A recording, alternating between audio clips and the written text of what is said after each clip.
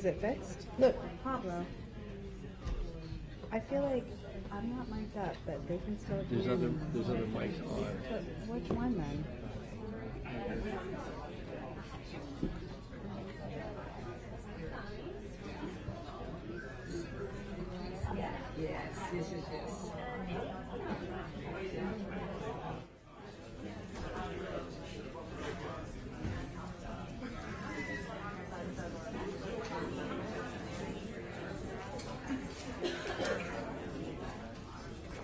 Hello?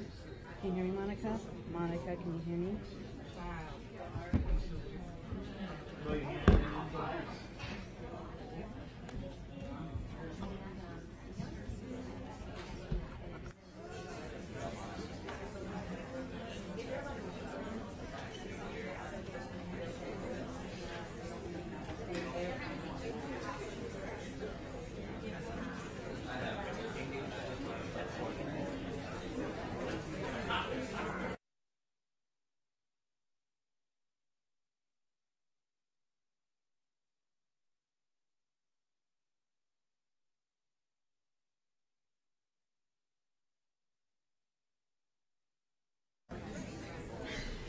Okay, we're going to go ahead and reconvene the meeting. It sounds like everything is working. Thank you, everybody, for your patience, especially everybody's here who- who's here to speak today.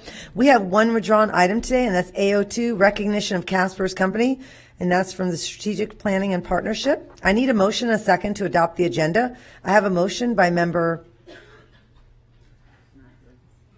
okay, I don't know if it's working up here. Okay, I have a motion by member Snively and a second by member Washington. Any discussion?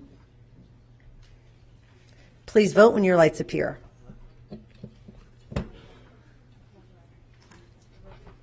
And it passes unanimously.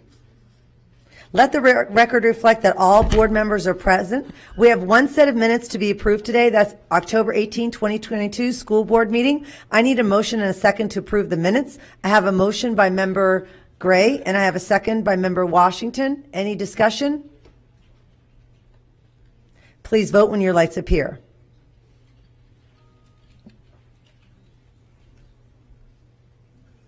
And it passes unanimously. Board members, I'd like to go over the format of today's meeting. As a reminder, we're a nonpartisan board who believe that all children can be empowered to learn to succeed, and our decisions will be made with that understanding. To pave the way for efficient and effective agenda statements and or questions, board members will have three minutes to speak with 30 seconds for final thoughts. Afterward, the superintendent can respond. If you have further questions, you're asked to get back into the queue. Member Washington will now go over the board guidelines. Thank you, Madam Chair. As we begin this afternoon meeting, let me quickly review the format of our school board meetings. Please silence all electronic devices. There are speakers in the room behind me that allow board members to hear the meeting upon stepping away from the dais. This meeting can be viewed with closed caption on live webcast, on cable TV, and on video monitors here in auditorium. It also can be viewed with closed caption in the online video archives. Thank you, Member Washington. We have one item scheduled for time certain, and that's 6 o'clock. That's employee input. I will now move on to public comment. The board welcomes comments from citizens and values your input to the board. In order to provide the most comprehensive response to your comments, our staff will follow up with you and will keep our board informed about the responses. Our school board respects the public's right to speak to the board, and we appreciate you taking the time to be here. However, it is requested when you address the board, comments are not directly personally against a school board member or staff member, but rather directed at the issues. Any behavior intended to interrupt the orderly conduct of this meeting will not be allowed. Our civility policy is in place. When addressing the board, please state your name and speak clearly into the microphone. This afternoon, each speaker will have two minutes. Reminder that your two minutes start when you begin speaking. When there are 30 seconds left, you'll see a yellow light on the lectern. A red light on the chime will indicate when your time is up. I'll now call up the first five speakers. If you can please line up in the first speaker.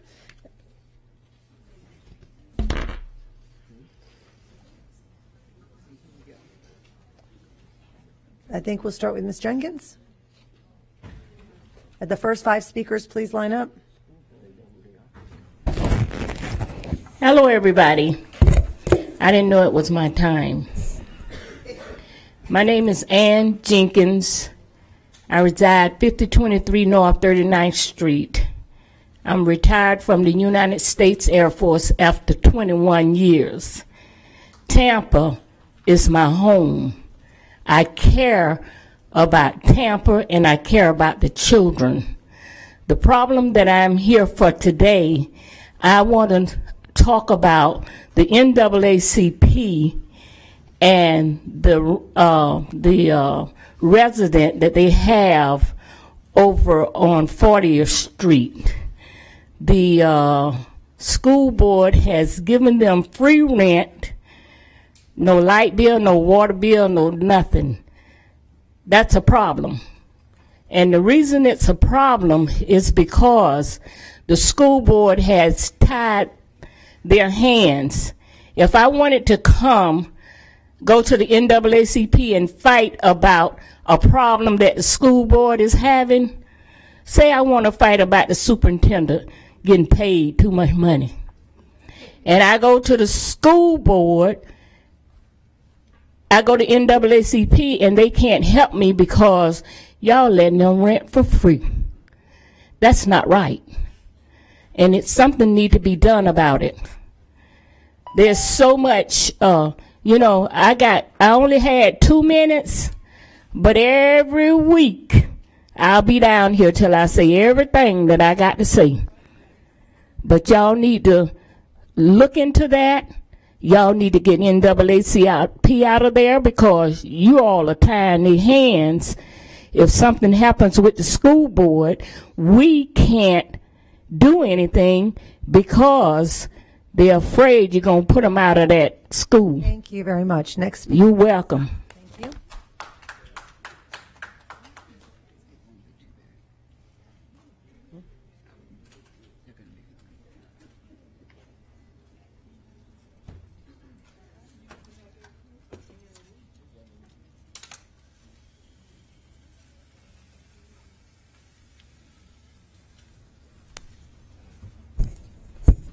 Good afternoon, my brothers and sisters. I'm here. My name is Twyla Johnson. I am the grandmother of David Rambus. He was brutally assaulted at the high school that he just now starting to go by another student. And thing why I'm here today is because of the action of your employees. They did not follow y'all school rules. We were not notified until my grandson came home brutally beat up. We had to take him to the emergency room. And when we tried to notify the authorities at the school, we were put off. We were not treated as human that I expected. Uh, the morals of the going down to the principal was not appropriate of y'all policies. It shouldn't take a grandmother to call constantly downtown to the school and the resource office at the sheriff's office as well, supervisors, to get something done about her grandson being assaulted like he was a grown man from another student. And this is his first year at Gaither High School. Thank you. Have a blessed day. And also, my daughter-in-law is here to finish the story. Thank you. Thank you. Next speaker, please.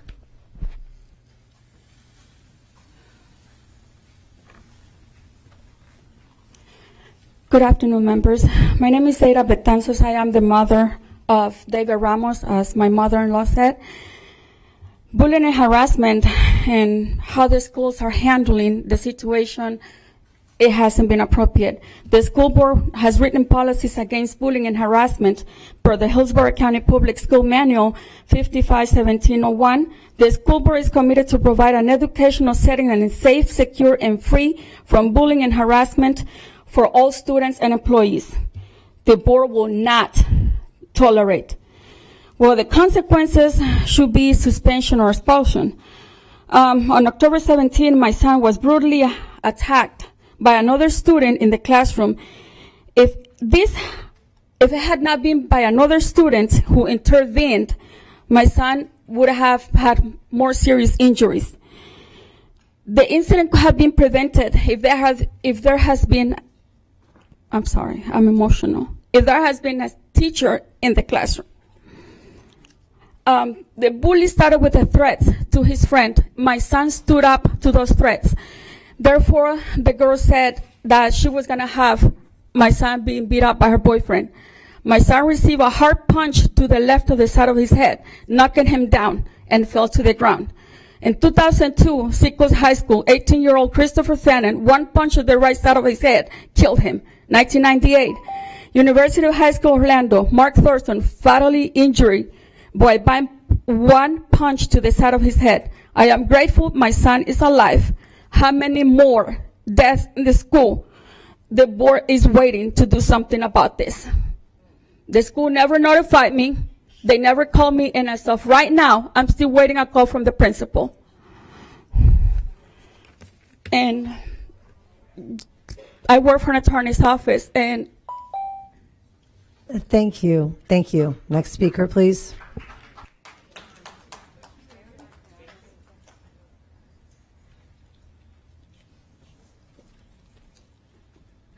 Hi, my name is Josephine Amato. Um, I have a long list of things that I'd like to address the board about to include unequal access to free and appropriate public education for our students of color that's systemic in our uh, district and um, us not following our policy. But today, I'm going to give you a break. Today, I'm actually here to honor school board member Melissa Snively. I am a resident in her area of schools.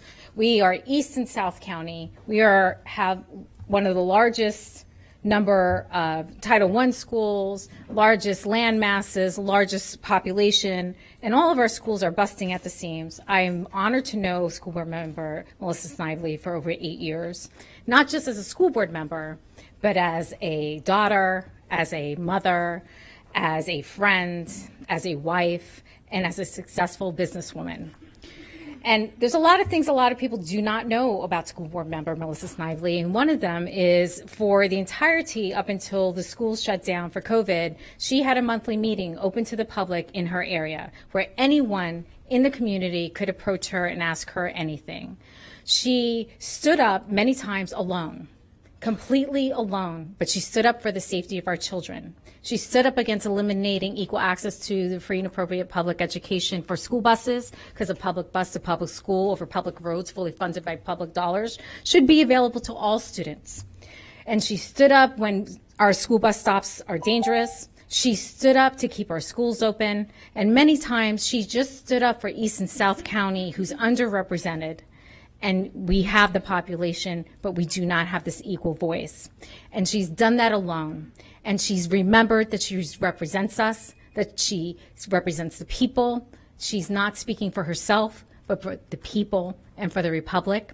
And a lot of people do not know her family's long history of service to the nation. Thank you, School Board Member Snively. Thank you. Thank you. Next speaker, please. Thank you.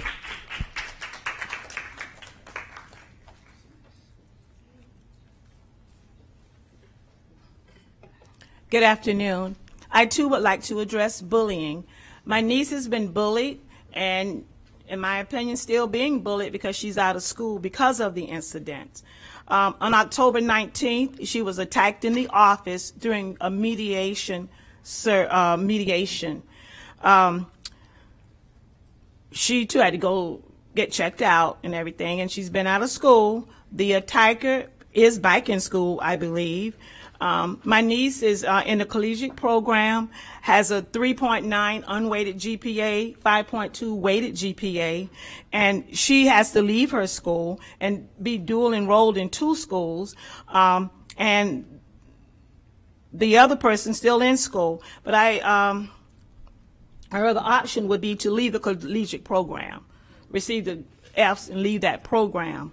Uh, go to another school where transportation is not provided not fair once again. Uh, and my niece is very she was active. She's involved in the school. She's been a cheerleader has a um, a youth emp- working in the youth empowerment group. Um, she has a desire to become a pilot in the um, air force. And um, her, and really and truly nothing has happened um, to satisfy the situation. Again to me she's still being bullied because she's out of school She's missed, uh, I think, almost two weeks of school now because she's displaced. She can't go where she's been bullied and continued to be bullied because the bullier is in the collegiate program as well, and she's there. She can still continue her program there. My niece, who has done no wrong, but reported incident after incidents where nothing uh, justifiable has been done. So I say, in a time when we're having so many kids bullied and deaths because of it, we have to do something. And I just want this to be brought to the attention that we understand there has to be a stopping point for Thank- bullying. Thank you. Thank you very much. Next speaker, please. Thank you.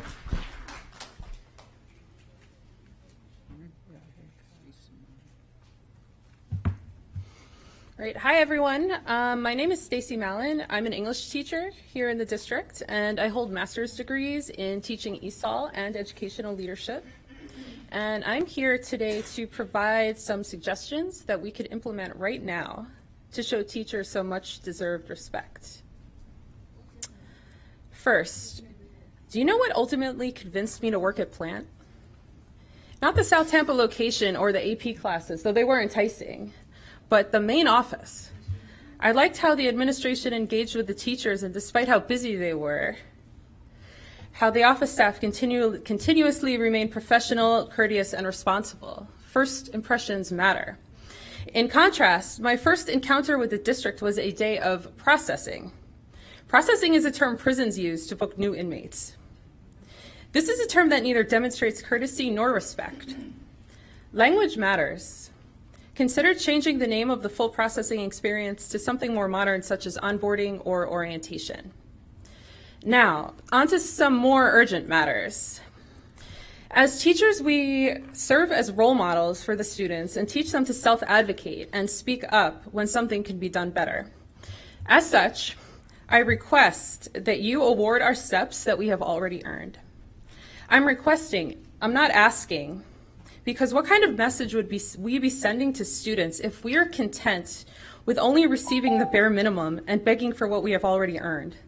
And as the union said, steps are feasible. Okay. Finally, please consider or decide whether you view teachers as salaried employees or as hourly employees and share with us. It's confusing. We are told we are salaried, but if we leave 30 minutes early, our pay is docked. That's not how salaried jobs work. If, in fact, we are hourly, we should be paid our hourly rate for covering classes or attending trainings, not $15 an hour. Thank you. All right, Thank you. thank you. Next speaker. Yep. You can come back at six. All right, thank you. Thank you. Next speaker, and if the next five speakers will line up, please.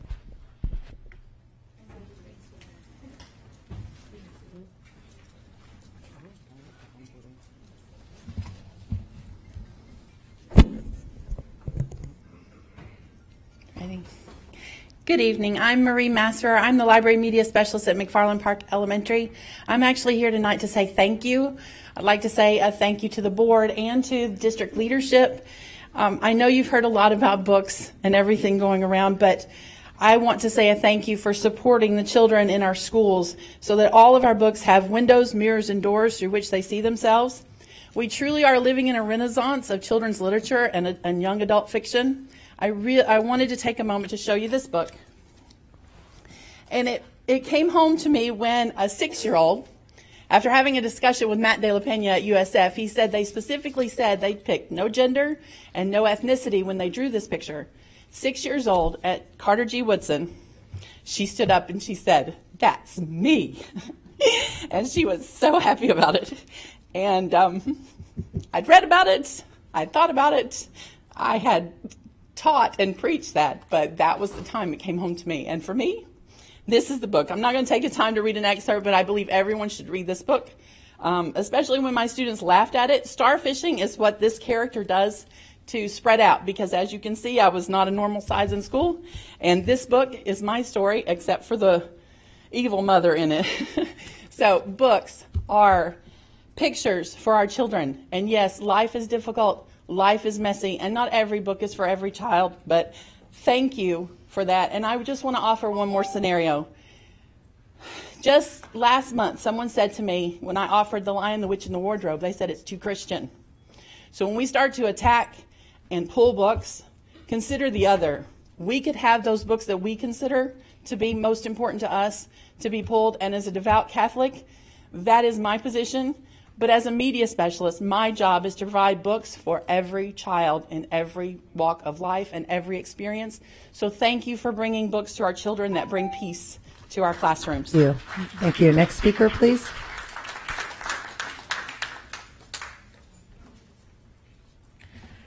Greetings, Superintendent Davis and School Board. I am Deborah Brown, and I'm here to this evening to stand in solidarity with my younger cousin Tanaya, who has been a, bu- a victim of bullying for over 18 months now. Um, I just want to give you a little bit of the timeline and some of the background information, and someone else will continue. On October the 19th, Tanaya was called for a mediation with bully by a school uh, staff member. She was called in because she decided she did not want to be friends with the bully anymore because of her bullying. Following what appeared to be a successful mediation, she was attacked from behind while attempting to exit the school's office. Um, the bully attacked her verbally and assaulted her physically. Around 4 p.m., her mom received um, the notification and she stated, I want to press charges. Someone at the school um, made a report, and the report stated student was a victim of a physical attack when attempting to walk away from mediation. Parent has given us permission to speak with her husband, who is not on her card. I let the family know the deputy will be following up as they are wanting to press charges. End quote. The bully was suspended for 10 days, and the victim um, went to receive medical attention. On the 20th, her mom calls the resource officer to press charges. Next, um, she fills out a bullying report online and then heads to the school board. Investigation is launched after the mom leaves. Around 4 p.m., she received another call from the school and notified her that her daughter would now be suspended for three days. This was after the fact. Anyways, spoke to mom and let her know that we got more details about yesterday's incident and that the, te- the teacher, stating that Tanaya, turned around and began arguing back and then started fighting. Note this was different from the previous day's report. Mom is understandably both upset and uh, with the conflict in statements. On the 21st, mom returns. Thank you. Anyway, thank you for your Thank you. time. Thank you. Next speaker, please. Thank you. Good evening, good, um, school board members. Uh, my name is Kathy Hare. I'm one of the community leaders here in Tampa Bay area, and I'm speaking on the behalf of the bulliness also for Tanel. Um, as of now, Tanel has missed 13 days of the COLI program and has missed out almost a month's worth of work. Why it is that Consult been suspended for 10 days, have also charged presses on her and remain in the collision program. And one of the things that we want to express is that even though that she is an honor student that has been pressing on, I've been knowing her since she has been a child. Um, always one of the things that we see now with children, they don't say yes, ma'am, and no, ma'am, or yes, sir, and no. One of the things I noticed about her, she always says that she always addresses people in a polite way.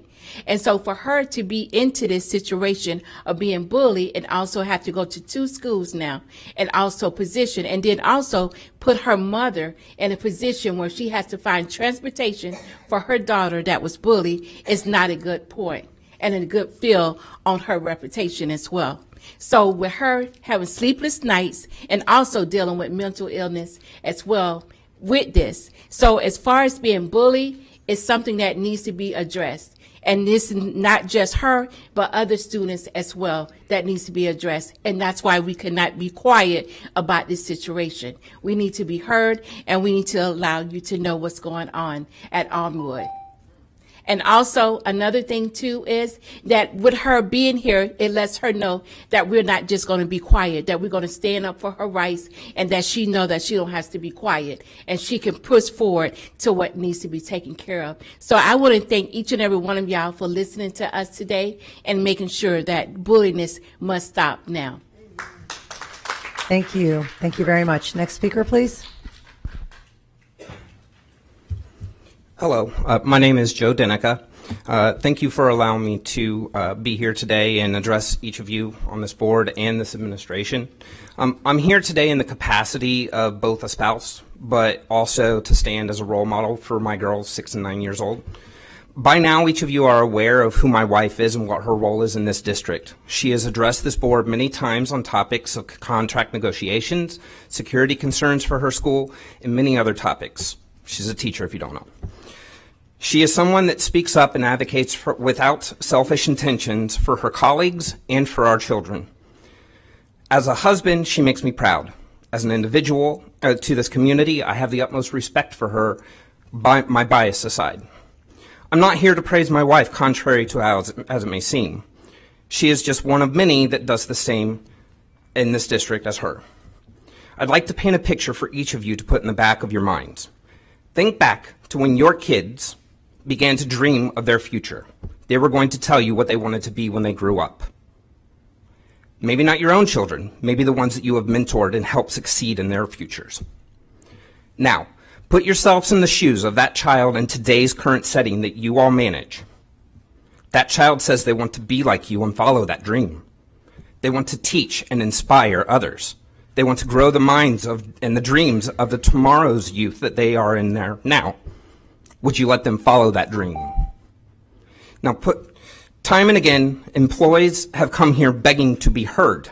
I've seen it. To date, no gratitude or validation in the career of these parents, mentors, or role models that work in this district have come to fruition. You ask for more when there is nothing left to give. I see it firsthand.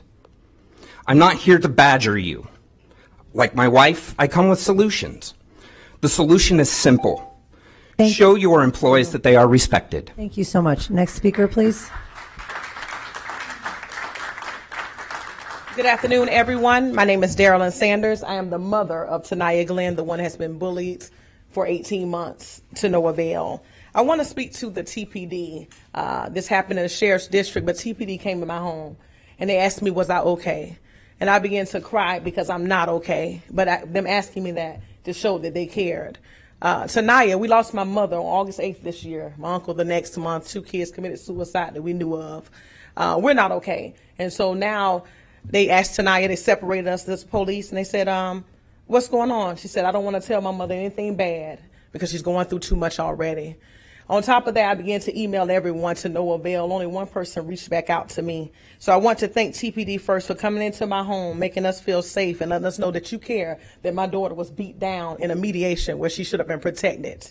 You knew the girl was bullying her for 18 months. You should have had someone else there to protect my daughter, but you didn't. The lack of concern that Armwood has. Uh, no one has called me. I didn't get a call from the principal until Friday after coming to this office two times, Thursday and Friday. The emergency room visit. You all have not heard of Tanaya's injuries. Tanaya had a forehead laceration, concussion, neck pain, back pain. Her ring left finger will never grow again. The nail is gone. I've gone everywhere, like the uh, the young lady said, the first speaker. I've gone to the NAACP, uh, to no avail. I'm not being helped here. So what I ask you all right now, imagine this being your child. You wouldn't stand for it. My last 30 seconds, I want to talk about transportation. Tanaya's going to two schools now. She'll be at Spoto for her tactical, her traditional courses, and she'll take her HCC courses at Armwood. I have to provide transportation. You give her a Hope Scholarship, no transportation. Me and her father, D'Angelo Sanders, uh, we have to go to work 4 a.m. in the morning. How are we supposed to get her there? The last seven seconds, please show that you care about my daughter. Tanaya's here, 5.2 GPA, 3.9 unweighted. Thank you. Thank you. Next speaker, please. The next five speakers will please line up.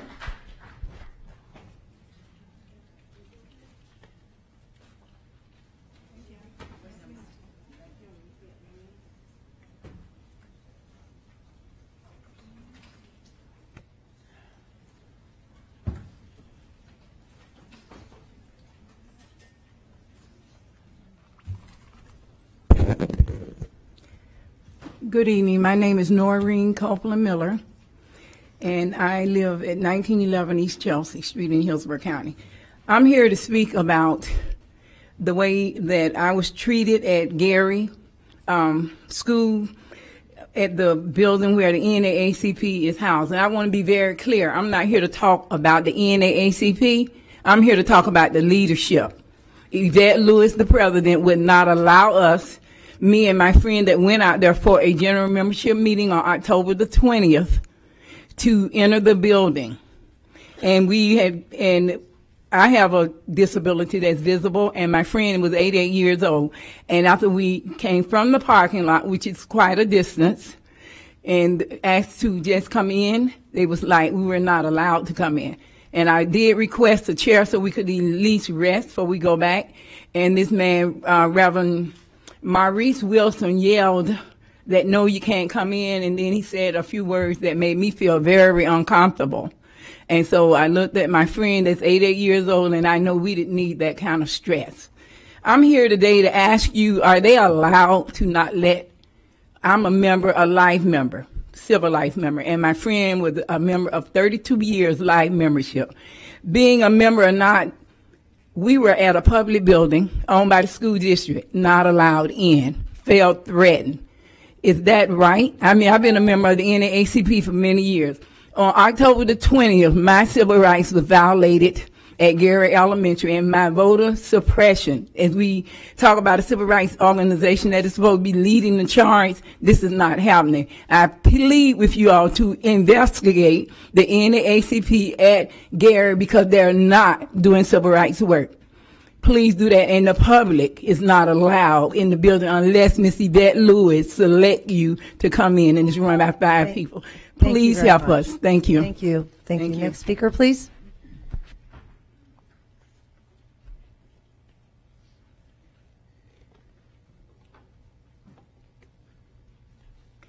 Good evening. I'm Bishop Michelle B. Patty. I think you all have my handout.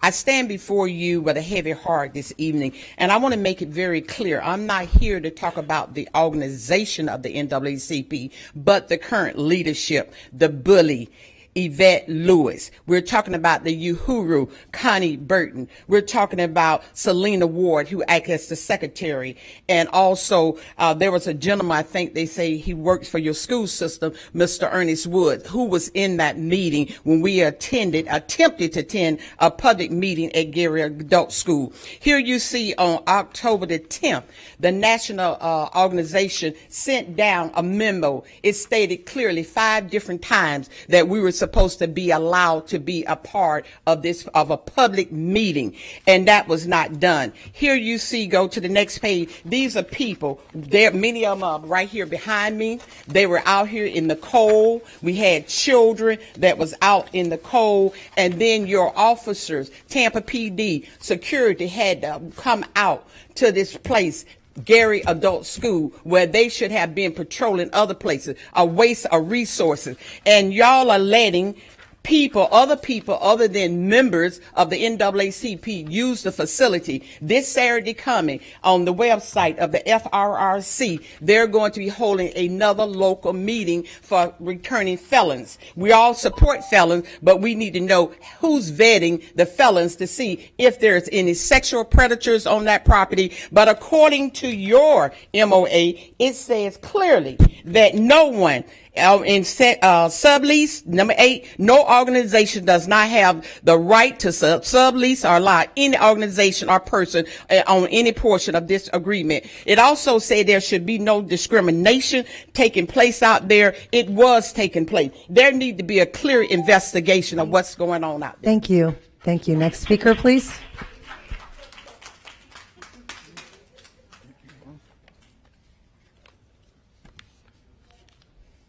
Afternoon. My name is Chris Bergeron. I'm the Executive Vice President and Chief Operating Officer of Link Systems International. We're headquartered here in Tampa. We were incorporated in Florida in 1996. And we offer a service called NetTutor, online tutoring. And we have a platform called Pisces for online tutoring. I'm here today to make a statement in reference to an item on today's agenda, which is Subject 1.03, the Sole Source Award to Paper Education Company. Um, we had concerns about the sole source process. We expressed those concerns during the opportunity to outline our protest to the sole source. And we feel that we successfully addressed each item on the original source and that protest was denied. Um, we're not the only online tutoring provider, and, uh, and we're probably one of the longest providers, but there are other well known online tutoring providers that could have participated in a fair procurement process. So the only thing that we could do when the intent to award was published, which had new information on it that was not provided to us to protest in the first place, which had content on it that's not related to online tutoring. They talked about games and trophies, and we understand that incenting students to seek help is important, but that wasn't the reason that they were awarded, um, although it was listed on the intent to award. So we were only given one option, which was to sue Hillsborough County for the right to protest the intent to award. And we didn't want to sue our hometown. So I just wanted to share with you that by bypassing that competitive process, we feel certain we would have served the students in our community even better. We would have had more local Tampa-based representation. Our services would have benefited Hillsborough County by creating jobs. And, you know, they, the, the paper service provides chat and text, but we also have whiteboard and audio and video and screen sharing. And anyway, the fair and competitive process Thank you. wasn't met. Thank you. Next speaker, please.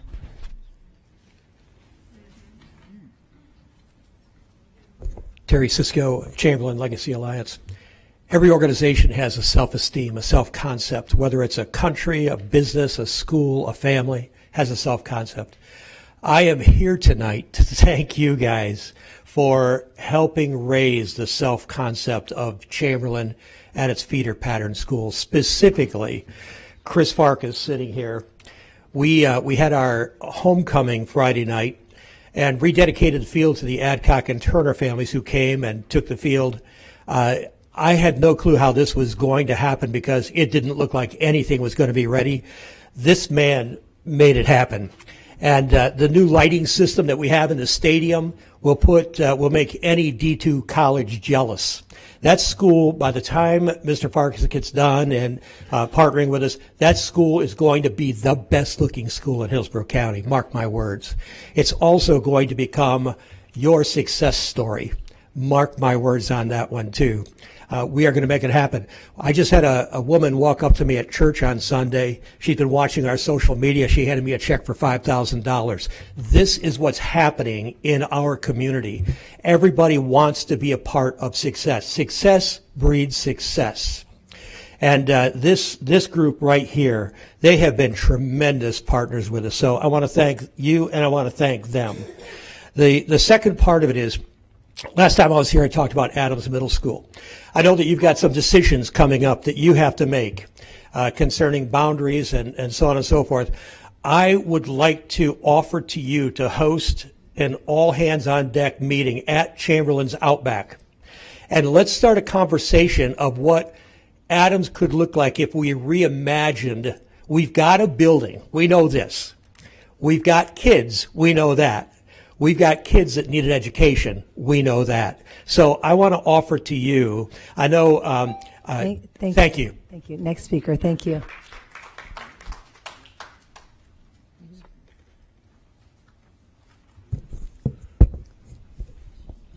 Hello, my name is Danielle Eichman, and I'm from Carrollwood Elementary, along with some other Carrollwood K 8 Initiative Committee members. We are here again to speak with you about the importance of transitioning Carrollwood to a K 8 for the next school year. We would like to remind you why it's imperative to keep K 8 on the forefront of your minds. Transitioning to a K 8 not only provides stability for the students, including better mental and social health, but it also is so desperately needed in our community. As you are aware, school choice has opened, and families at Carrollwood are absolutely feeling the stress about choosing a middle school, as there is not a single student that we are aware of that is planning to attend our zoned middle school at this time. Carrollwood families are again facing the decision to either move out of the district, prepare to acquire the soaring costs of private school tuition, or get ready to spend countless hours in the car driving. This can be avoided with transitioning Carrollwood to a K-8. We have shared that the Carrollwood community is strong and that we take great pride in being a part of it. Our Carrollwood students deserve to stay together and maintain the connections that they've made for the last eight, six years and not scatter. We recognize that a lot of effort and out of the box thinking is needed for this transition to be successful. But we are excited to step up to this challenge with your support and make it happen for the next school year, 2003 2024 school year. Thank you. Thank you. Next speaker, please. Hi, my name is Krista Mills, and I am glad to be back here again today. Um, I want to start off by saying thank you for the board members who we have spoken with, who we've met, we've met with. Um, we know your time is valuable, and we appreciate your guidance in helping us advocate for our kids. I'm here to remind you of the nuts and the bolts of our plan to transition Carrollwood to K-8. Like Danielle mentioned, transitioning Carrollwood will take effort, but we know that it can be done with little to no cost to the district. Our plan calls for balancing the number of students in the school by limiting the number of incoming choice seats in grades K through 5. Those seats will become reallocated to grades 6 through 8. With the addition of one grade level at a time, this will allow the district to modify choice slots to give priority to our Carrollwood rising sixth grade students. This does not impact the students who are already choiced in, but it would just limit the future choice enrollments. Our goal is a class size of 110 students per grade. At this size, the FTE funding provided will support the teachers and materials at our site. We are not asking for any additional buildings. Carrollwood has enough room to make this happen immediately without affecting the school capacity. As seen with Maniscalco, transitioning to a K-8 can be done with very little additional funding by using resources that are available within the district. The transition is a win for the district. It is a win for our community and it's a win for our school. We will be able to retain students that are leaving as early as third grade, and we'll, we will be able to capture students who may have attended a charter or a private school instead of Carrollwood altogether. This plan directly addresses the needs of the students, and it addresses the needs of the school district to demonstrate concern for children and a commitment of high quality education for the Carrollwood community. We need this on the agenda now to make it feasible for grade six classes to be in session for next year. Thank you again for your time. Thank you. Next speaker, please.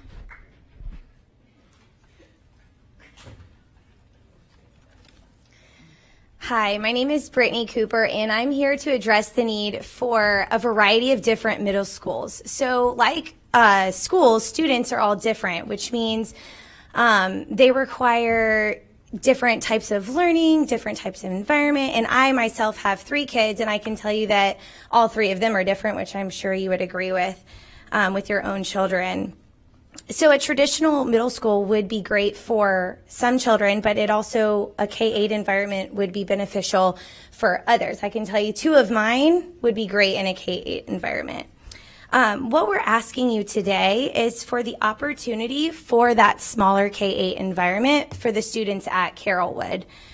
Um, so I personally went to a smaller middle school and I felt very safe and was able to thrive and not be thrown into a bigger middle school.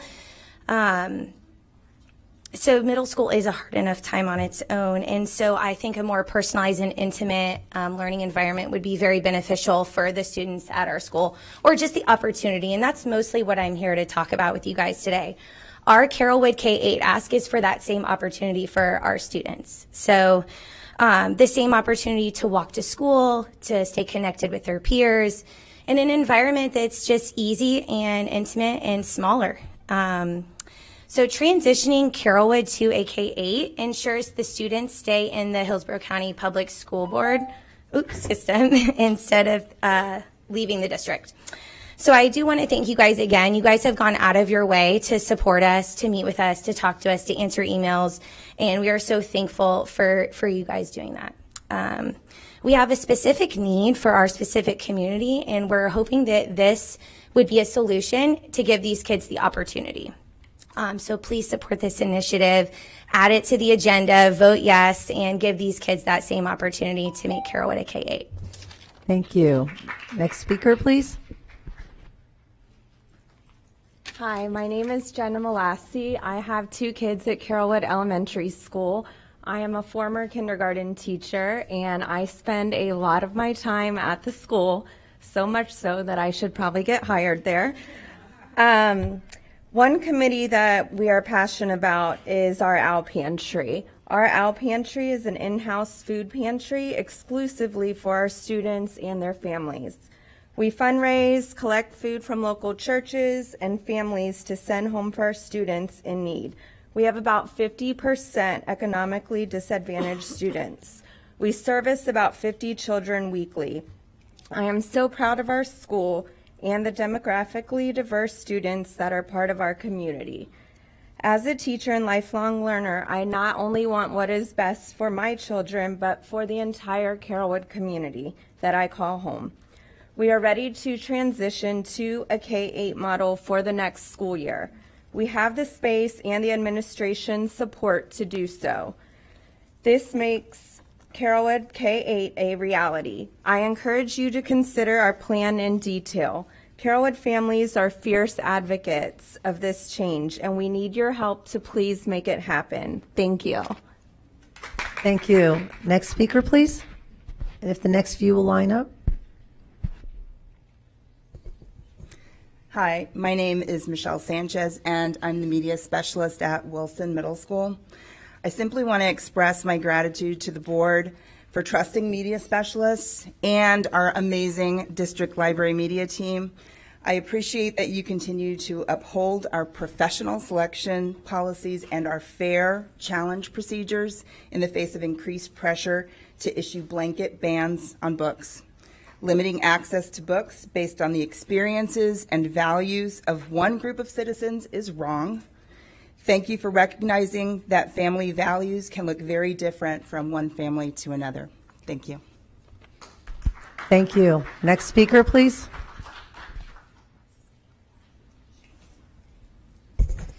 Good afternoon, Debbie Hunt. First and foremost, I want to thank you, Member Snively, um, for your incredible commitment, and it has been so consistent and so for the kids of Hillsborough County. So thank you. Sorry to see you go. Um, I want to talk today about the tutoring program called PAPER being discussed by you all. Um, first, I do want to thank Terry Connor for um, sending a response to me on the questions that I had emailed everybody. Very much appreciated. We are still concerned about the vulnerability of the children's information and uh, their personal information and about the live, it's, and I'm quoting from the response, live educational entertainment platform, which includes gamified storylines and captivating storytelling. Um, we are also concerned with the generalized parent webinars and the schedule shared to promote the tutoring, which actually started back in February of 2022 when this is supposed to be um, new, that you guys are continuing. Um, we do appreciate that the agenda item was moved from the consent agenda to the discussion agenda um, following your own process.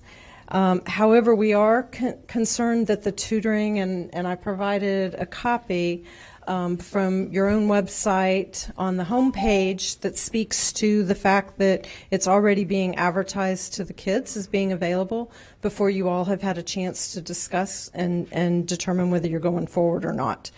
Um, finally, we're very concerned that you're willing to sign a contract that states Neither party shall be liable, and I'm quoting directly from what you're going to sign. Neither party shall be liable for direct, special, consequential, and or incidental damages arising out of or related Thank to you. the agreement. Next speaker, please. Thank you. Thank you.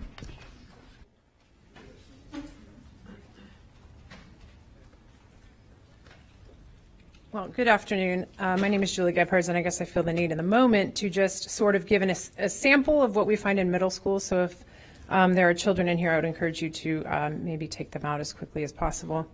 Um, because here's a book that we have in a middle school um, that contains this. Uh, let's see. Uh, his palm rubbed across her nipple, causing it to harden, which Amma noticed as if watching from some distance rather than from within the skinny handhold, running his hand across the downy nest of hair between her legs and then pushing his fingers inside of her, opening her in a way she had not known she could be opened. Um, those are just some samples. So I don't know if we're defending that. I mean, there's a lot of examples. I actually have a packet here that I'll give to you guys that has samples from four different books. And I know you encourage us to read the entire book, but reading the entire book does not remove the pornography from the book. It's really disturbing and very frustrating to hear people come and speak opposed to um, some of these books that, I, mean, literally, I'm just going to keep reading. Um, do it, she said. And this is just randomly off this page. House of Earth and Blood by Sarah J. Maas. We have seven copies in our book. She didn't feel him inside her, his fingers or his cock, anything. She might start begging. If she didn't feel him inside her, she might start begging. She buried her face in his neck, biting and licking, starving for any taste of him while he pumped his hand into her again. He breathed into her ear, I'm going to F you until you can't remember your goddamn name. I have plans for this beautiful ass, Bryce. Filthy, filthy plans. She moaned again as his fingers stroked her over and over again. Come for me, sweetheart, he purred against her breast, his tongue flicking over her nipple just as one of his fingers curled inside her, hitting that goddamn spot. This is not okay. I, I, don't care what library you're in charge of. This is not con- this is not content that is fit for young people. This is in middle schools, high schools even some elementary schools. If you remember, All Boys Aren't Blue was in an elementary school, and I have evidence of that. Just elementary. All Boys Aren't Blue. Anal sex. Everything. Thank you. Next speaker, please. Thank you. Next speaker. And the next five, please. Next five speakers, please.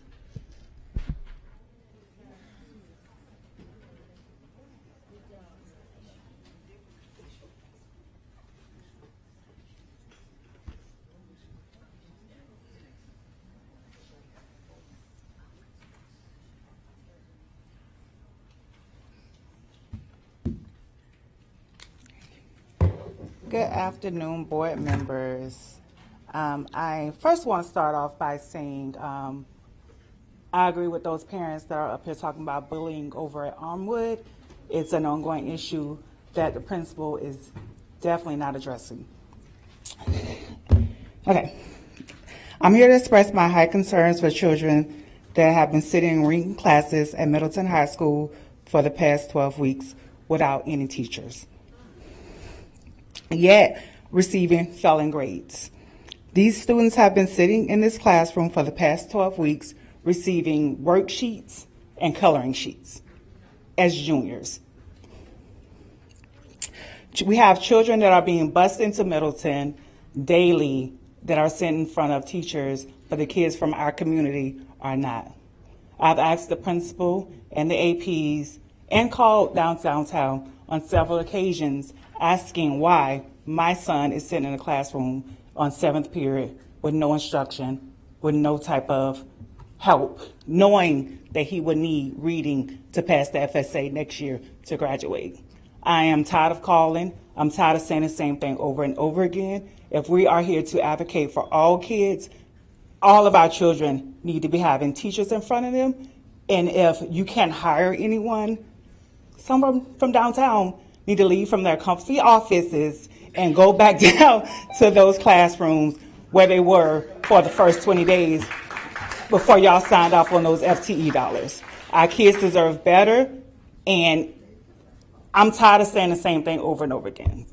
Also, I want to point out the fact that some an agency was able to go over to Woodson and take a child from Woodson, and no one at the school knew what agency or knew who the person was that removed this child off the property.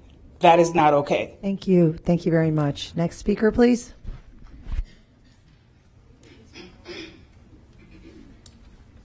Good evening and thank you. My name is Kathy Henry, and I'm here this evening uh, to uh, address my concerns concerning the school board allowing us, the people of the community, 5139 branch of the NAACP, to have space, office space to meet and conduct meetings and uh, that we can inform the community uh, with being able to come together with ways to partner with Tampa Police Department, the city mayor, and uh, we're being like bullied. I would say personally experienced myself. I've been to that office on several occasions. I was treated rudely and very unprofessional, and I was went there to see what I can volunteer to do.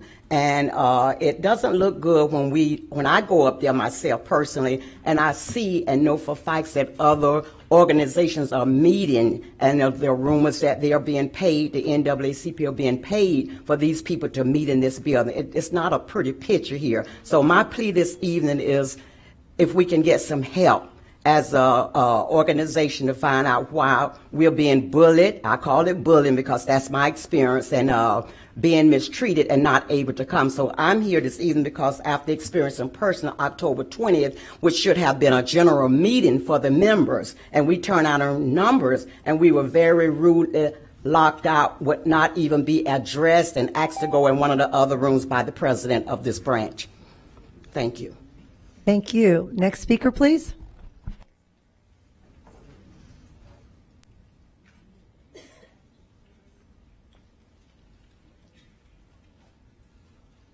Okay, Joe Robinson, I want to have this slate of integrity receipt and file and the record. That's who needs to be at the NAACP. Uh, we need a formal investigation. There was uh, police call, uh, staff security call. The NAA, I'm second vice president, locked out. They want me out, but I'm gonna turn the FBI informant in a minute. And it was public corrupt, and people's civil rights was violated. The NAACP office needs to be shut down, and you need to follow your agreement that I signed, Yvette Lewis signed, you signed, Addison Davis, and the chair of this board, Ms. Lynn Gray, at the time in 2021. Number one, we was discriminated. It says, nor will any organization deny any person the opportunity to participate in activities conducted on the site with a capital S. That was done. We got video to prove it. Here's the biggest violation going on or allow any other organization or person to use any portion of the site, capital S, during a term of this agreement. That's happening. You just heard Florida Restoration, Q Dolls, the Divine Nine, and anybody else, including you, cannot go out there, Mr. Porter. You guys can't go out there because you are not members of the NAACP unless you are. So shut it down. We want an investigation, a forensic analysis of the NAACP financial money and all the stuff you're doing because they won't do an audit. I'm sick of it. And they want to throw me out, but on the way out, I don't want to push the predator on here, Mr. Porter. So Porter knows about it. Addison know about it. Shake, you heard about it. Do something, man, because Yvette Lewis is out of control. They're conspiring to deprive our civil rights. They're also not letting a public building be utilized according to the contract. They done violated it. They know it. There is no plausible deniability because she signed it. So, and I signed it. I'm here to be on the record to say, do something about it before I bring another organization in here to really investigate public corruption in the school district with the local branch of the NAACP. Thank you. Next speaker, please.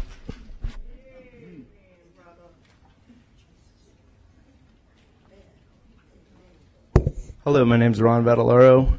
Um, I wanted to come up here to publicly congratulate my wife, who got uh, Teacher of the Year at her school.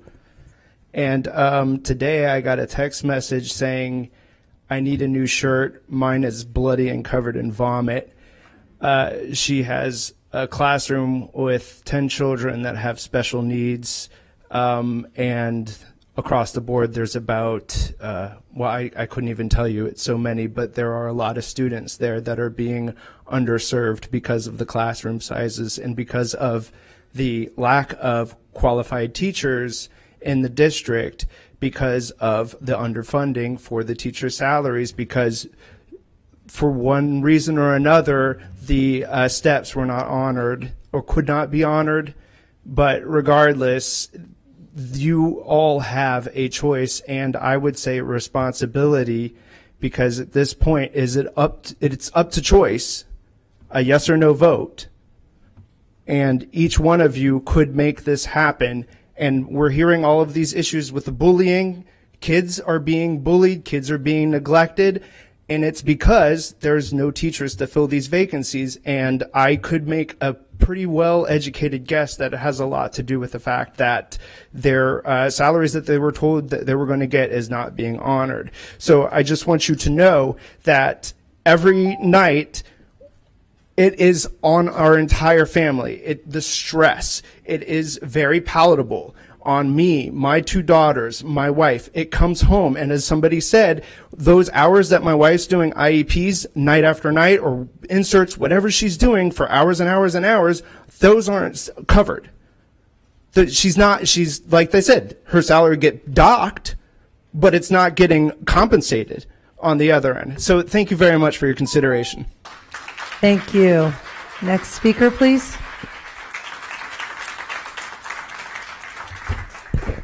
Good evening. I'm Kimberly Henriquez. I'm a kindergarten teacher at Alry Elementary. I want to wish you all happy All Saints Day. I came early to speak because um, it's a holy day of obligation. I will be going to 7 p.m. Mass in Dunedin, which is where I live. So I've traveled a, quite a distance to be here. Um, last time I told you about my morning in the kindergarten classroom. I thought I'd share about the afternoon. And also, I wanted to let you know that there is academics that go on. It just isn't recess and lunch. And one of my parents actually told me um, yesterday on the phone. She said, "I'm so happy that my son is. We're in the car and he's seeing letters and he knows the name of the letter and the sound of the letter." And I'm like, "Yes, job well done, Henriquez. You're doing it." But um, you know, like today, this afternoon, we have this new system where our principals get to pop in on us and I'm fine with it. It's okay. I'm I'm me. I'm going to do me. You're going to see what you're going to see. I'm okay with that. But they were in there like right as I was coming in the door from lunch, which was a little hairy, but we made it through. I was very nervous because I knew that I, oh my God, I need to be teaching math right now and I'm not teaching math and I'm going to get in trouble and, oh, you know, just all the anxiety that comes with it. And, um, and then I found out we were down a kindergarten teacher today. Her son is sick, and now we just found out she's sick, so she won't be here. Long story short, we had to divide her class. We have one aide for seven teachers. It's just, it was a crazy day the afternoon, and you know, the toilet got backed up because a child doesn't know how to wipe himself yet, and I had to put my gloves on and clean that up. And I, in the middle of a lesson, I'm just like, are you kidding me?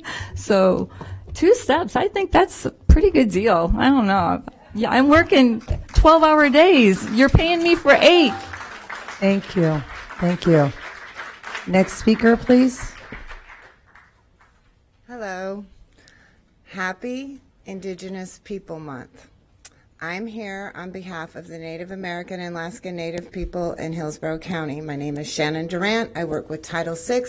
I work with Florida Indigenous Alliance so I'm here on a happy moment. I won't speak anything neg- negative because I know that I come up here and speak very negative at times.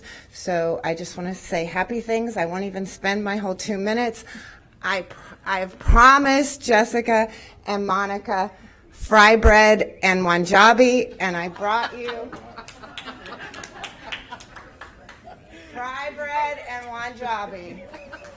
And there's 40 pieces, so please share. I do have one comment. I would like to thank Ms. Hahn for showing up today at a Native American event. So thank you. Thank you. I think we have two more speakers. Um, next speaker. Hi, Kelly Champion, Gaither High School. I spoke to the board about this very issue in September, so this is what's happened since. On October 4th, an adult male parent entered our gym from the student parking lot doors. Um, the doors frequently do not shut. We put MRs in. They come fix them a couple of days later to no avail. Students love to prop things in the doors to keep them open. The male happened to be a parent just looking for a student. We asked him to exit the gym and go around to the main office. He complied and was very nice about it. This might not have been the case with every person that enters that gym, though the way that he entered. On October 28th, walking back from an activity out on the fields, I saw a young male, most likely a student, I'm not sure. Um, I asked him, he was attempting to enter the gym doors as well. I asked him to please go around. This is a classroom. This is not the entrance of school. He suddenly just ran up to the orchestra doors, which are right next to the gym doors, and he pulled those open, walked right in. The doors were not secure. Again, I did another MR. The doors were fixed today, to, um, from what my custodian told me. Um, it's a safety aspect. We have begged the district for years to have one fence from that orchestra door down to the driver's ed room. If you know Gaither's layout, you understand what I'm talking about. Our ADA did express that someone from the county came to look at such issues. She's like, I'm not promising you anything.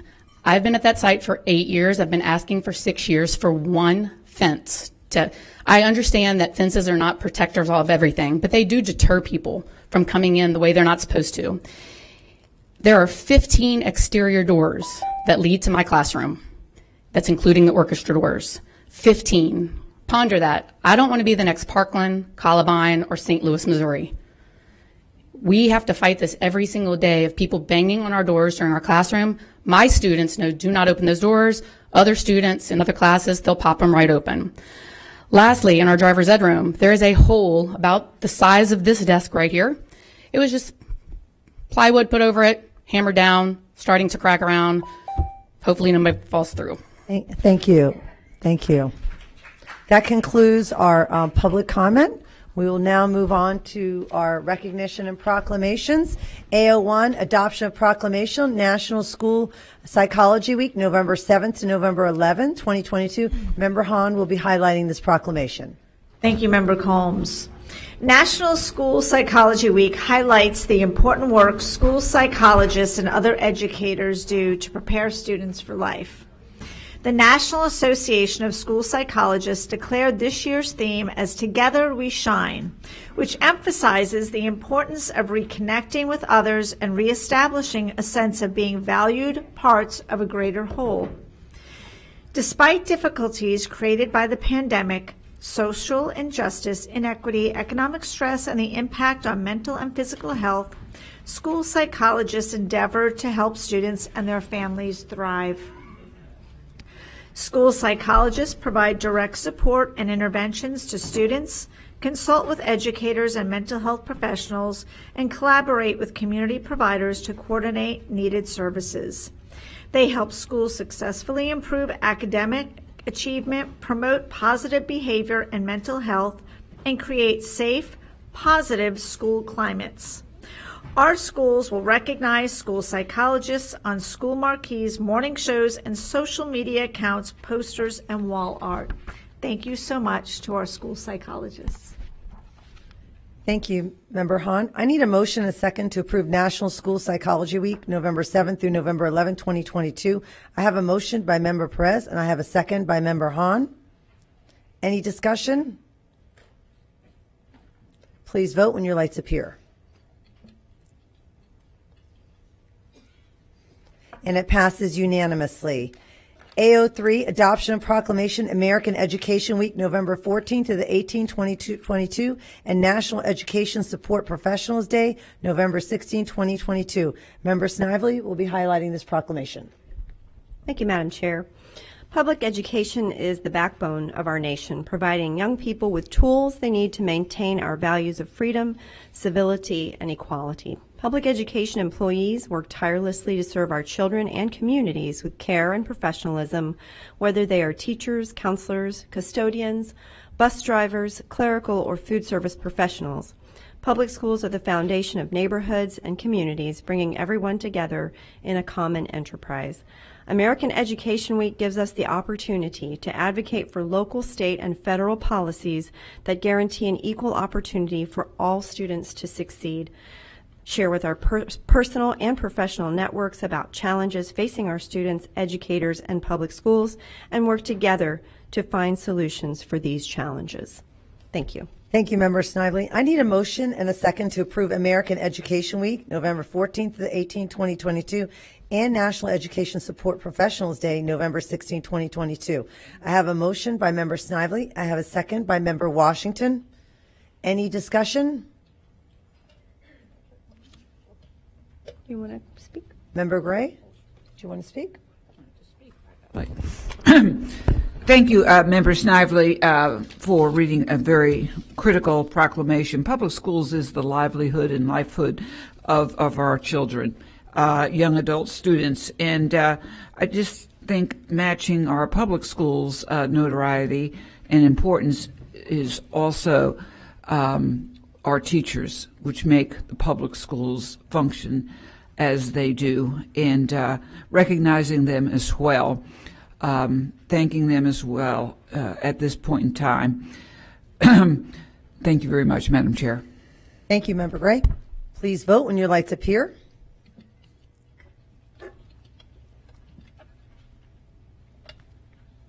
And it passes unanimously. AO4 recognition for the family of heroes in education. Member Snively will be highlighting this recognition. Thank you, Madam Chair. At this time, I would like to introduce Anne Marie Courtney, the Supervisor of uh, Partnership Engagement and Philanthropy for our school district, who will present this proclamation.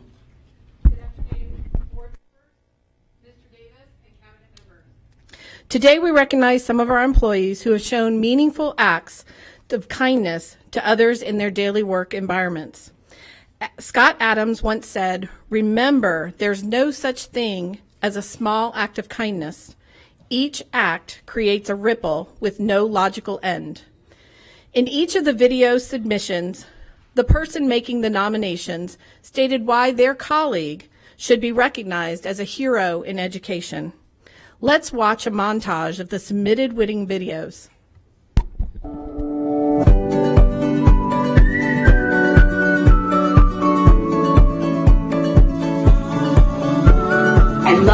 Love find people who try to multiply their impact outside of just their regular job. Mm-hmm. And I know that you're a speech language pathologist. I am. And that you work very hard with your actual caseload of your students, but you do so much more than that in our school. And this GEMS program is something really, really, really special. They have been just so incredible, um, absolutely loving. They made me feel so comfortable every single day coming to work, and no question felt unimportant or not valued. Their excitement for their job every single day, the way that they make people feel, the way that they make families feel, is something that just sets a tone for our entire building. A staff member who is always so kind and willing to help just about anyone is our media specialist, Ms. Christy Mayfield. She does so many innovative projects for not only our kids, but our staff as well, um, including even just having uh, fun uh, baked goods she likes to make for meetings uh, to make things more interesting. I'm nominating Ileana Zollner from Buckhorn Elementary to be my hero in education for her kindness in adversity. Miss Leah is always kind to my special needs daughter Jessica, although Jessica may not always be kind to her. Miss Leah is wonderful despite the adversity she may face every day. She's the literal definition of kindness at heart. She bends over backwards for our faculty, our staff, our parents, and our students. She has helped set up our food pantry, which serves over 40 families each week. She's the backbone of this school. She's who everybody looks for for a smile, a high five, or a hug. And she it brings so much joy to our school in every way.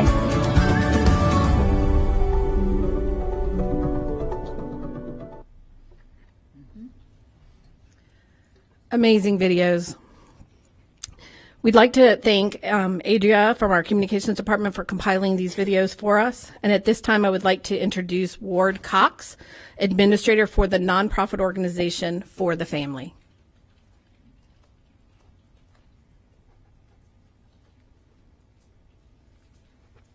It's a pleasure to see all of you this afternoon. Thank you so much for everything that you all did to help our Heroes in Education program take off in its first year. I think that the best is yet to come, and I'm so excited about working with Hillsborough County Schools. We've been able to do that since 2012. I would like to extend a special thank you to both Anne Marie Courtney and also to Ray Paget. Their support has been critical in our partnership and its effectiveness and in how it's grown. Their suggestions have meant the world to us. And of course, it's a distinct pleasure to join you in recognizing the caring spirit that is plain to see throughout Hillsborough County Public Schools. We at For the Family are grateful to the board and superintendent for their continued support. Now we can be loud and proud in honoring the heroes in education who have been nominated by their peers in smartphone videos that give kindness the visibility that it deserves. Their examples underscore how the art of caring about others is alive and well in our community. It's my honor to introduce you to these extraordinary heroes in education who are kindness ambassadors at their schools and wherever they go. Please save your applause until each honoree has been introduced. From Miles Elementary, it's my pleasure to introduce speech and language specialist Megan Kearney.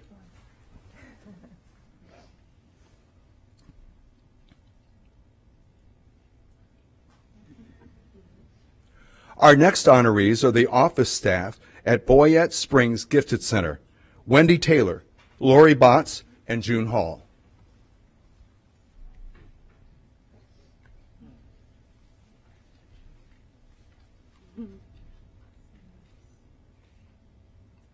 Our next honoree is Christina Mayfield, Media Specialist at Lincoln Elementary Magnet.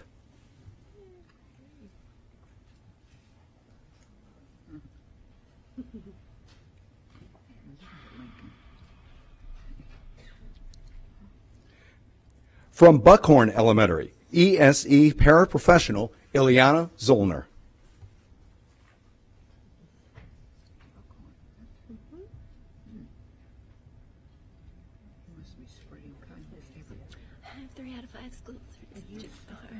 And our final honoree for 2002, Faith Smith, Parent Liaison at Temple Terrace Elementary.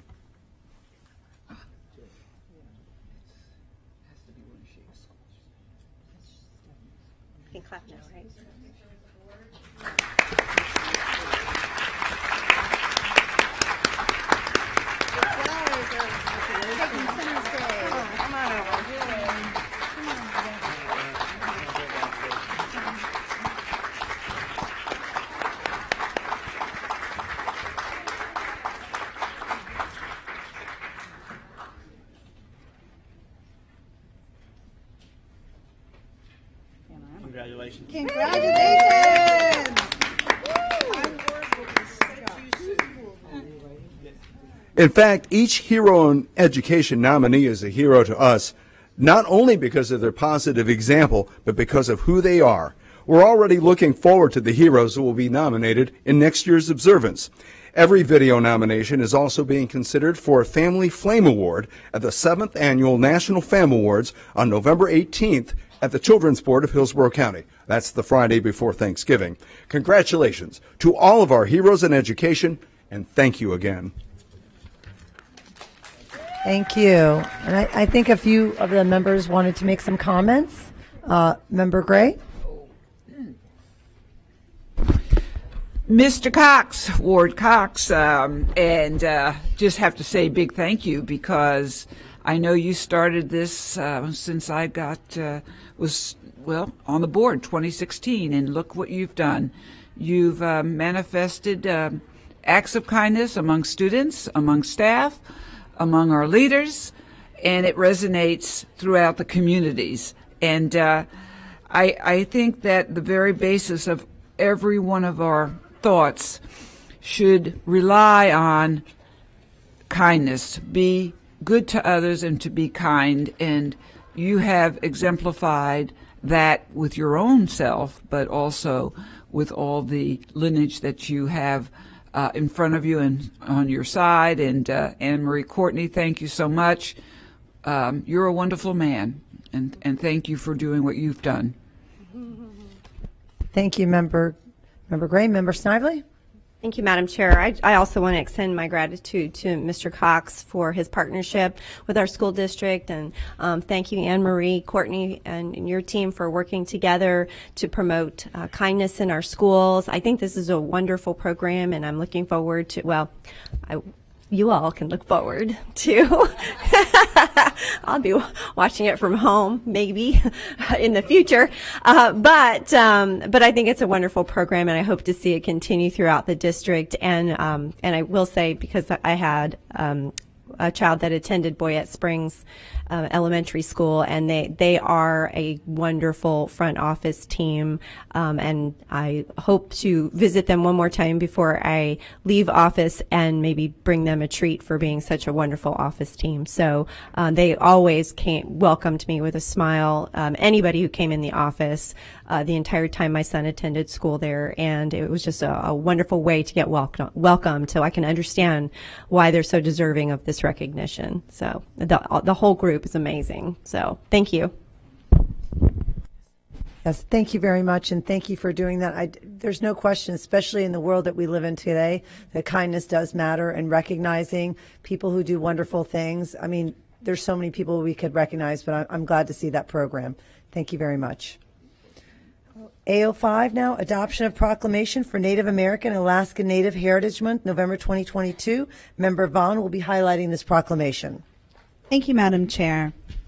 What started at the turn of the century as an effort to gain a day of recognition for the significant contributions the first Americans made to the establishment and growth of the United States has resulted in a whole month being designated for that purpose. In 1990, President George H.W. Bush approved a joint resolu- resolution designating November 1990 National American Indian Heritage Month.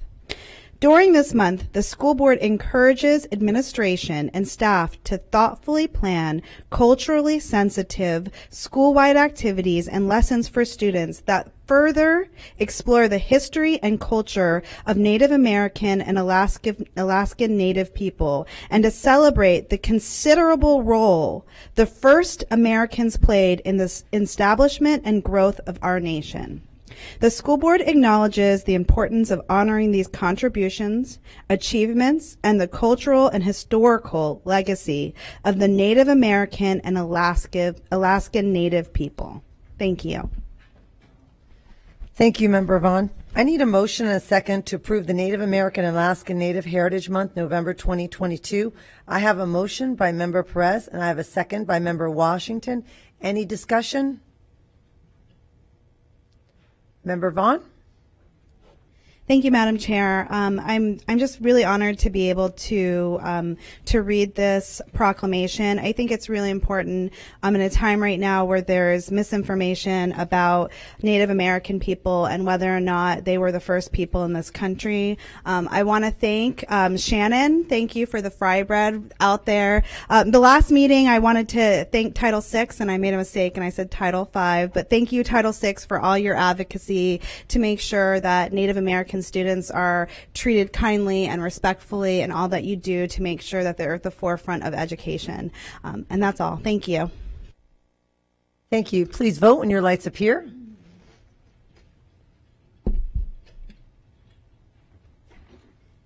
And it passes unanimously. Our final resolution is in honor of Member Snively this evening. We will now recognize the service of outgoing member Melissa Snively and read a resolution in her honor. Member Snively, I have the honor to do that. Whereas Mrs. Melissa Snively has served eight years as a member of the school board of Hillsborough County, being elected in 2014 and reelected in 2018 as a representative from District 4, she's also served as chair and vice chair. And whereas Mrs. Melissa Snively has been passionate advocate for District 4, she's never shied away from being an unapologetic voice of her constituents. And whereas Melissa Snively has helped lead our district and our community through one of the toughest times in history, the COVID-19 pandemic. She advocated for her constituents through some of the most contentious decisions our board has ever had to make always with parental choice at the forefront. And whereas Melissa Snively helped guide the district's first strategic plan toward raising graduation rates, she was an integral part in seeing the graduation rate jump from 73.5 in 2014 to 89.2 in 2021. And whereas over her eight years on the board, Mrs. Snively has seen record growth in her part of the district. She's been a tireless champion for our schools and families by advocating for necessary boundary changes to alleviate overcrowded schools. And whereas Mrs. Snively has always been a strong promoter of safer roadways and lobbied extensively for safer transportation for our students. And whereas Mrs. Snively has been an active member of the Tampa Bay community, serving on numerous boards and committees, including the PTSA, American Cancer Society, the Junior League, Boy Scouts of America, the Brandon Community Roundtable, and Tampa Theater. And whereas Mrs. Snively has used her leadership skills and experiences and a successful small business owner to work harmoniously with other members of the board and district leaders to promote a safe and thriving district community. And whereas Mrs. Snively is, above anything else, a wife and mom. Her four children all attend Hillsborough County Public Schools, and Mrs. Snively always used her experiences as a mom to help guide her through the toughest district decisions. Now, therefore, be it resolved that the School Board of Hillsborough County, Florida deems it fitting and proper to publicly recognize the distinguished contributions of Melissa Snively and to express its great appreciation to Mrs. Snively for her efforts and work at Hillsborough County Public Schools board member from 2014 to 2022. Be it further resolved that a copy of this resolution, the certified by the superintendent of School of Hillsborough County, Florida, and immediately presented to Mrs. Snively, adopted this first day of November 2022. Member Snively, we have this for you. We have a, a beautiful student work. And this is from, thi- all of this is from the. Brooker Elementary.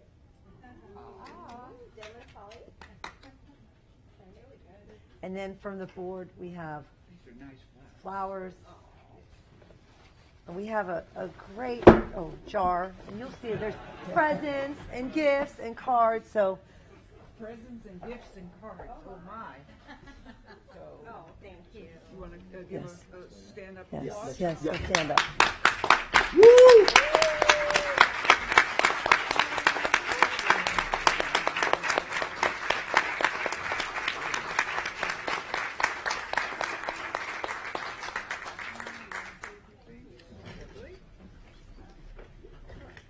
Member Snively, we would love to hear from you.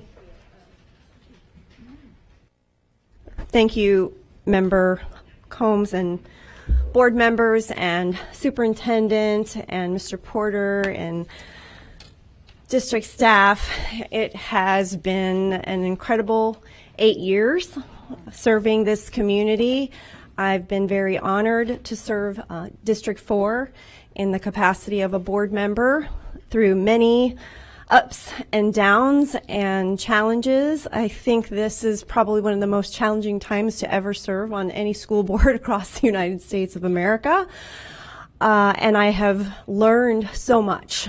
I've learned so much from so many people. I have gotten a chance to work with people I never dreamed I'd get to work with. But most importantly, I've gotten a chance to serve students across the, the district who I absolutely love.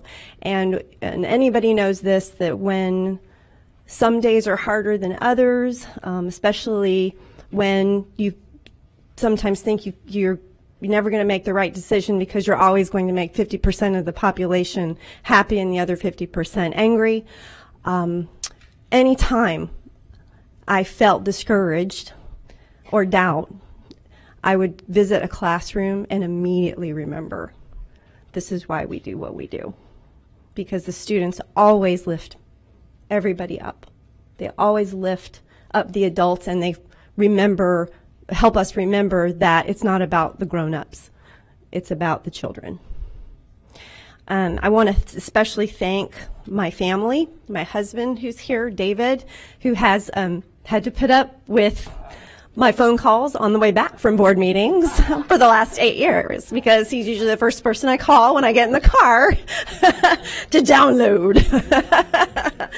uh, so I want to uh, thank you, David, um, from the bottom of my heart. You're my rock. Uh, you're my support. You're the one who believes in me sometimes when I don't even believe in myself. And I appreciate that. And I want to thank my children who um, have had to put up with a lot as well of, of uh, me not being necessarily around as much as I'd like to be.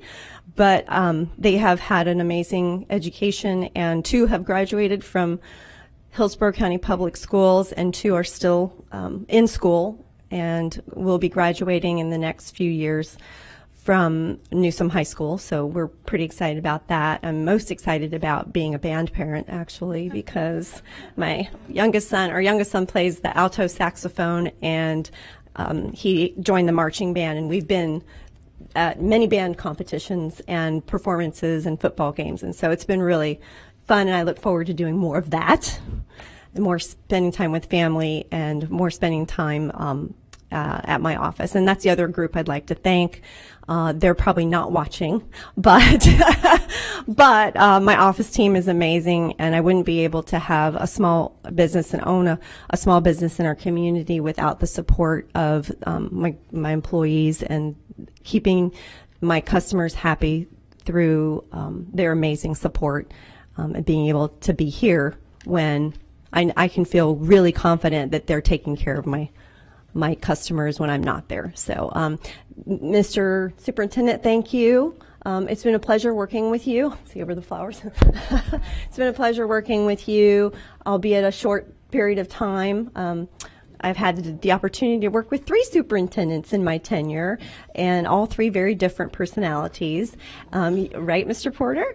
And um, it's been a pleasure. I was very honored to be on the board that selected you for this school district, and um, I, I believe in my heart and in my mind that you are uh, the right person for this district at the time that we hired you and that you're going to do the right thing for our school district moving forward. And so I look forward to hearing more um, successes in our school district. And Mr. Porter, it's been a pleasure working with you as well over these last, you've taught me a lot about parliamentary procedure and parliamentary procedure and Bobby's rules of order. That's what we'll call that. Um, but thank you for everything that you've done to support not just me, but every board member. And I know every board member appreciates that. So, um, and thank you especially super, super, super grateful to the secretaries in the school board office, uh, special, specifically Lori Powell. Lori, who used to be um, the superintendent's secretary and moved transitioned to the school board office as the school board secretary, kind of leading that team upstairs. And they are an amazing group of people to, who to, who help us uh, stay organized and get where we need to be and know what we need to know. And um, uh, they're very, very um, supportive of everything that we do, and so I'm very appreciative of Lori and the team upstairs. So, um, so with that, thank you very much. It's been an honor working with everyone. It's been a pleasure, mostly, and. and I look forward to spending some qual- more quality time with my family and my business. Um, but I hope that I get to keep in touch with many people here in the school district because I will miss everybody that I've been able to work with. Everyone that I've been able to work with. Thank you. Thank you. And I know um, all the board members would like to have some comments. Uh, Member Perez, I'll start with you. Member Snively.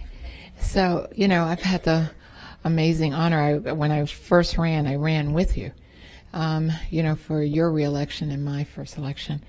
And, you know, what I think a lot of people don't really see is the work that we do um, beyond this dais. You know, when we go up to Tallahassee, when we really take, you know, the lead in fighting for our children, you know, fighting for the district, um, speaking to the upper leadership and the needs for this district. And, you know, I've learned a lot from you. You know, um, I don't know if a lot of people know that you you were you know you sat on the board for the Florida um, School Board Association and I will be filling your shoes um, behind that. So, you know, watching you take the charge on that, um, I learned a lot. And so I hope to do the, the same great work that you did, you know, um, and fill, you know, those shoes and, and help this district the way you have. So thank you for the experience that you um, taught me and, you know, the education you gave me. Um, you know, because together, I think all of us have our ideas that we bring to this table, but working together, it moves the district along. So thank you for everything, and it's been an awesome pleasure for me to work with you. And I wish you all the best in your new chapter. Thank you, Member Perez. Member Hahn? This is not a roast, Dr. Hahn. I just want to remind you. no, this is going to be a tough one for me, for sure. Um, you know, we've been friends before I became a board member, and we always tease that you're my sister from another mister, and and you are. I adore you. And every once in a while, you meet a person that you instantly click with, and you are definitely one of those people for me. So, um, you know, it's it's just been such a wonderful experience to work with you as a board member over the last four years. Um, it's obviously deepened our friendship. And as two of the few board members that have served on this board pre COVID and then post COVID, it's a really unique bond that I would say you and Member Gray and uh, Member Perez and I have going through that experience together. Um, you really set the tone of uh, professionalism, um, not just during that time, but through the entire time you've been on this board. And, um, you know, you have a very strong legacy that you leave behind, not just all the, you know, obviously in all the wonderful things that um, Member Combs mentioned, but um, also the way that you built relationships that will, that have um, grown into a great amount of support for this district that will continue to live on. So uh, you've really been a true champion for children in your role as a school board member. Um, gosh, you know, I, am going to miss you more than I can really even say. And um, because there's nothing better when you work with a friend, you know, it makes those really challenging times more bearable and it makes the good times even uh, more exciting.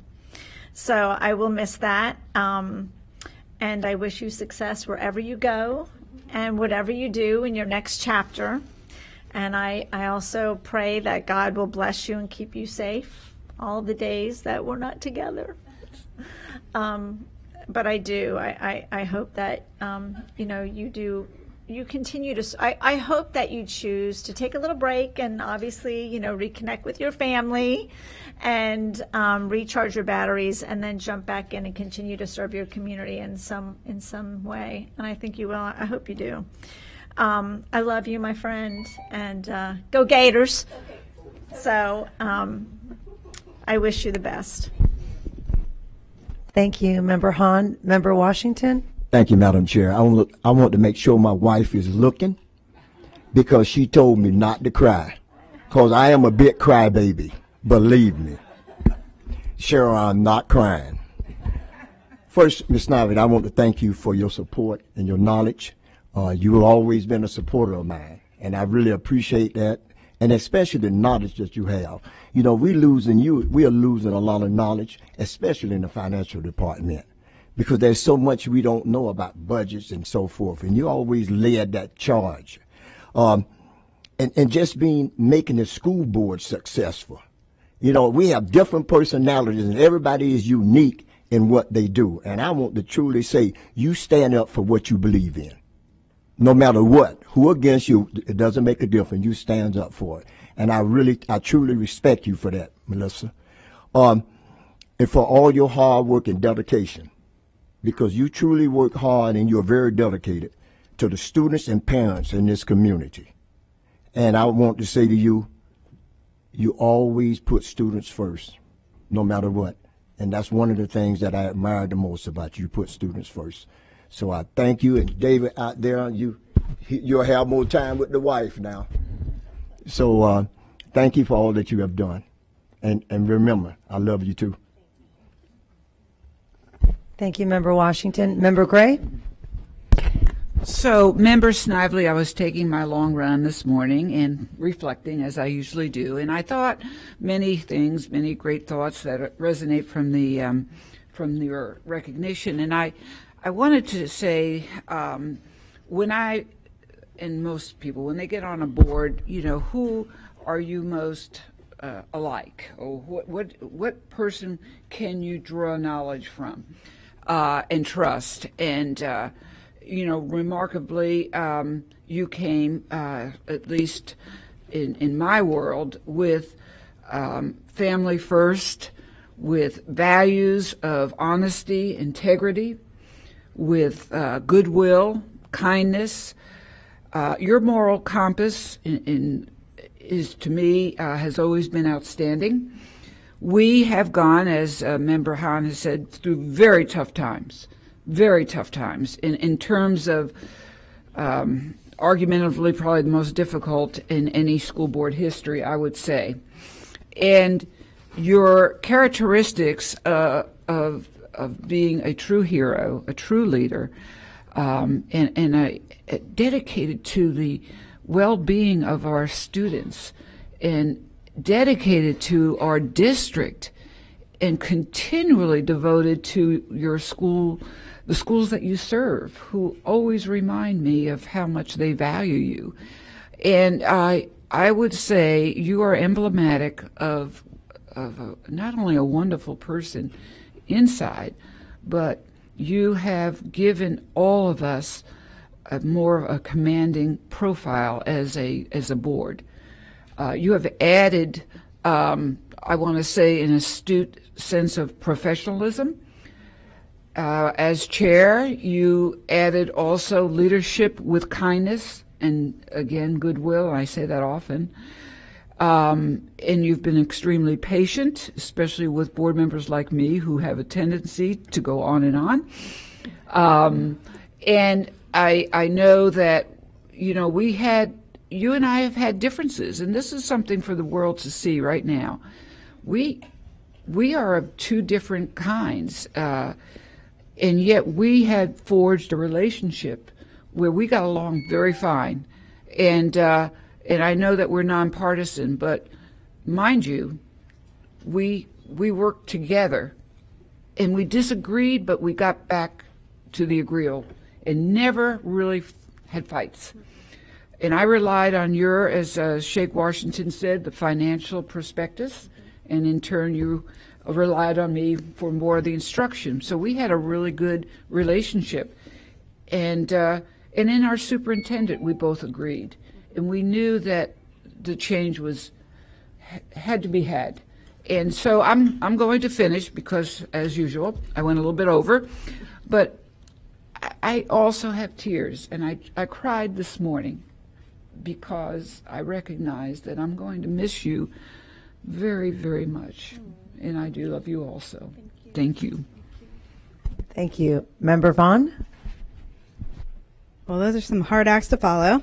Um, you know, I haven't been able to work with you very long. It's only been two years, and it's been a very very fast two years. It went by quickly, and it has been some of the the hardest two years for school boards in general. Um, and we had a bit of a bumpy start, but what I want to echo is that you are never afraid to speak up for your constituency, even if it's unpopular, that you come in and, and, you be the voice for them. And a lot of people don't understand how hard that is. And you are perfectly right when you say no matter what decision you make or what you're advocating for, or who you're trying to represent, you're going to have people who you make unhappy and you're always going to be the villain to someone and the hero to someone else. Um, but I do admire that, you know, we have been able to build a relationship where I feel it's mutually respectful. And even if we're on opposing side of the issue sometimes. I feel like the perspective that you bring has value and you look at my perspective and vice versa. And I really appreciate that. And change is always hard. You know, when you build relationships and you work with co- coworkers and one of them leave, it's always hard to embrace that change. But I, I know good things are going to happen for you. I know that your small business will do well and that you'll stay engaged in the community. And I know all of our fellow board members wish you nothing but the, the best and we appreciate the time we had with you.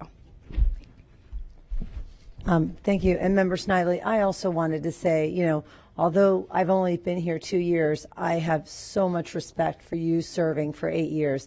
It is such a difficult job, and I always feel like you always put students first. You, you understand as a mother to see all the challenges that our children face today, and I think it's so important. I really respect your leadership. I think it's important. We want a board that is not all like-minded. We need different opinions. We need different uh, expressions. We need different from different districts. We need a, a, balance to hear different perspectives. I think that's very important, and you bring a lot of that. Your strength and your opinion. I really want you to know that I have a lot of respect for you. You've brought so much leadership to this district, and I want to thank you for that. And on a lighter note, one of the things I'm going to miss most is your laugh. because you have such a great laugh. And, you know, when things are sometimes so challenging, it's really important to laugh and remember it's really not about us. It's about the students and it's about all the employees and the teachers and the, and the, the you know, the administrators and the custodians and everyone who we all work together. At the end of the day, it's so much not about us, but about the people that depend on us. So I just want to thank you for your leadership, and I wish you all the best. And I know that we'll keep in touch, and I wish you all the best as you move on to the next part of your life. And I know Superintendent Davis, he wanted to make a comment as well. Yes, ma'am. You know, everyone spoke so eloquently about your leadership when you hear terms such as um, you know strong advocate, stability, consistency, uh, a role model, students first, child centric, um, you know one that continues to be an active voice for her community. That all represents who you are, Miss Snively. And the only place to really start for me is saying thank you. Thank you for your dedication, your efforts, your your times. But you know, eight years on a school board is a very long time. But it's also a time to be able to understand every facet that you can, to be able to lead and be a nurturer and mentor to every one of the board members and also every one of the staff members, inclusive of myself. And I thank you for taking a chance on me you know, we have we have learned, we've we've grown together. We've had some hard conversations together. We've uh, you know uh, uh, maximized uh, coaching opportunities together, and I'm so thankful for that process. And um, that that that relationship will never go away. I you know I hope that we can continue to build and you have been an exemplar for so many, and, and for many in, in, my household as well, being a strong young woman that has dr- been driven and professional along the way and, and has taken courageous steps that many have not taken and willing to take. So thank you for being a trailblazer. And for that, I thank you and this, oh, and this entire staff thanks you as well because you have been truly an exemplar and a role model within this community and in this district.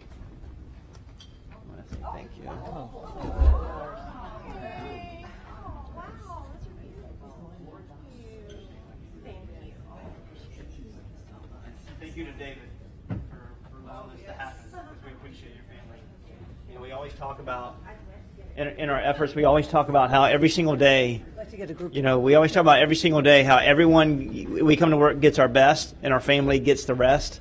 You know, we hope now that that could be able to flip in the family and for all of us can have that balance. So thank you, sir. Yes, ma'am. Where you want to take it? Thank you guys for being patient. Start right at six.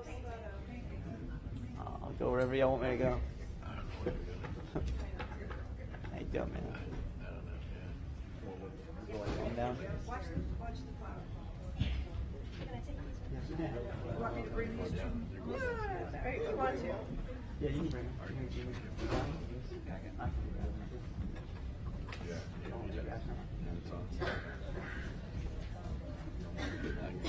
Yeah.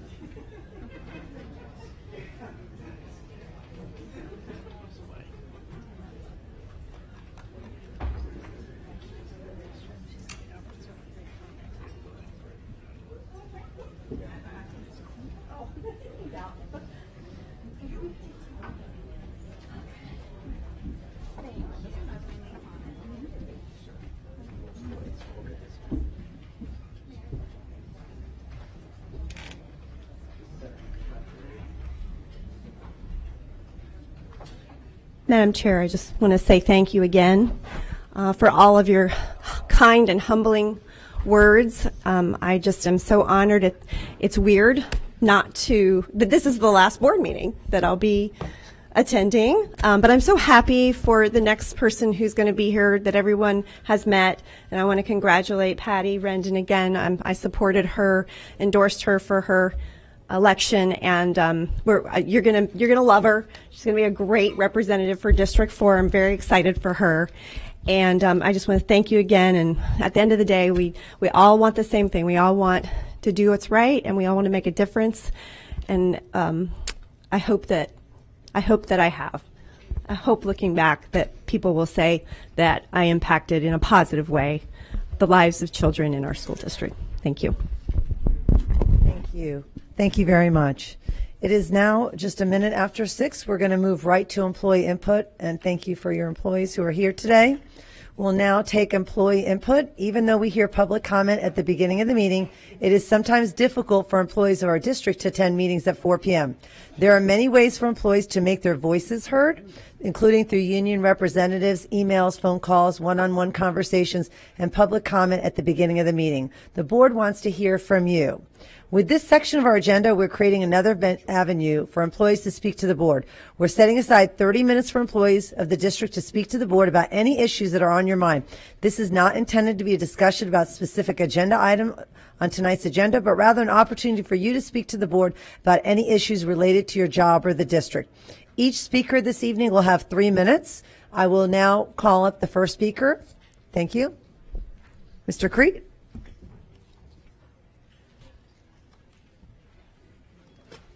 Good evening, Rob Kriete, President of CTA.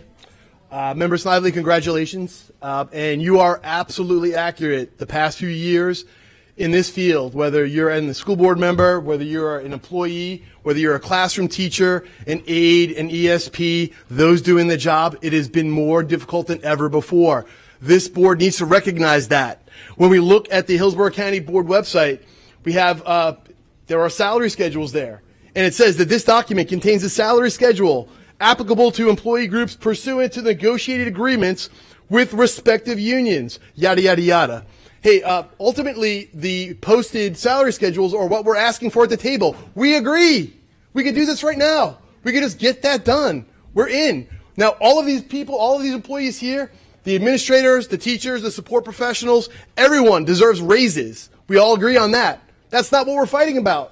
We're talking about the conditions of what we're doing in the classroom. We're talking about the posted salary schedules and we agree to them. We want that to happen. So unfortunately, we're going to be going to um, impasse.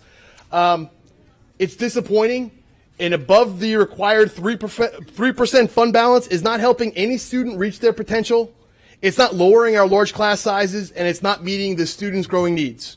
Okay. This should have been done months ago, but yet here we are at impasse. We look forward to making our case for our students, for our employees, and for our communities on November 29th. Thank you. Thank you. Next speaker, please. Good evening. Stewart Middle, robotic teacher. Um, I would like to have my planning period back because I'm always covering because we don't have enough teachers. So what I plead is, please, we need more teachers. And we need air conditioning that is reliable more than 60% of the time. In our school, our school is never 100% with air conditioning. When you get one side, the other one goes off. Thank you, and thank you for repairing mine. Thank you. Next speaker, please.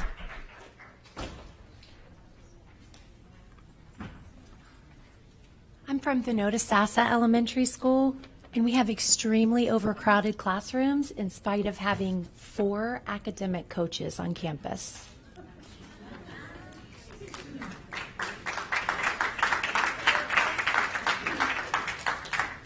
Hello, I'm from Limona Elementary. We still don't have our math books. We've made thousands and thousands of copies. Thank you, Ms. Vaughan, for sending us five reams of paper this week. Um, but yes, we have no math books, and I have to make copies of tests, quizzes, homework, classwork, everything. Thank you. Next speaker, please.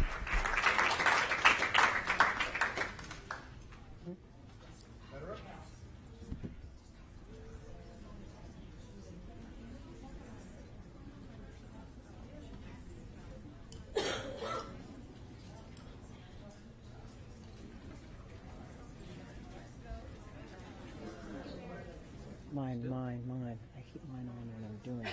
Sometimes, sometimes I'm-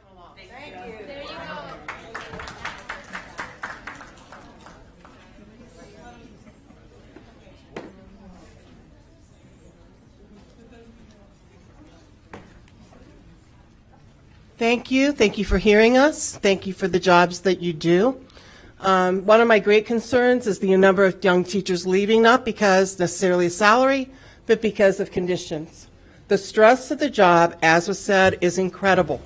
But along with that, we have no textbooks, We have overcrowded classes. In fact, we're down to two fourth grade teachers with 27 in each room because the district cut one of our positions. Our support staff, guidance counselors, social workers, school psychologists don't exist. We have, I'm sure all of us are seeing, increased aggression with young students who don't know their coping skills in order to handle their anger. Without support staff, it's very difficult for us to live our dream, Ms. Snively, of meeting those needs of children. Air conditioning refurbished is breaking now more than the original air conditioning. Teaching in 82.5 degree classrooms is a real challenge. From Symmes, we're hoping that these conditions can improve um, so that we can better um, meet the needs academically and emotionally of our students. Thank you.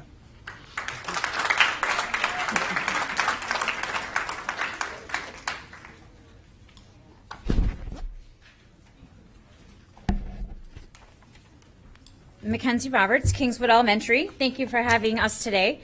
One of our big concerns is the vacancies. The vacancies. You, all of you who are not helping us fill these vacancies, this is the issue. We need to retain teachers, keep them. I just had our guidance counselor resign last week. These are very important positions. We still have two instructional openings, and in addition to the guidance counselor, plus we still have a para opening. This is a really big concern for our school. We need them staffed. We need our children taken care of. Also, all the deployments that happened in our ESE staffing area office have hindered our ESE students in the correct placement and the support that I need as the ESE contact, and I'm sure the other 50 to 80 schools that the staffing specialists were then trying to keep up and take care of all those other schools. So please, help us out. We want to make Hillsborough County number one and continue to be there for our kids. And here's my little sign, and thank you very much. Thank you. Next speaker, please.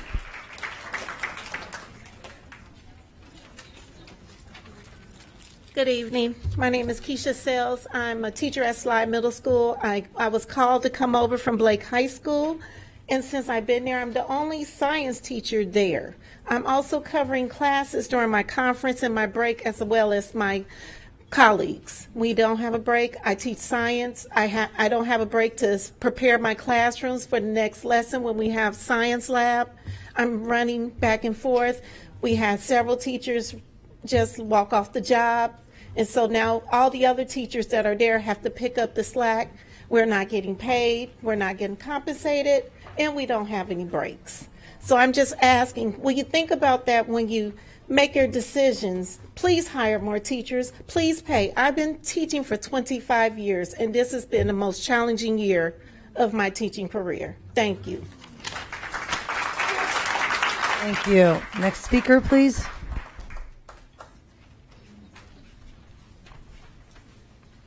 Good evening. My name is Ebony Robinson. I'm also from Sligh Middle Magnet School.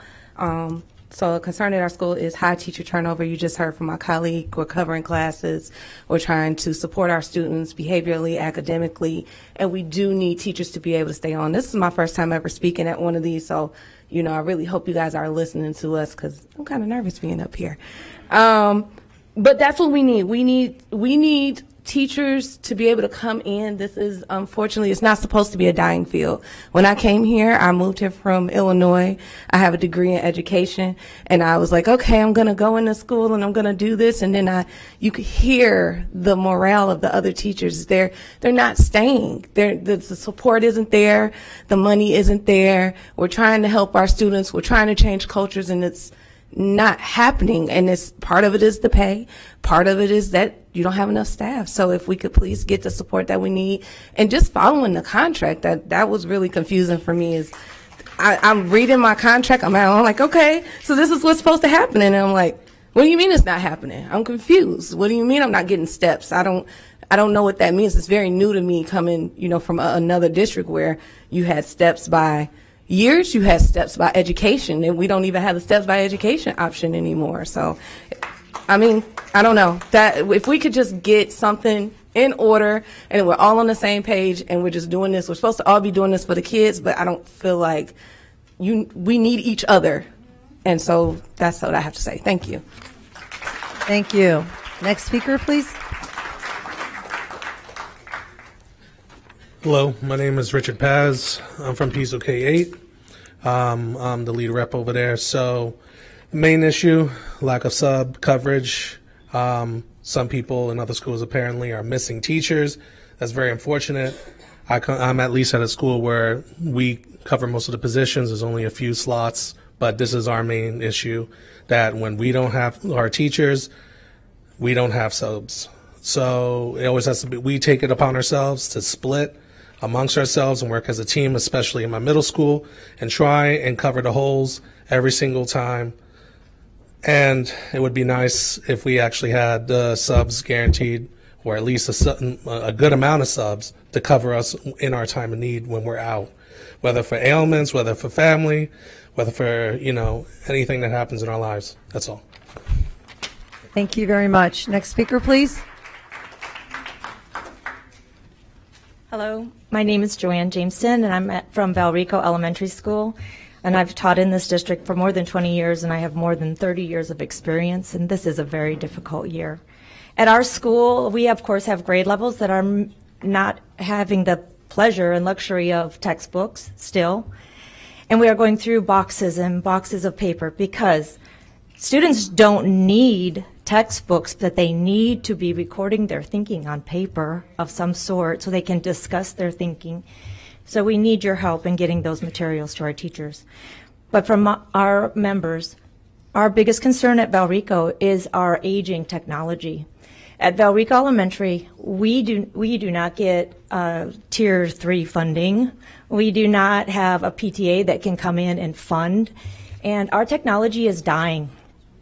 Our document cameras are too expensive. Our PTA can't buy them. We don't have funds. We're working on hand-me-down computers and laptops. We're one of those schools that's in the middle that doesn't get things. We don't get cycled until the very end of a cycle. And I'm asking for your help because most of what teachers need to access is on computers. The teachers did get new laptops this year. We do have some laptops in our classrooms, but we are not a one-to-one school. And our laptops that our students have are of poor quality. We want our students to be as technology, technologically advanced as any other students. We, they don't have a lot of technology in their homes, and we're asking for you to help us with this need. Thank you. Thank you. Next speaker, please. Hi there, Kingsley Kelly Peratino, Lewis Elementary, the States Day School. It's really difficult to find things about Lewis that aren't amazing. However, we went with no elevator for 25 days. We have a wheelchair bound student who is carried up a flight of stairs at least four times a day by our resource officer, Officer James. That was an ADA non compliance. Um, our elevator was fixed at the end of last week, and the stairs that our officer had to carry him up and down were chipped and broken. So, help. Thank you. Next speaker, please. Hi, my name is Jessica Wug. I'm also from Lewis Elementary. Um, at our school, we were without working copy machines for three weeks. And also, we found out that our office staff is not able to purchase toner for one of our copiers because they get questioned or are not able to provide the toner that they need as frequently as it's needed. Um, we also were without, uh, we still have teachers without math textbooks, as um, echoed from some of the other speakers tonight. And we have teachers with insufficient resources for the number of students in their rooms. So um, these issues really are things that need to be dealt with and taken care of um, for our students, for our staff. We are working tirelessly to meet the needs of our students, and without these resources, it becomes more and more difficult. Thank you. Thank you. Next speaker, please. Hi, my name is Maria Calvo from Deer Park. Um, right now, what I have written on my paper is that we are still waiting for textbooks, like other people have said. We also have classrooms where there are more kids than textbooks. It may sound trivial, but it makes a hard job harder. Um, uh, this is my 31st year. You would think by now everything should be nice and smooth and easy. It isn't. And I know many people who are within five years, 15 years, 20 years, who are unhappy and are thinking about leaving. I know you've heard this over and over, but at some point it's got to start sinking in and we need to be making a difference because we are here for the kids, but we need to feel that somebody's here for us. Thank you. Thank you. Next speaker, please. Hi, um, my name is Rachel Johnson, and I'm a teacher at Bailey Elementary. And what's on my paper is our first grade, we already have high class sizes, and we have had to split another class for over a month because they've not been able to keep a substitute in there. And a couple of times we had subs who accepted long term and after two days quit, walked away. Because I think a lot of people, and no fault of their own, truly don't realize what goes into being a teacher every day. And as a parent, since I have your ear, uh, my student, um, I'm sorry, my child is a senior at Armwood High School, and they have a college level math course, and they were thriving, and their teacher had to quit. She quit, she couldn't do it anymore. Pay us. Please, pay us. We need to stay, we want to stay. You know, at a pivotal moment in her life now, she's virtual with no one to help. Yeah, thanks. Thank you. Next speaker, please. Hi, I'm Angela Frazier. I teach at Nelson Elementary School. I've been there for my entire teaching career. This is my 17th year. Um, at our school, the staff has echoed over and over the concern about not having our steps met. Um, and yet there's an increase in our workload.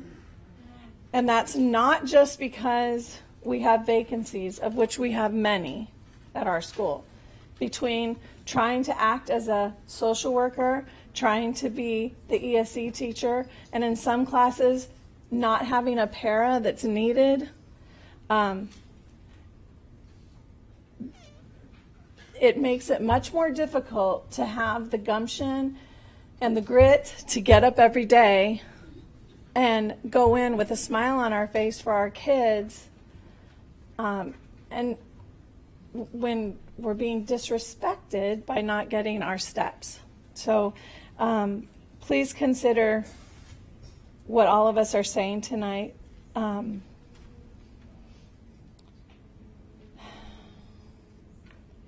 because what's happening this year and in the last without COVID, you're really at a pivotal spot right now where you have the opportunity to make an incredible difference, not just for the people who are in here wearing red, but for the thousands and thousands of kids in one of the largest counties or largest districts in this country. So I feel compelled to let you know that that's that's what's motivating me and probably a lot of the other people here tonight. It's those kids. Thank you.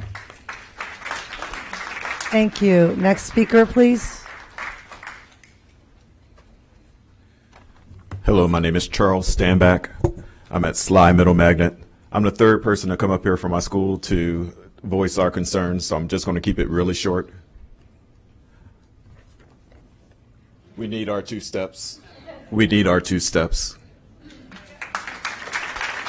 Thank you. Next speaker, please. Hi, my name is Dana Cook. I work, work at Riverview High School. Um, so today I'm voicing my concern that our classrooms are overstuffed with students. My eighth period is a FUSE class and I have 34 students. I don't care that I have a co-teacher who is wonderful. There's no way she and I can meet the needs of 34 children, many of whom have IEPs and 504s. Never mind the fact that at this point, if I add even one more desk to my room, I physically can't even walk to my students at this point, my room is not built for this number of children.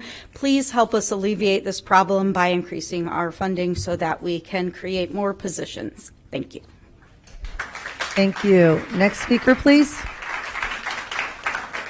Hello, Roger Marcellus from Blake High School. Uh, like Dana, we are also facing overcrowded classrooms. We've got some core classes with anywhere from 30 to 40 students, which I believe is in violation of the amendment that the Florida voters passed several years ago.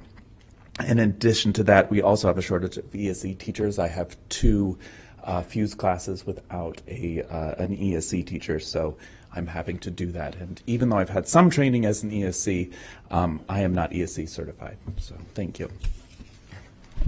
Thank you. Next speaker, please. Good evening. I'm Roberto Rosa from Tomlin Middle School in Plant City, and I am an ESE teacher. Um, our shortage of ESE teachers is pushing a heavy load on the other case managers, and uh, we're experiencing nearly 30 students uh, per caseload. I know other schools are experiencing way more, um, but that takes up a, a, lot of time on top of having uh, the resource classes, the co-teach classes, um, planning for them. Uh, so just wanted y'all to be aware. Thank you. Thank you. Next speaker, please. Good evening. My name is Sandra Van Dyke. Um, I'm at Essrig Elementary, and I'm a uh, para there. Um, our issue at our school is that our AC is on the fritz again, and um, the smell of mold and oldness is unbearable when you walk in um, in the morning. Um, we have a shortage of uh, subs at our school too, and the EL L and the ESE staff is being pulled to cover these classes. And that means that the kids that they were supposed to service are not being serviced. And please give us our two steps. Thank you. Next speaker, please.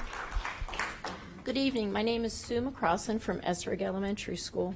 I have served this district for 28 years as an educator. I hold a bachelor's degree, master's degree, and I'm a twice renewed national board certified teacher. I am a professional educator. Despite what people say, you cannot take someone, assign them a mentor, and place them in a classroom and expect results. Ours is a highly skilled profession, and I venture to say you feel the same about yours. All teachers want is to be treated as professionals and paid accordingly. I am at the top of the pay scale, yet I continue to work multiple jobs to maintain my standard of living, modest as it is. Mr. Washington was my prior area director at two schools. He always said you have to take care of your people. Please heed his words. Not with emails saying you're doing a great job. We already know that not with supplements that are only a band aid on a festering wound, being asked to do more and more without being compensated accordingly. I also ask that you look at district assets that could be liquidated in order to free up some funds. For example, selling the Roszak building and the ISC building. If that's not feasible, please look at other ways. We have sites with low enrollment. Why not shift some district staff to those schools? And if that still isn't feasible, then maybe the high level district staff would like to pay, take a pay cut for a year to feel our pain without any supplemental income at all. Please do the right thing and support your teachers if we have continued to support you over and over again. Thank you. Thank you. Next speaker. Hi, I'm Missy Carl, and I teach at Grady Elementary School. And I would like to start with a little bit of history. Back in 2009, many of us teachers were told about a new model of teacher evaluation salary plan called Empowering Effective Teacher Initiative. Superintendent Elia networked and campaigned for all Hillsborough County teachers to buy into this, and most of us did. Now, fast forward to today. I would venture to say about 95% or more teachers are part of the salary system, which involves steps. Last year, negotiations occurred with the district offering a one step payment called a supplement. This is like a bonus. The proposal was to use ESSER funds, aka COVID funds, to pay for the supplement. ESSER funds are not designed for reoccurring expenses, especially for salary steps of teachers. The teachers voted in good faith to accept this proposal to help HCPS with the financial recovery plan in place. State takeover was a possibility, and we partnered with you in this process and accepted the proposal. There was never a legal document signed that you would give us our correct step increase for the year. But there was verbal discord among negotiators that we would get our two steps this year. This didn't happen. Now, you are asking us to accept another proposal with no legal guarantee of our salary steps being given for two years. This is not okay. Funding is available in the budget to pay for salaries, and you are breaking an agreement for all of us that entered the Empowering Effective Teacher Initiative that began in 2009. We are now at impasse with the magistrate assigned to hear the case. It saddens me that we are now here, especially when ESSER funds should be used to recover from a pandemic, not to supplement salaries. Salaries are a budgeted item. Thank you for your time. Thank you. Next speaker, please. Good evening, everybody. My name is Emily Lee. I teach at Burney Elementary in Plant City. If you can't tell by the increasing number of staff showing up at these meetings every month, things aren't going well in our schools for anyone.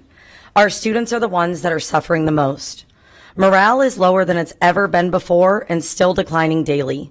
Class sizes are too large to properly support students in their learning. Textbooks are still missing from many schools. Those that have been delivered have errors, typos, and ink smeared all over them. Because morale is so low, staffing is also low. We're so short on teachers and support staff, there aren't permanent teachers or paras for many, count, many classes across the county and multiple subject areas. National data was released showing us, Hillsborough County, is a bright spot.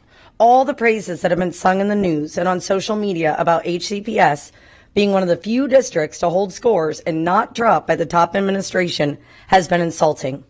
For the past two years, we have taught like our hair was on fire, just like our superintendent requested when he got here.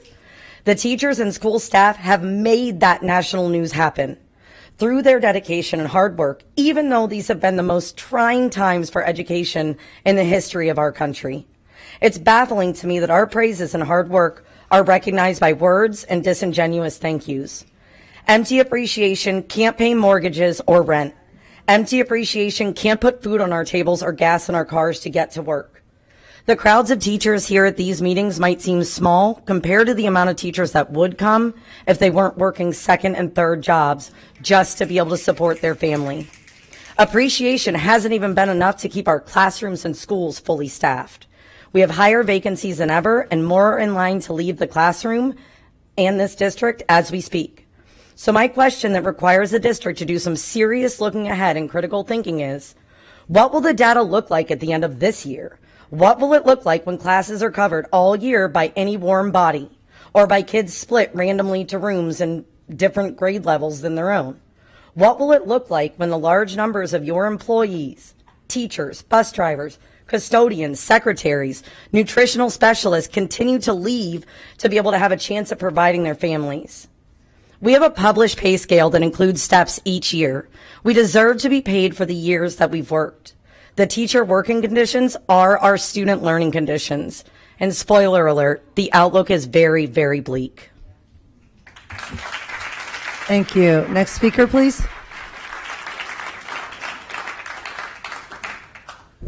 Good evening. My name is David Wagner, and I teach at Alonso High School. This is my first year in Hillsborough County. I taught in Broward County last year and in the St. Mary's County Public Schools in Maryland for five years before that.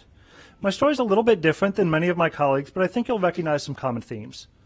Alonso is the best school that I've taught at, and I see why people say that it's the best high school in Hillsborough County. I'm fortunate to work with outstanding colleagues, and the administrators are generally supportive, though losing three assistant principals and having to replace them in the last three months has created noticeable problems. The kids are great, and I look forward to teaching them every day. Hillsborough County Public Schools provides more curriculum support than the places I've taught previously. The places where I previously taught had much less unified approaches to curriculum, and the way Hillsborough approaches it is a strength. Although my students' music theory and piano workbooks didn't arrive at Alonso until the second week of the second quarter, The support that I've received from the district music office as a new teacher to Hillsborough has been exceptional, though that support was stretched pretty thin when supervisors had to be placed in classrooms to plug the teacher shortages at the beginning of the year. Be careful not to pat yourself too hard on the back about having solved that shortage because it hasn't been solved.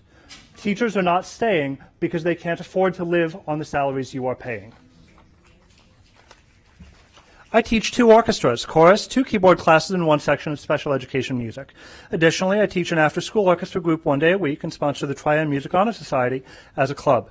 I usually spend between 55 and 60 hours per week teaching and planning for my classes and for Tri-M, including Saturday mornings and sometimes much more time than that on the weekends.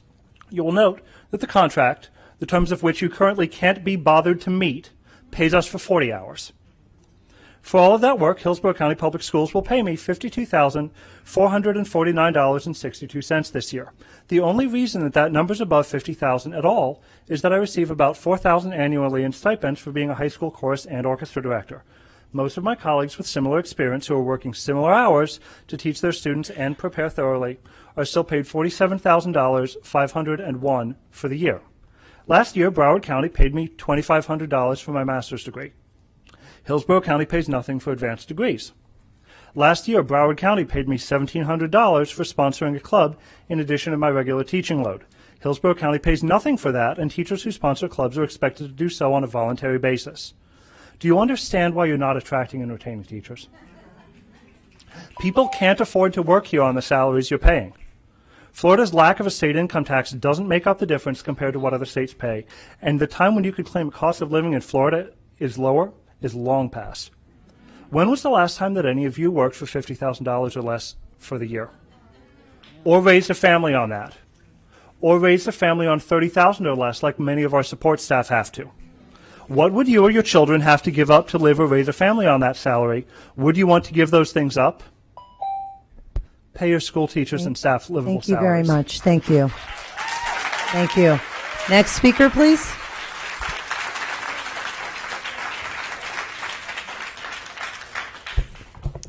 Hello, my name is Kathleen Dunkelberger. I work at Northwest Elementary School. I'm a fourth grade math and science teacher, so I'm going to give a little mini math lesson. Some of my fellow teachers actually asked me to come up here because they really like how simplified I made my explanation of, of what I feel is going on and the impact to my family. And I am not alone in this. I am the only one person speaking for one person, but my story is just like everybody else's. Here's my math lesson because of record high inflation for the past in the last 40 years we've had record high inflation my grocery bill for my son my veteran husband and myself has gone from $600 a month to over $1200 a month that's just for groceries my property taxes because of record high housing prices in Tampa my property taxes went from $2,000 a year to $7,000 a year they more than tripled. My teacher salary take home pay is less than $3,000 a month. That's two and a half months' salary just for my property taxes now. And I didn't move. Am I going to have to? Am I going to have to get a smaller house in, a, in not a nice neighborhood in order for me to continue to be a teacher? To me, these steps are critical to survive and continue being there for the kids. What I feel that we are negotiating at impasse is not a raise. We are negotiating uh, negotiating out of a salary cut during record high inflation and record high prices on the housing market. Thank you. Thank you. Next speaker, please.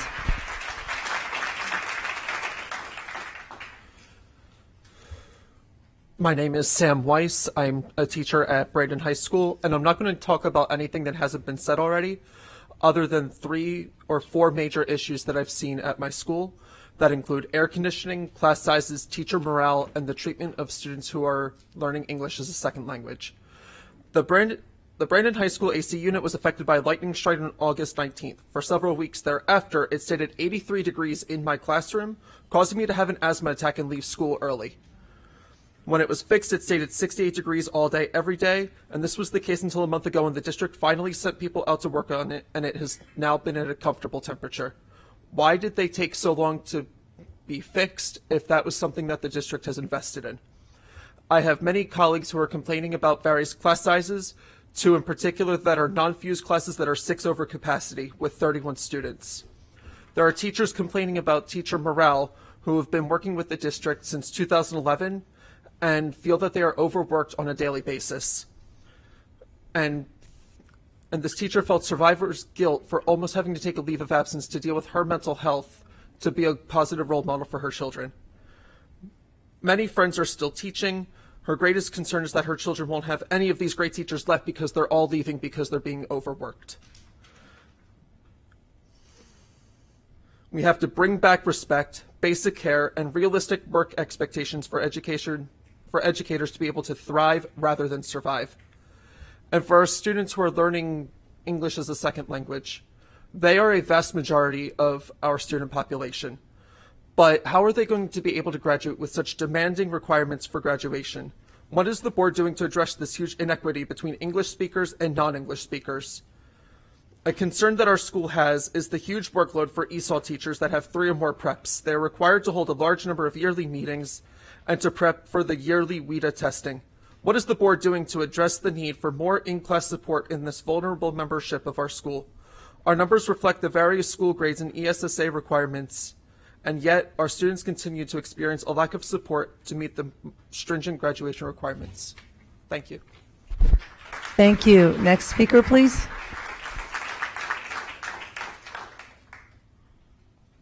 Good afternoon, Board have a uh, slightly different perspective that I want to share. Um, just wanted to clarify some inaccurate information that was shared on the news, in my opinion. Um, and it's regarding reopening of schools.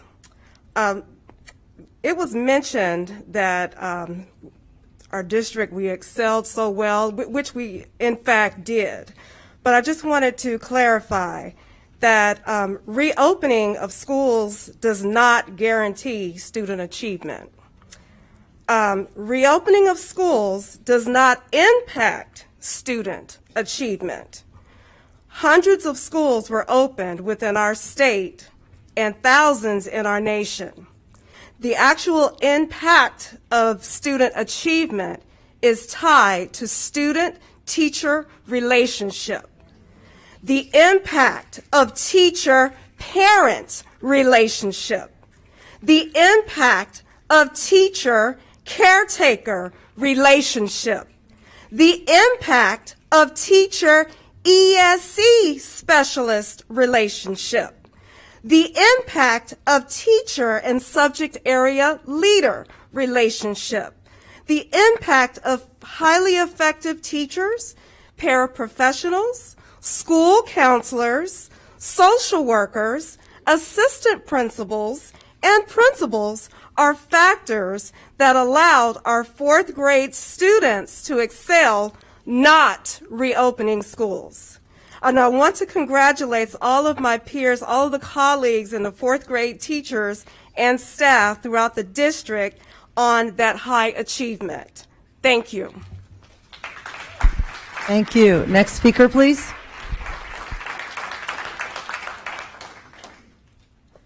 Tough act to follow. Good evening. My name is Christina Donnelly, and I am representing Lithia Springs Elementary. Unfortunately, not many of my colleagues were able to join me tonight due to the fact that they don't have the time and the energy to take on one more cause. Many teachers at our school are at the breaking point between the unrealistic expectations and the demands of this profession. The reality is the teachers are no longer respected. We are being asked to do more and more every day, yet are constantly being criticized that we are not doing enough. We are expected to meet the needs of our students, our families, our administration, the district. However, our needs are continuously ignored time and time again. Teaching used to be a profession that you could be proud of. Now we seem to be a scapegoat for all the things that are wrong with public education today. Our experience, our knowledge, our opinions, they don't matter anymore according to our governor, anybody can be a teacher. So I would like whoever anybody out there, public that is watching, I would love for you to come in and see what a teacher does every day, what the reality of being a public school teacher is. We are discouraged. We are angry. We are exhausted. And as much as we love our jobs, which all of us do, or we wouldn't be here, there's a breaking point. The sacrifices that we are making to do our jobs well are not worth our well being nor that of our families, and that they're suffering. I urge you to listen, take action before it's too late. Mrs. Snively made a comment as she was wrapping up her speech, and she said, The one thing you all have in common is that you want to do the right thing. So do it. Take care of your teachers. Thank you. Next speaker, please. Hi, I am Carissa Denica. Um, I'm also the site rep for Gaither High School, other than just the squeaky wheel. Um, I, uh, I asked my members what the biggest issues were at our school. Overwhelmingly, it was student management, supervision, and accountability. Management of students is the most common issue. Discipline is not done effectively. And it's not because our APs aren't doing anything. There's too few of them, and they don't have the ability to actually have real consequences. Something must change. If students are only at school for social reasons, then you end up with consistent tardies, you end up with skipping, you end up with fights, and you end up with disrespect. If students don't want to be in school, let's make a program that removes them from disrupting other students' education. Supervision at my school is impossible. The architect certainly wasn't worried about shooters. Students roam the halls, causing disruptions. They leave during lunchtime to go to the local Chick-fil-A and, uh, and Bob Evans and Taco Bell. Come, I, anybody, come to our school without telling anybody. Don't tell anybody. And see around lunchtime and see the kids leaving in drone and, and, and, and, and mass, uh, leaving campus and there aren't enough people to do anything about it. Come knock on a door. Have a student open the door for you because there's no fence in front of our school, although there are at other schools. Finally, teachers are being held accountable for keeping learning in our classrooms, but there isn't accountability for students. Some students are sitting in classes and doing nothing. And not because there isn't a teacher, there are those too, but because they refuse to do anything. When someone comes in and sees that student doing nothing, what ends up happening is it's our fault. It's my fault that that student made a choice. We are expected to entertain, we're expected to babysit, and we're expected to somehow fit teaching in in there, but the students have no real accountability for their actions. What this leads to is teacher burnout, and we are seeing that. Finally, at my school, what I would like you to, to look at, and maybe this is a district issue, I'd like you to look at what proportion of students have virtual placeholders. Maybe this is a this year issue, but what's really happening is that there are way more students that have uh, virtual placeholders, and I don't think they actually have a virtual class that they are being placed into. That's money out of our, our pocket. That's going to Florida Virtual or nowhere. Um, additionally, my husband is amazing. He left here to go to uh, to take my kid to swim class after leaving here because he felt it was that important. And my kids aren't going to be teachers.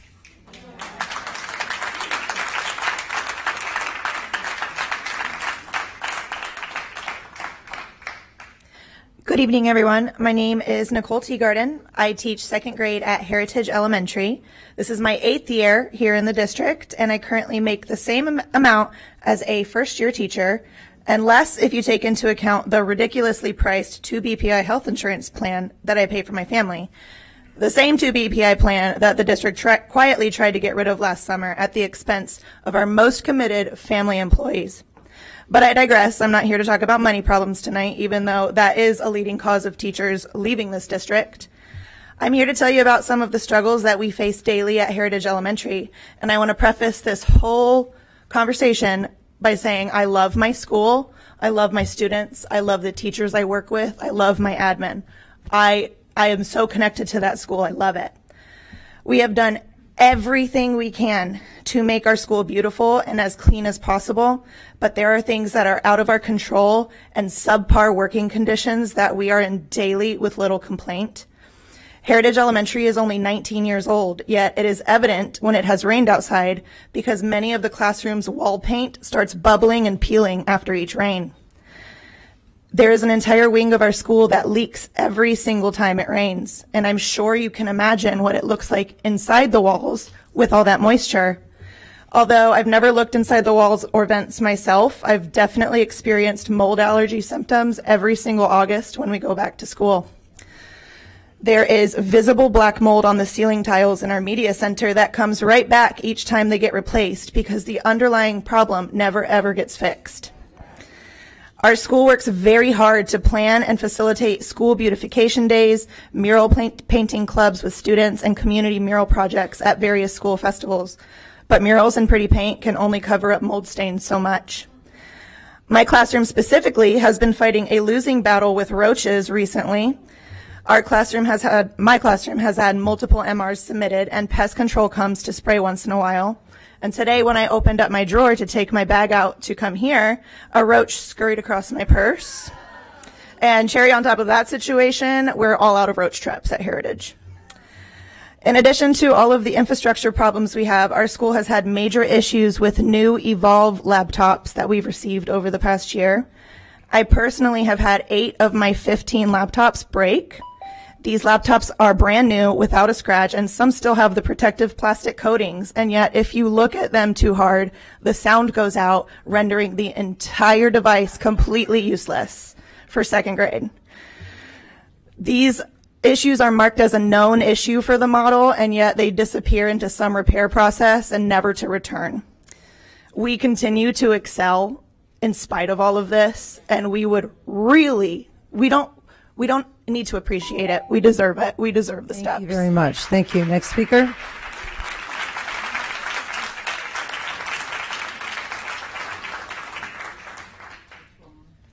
Hello, good evening. My name is Rebecca Bohr, and I am a reading teacher at Riverview High School. Um, I've been there, uh, well, I've been in the district for seven years. Um, so every school board meeting seems to approve purchasing of new programs.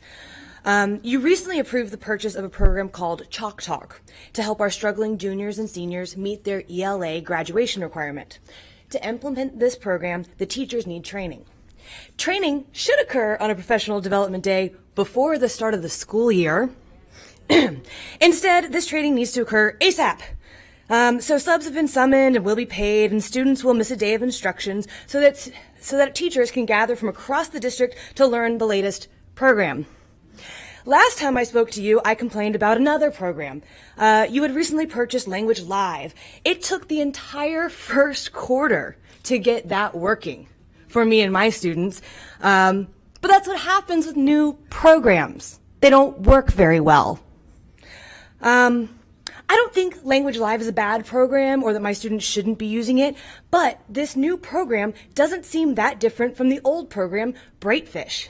And we aren't a one-to-one device school, so trying to get students to complete 40 minutes a week of anything requiring a computer requires I check out a laptop cart through Microsoft Forms after a request has been approved through Teams.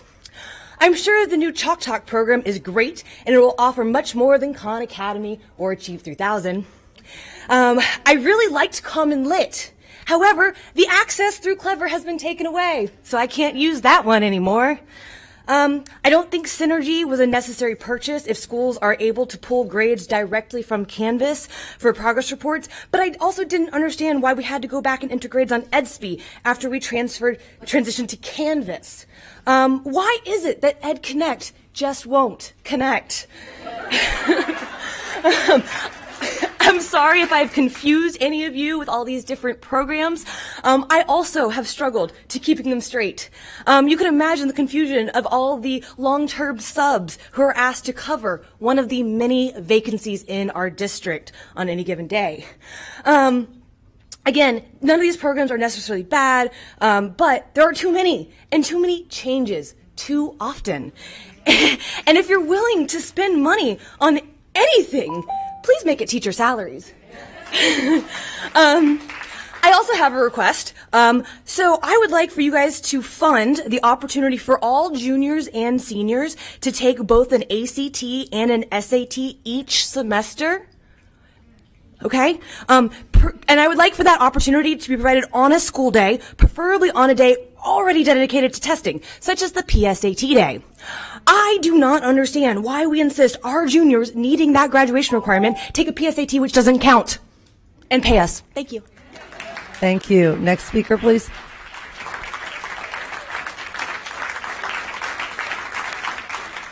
Um, hello, it is a little uncomfortable being here, but I definitely wanted to be someone who I stand with the teachers, I stand with our kids, I stand with our schools. Um, education is what's going to take our kids somewhere. And I'm, uh, this is my eighth year at Potter Elementary. I've only been at Potter. It is a great place to be, but it's a great place be, to be because of the people. It's the people who make it that. It's not easy. Our kids come, I was at the tail end of the five year F run, and I still have goosebumps thinking about when we pushed it and made that C. We did that with help from the district. And then the next year, the district left, of course. But we, we felt empowered. Our kids did it. And that's a huge thing for our kids at our school to do. Um, this year, again, being my eighth year, I am now VE. Our school's changing again. Um, I have a couple of colleagues with me. Our kids are, are struggling, not academic, like they are academically, but they are coming with so much baggage now that they didn't have like the last four years they are drowning. We're trying to support them. We they walk through the door, and we are told today too at a staff meeting. Love our principal. She's amazing. She's filling in in a fifth grade vacancy. She teaches part of the day. The AP teaches part of the day. We have resource teachers who come in and teach it as well.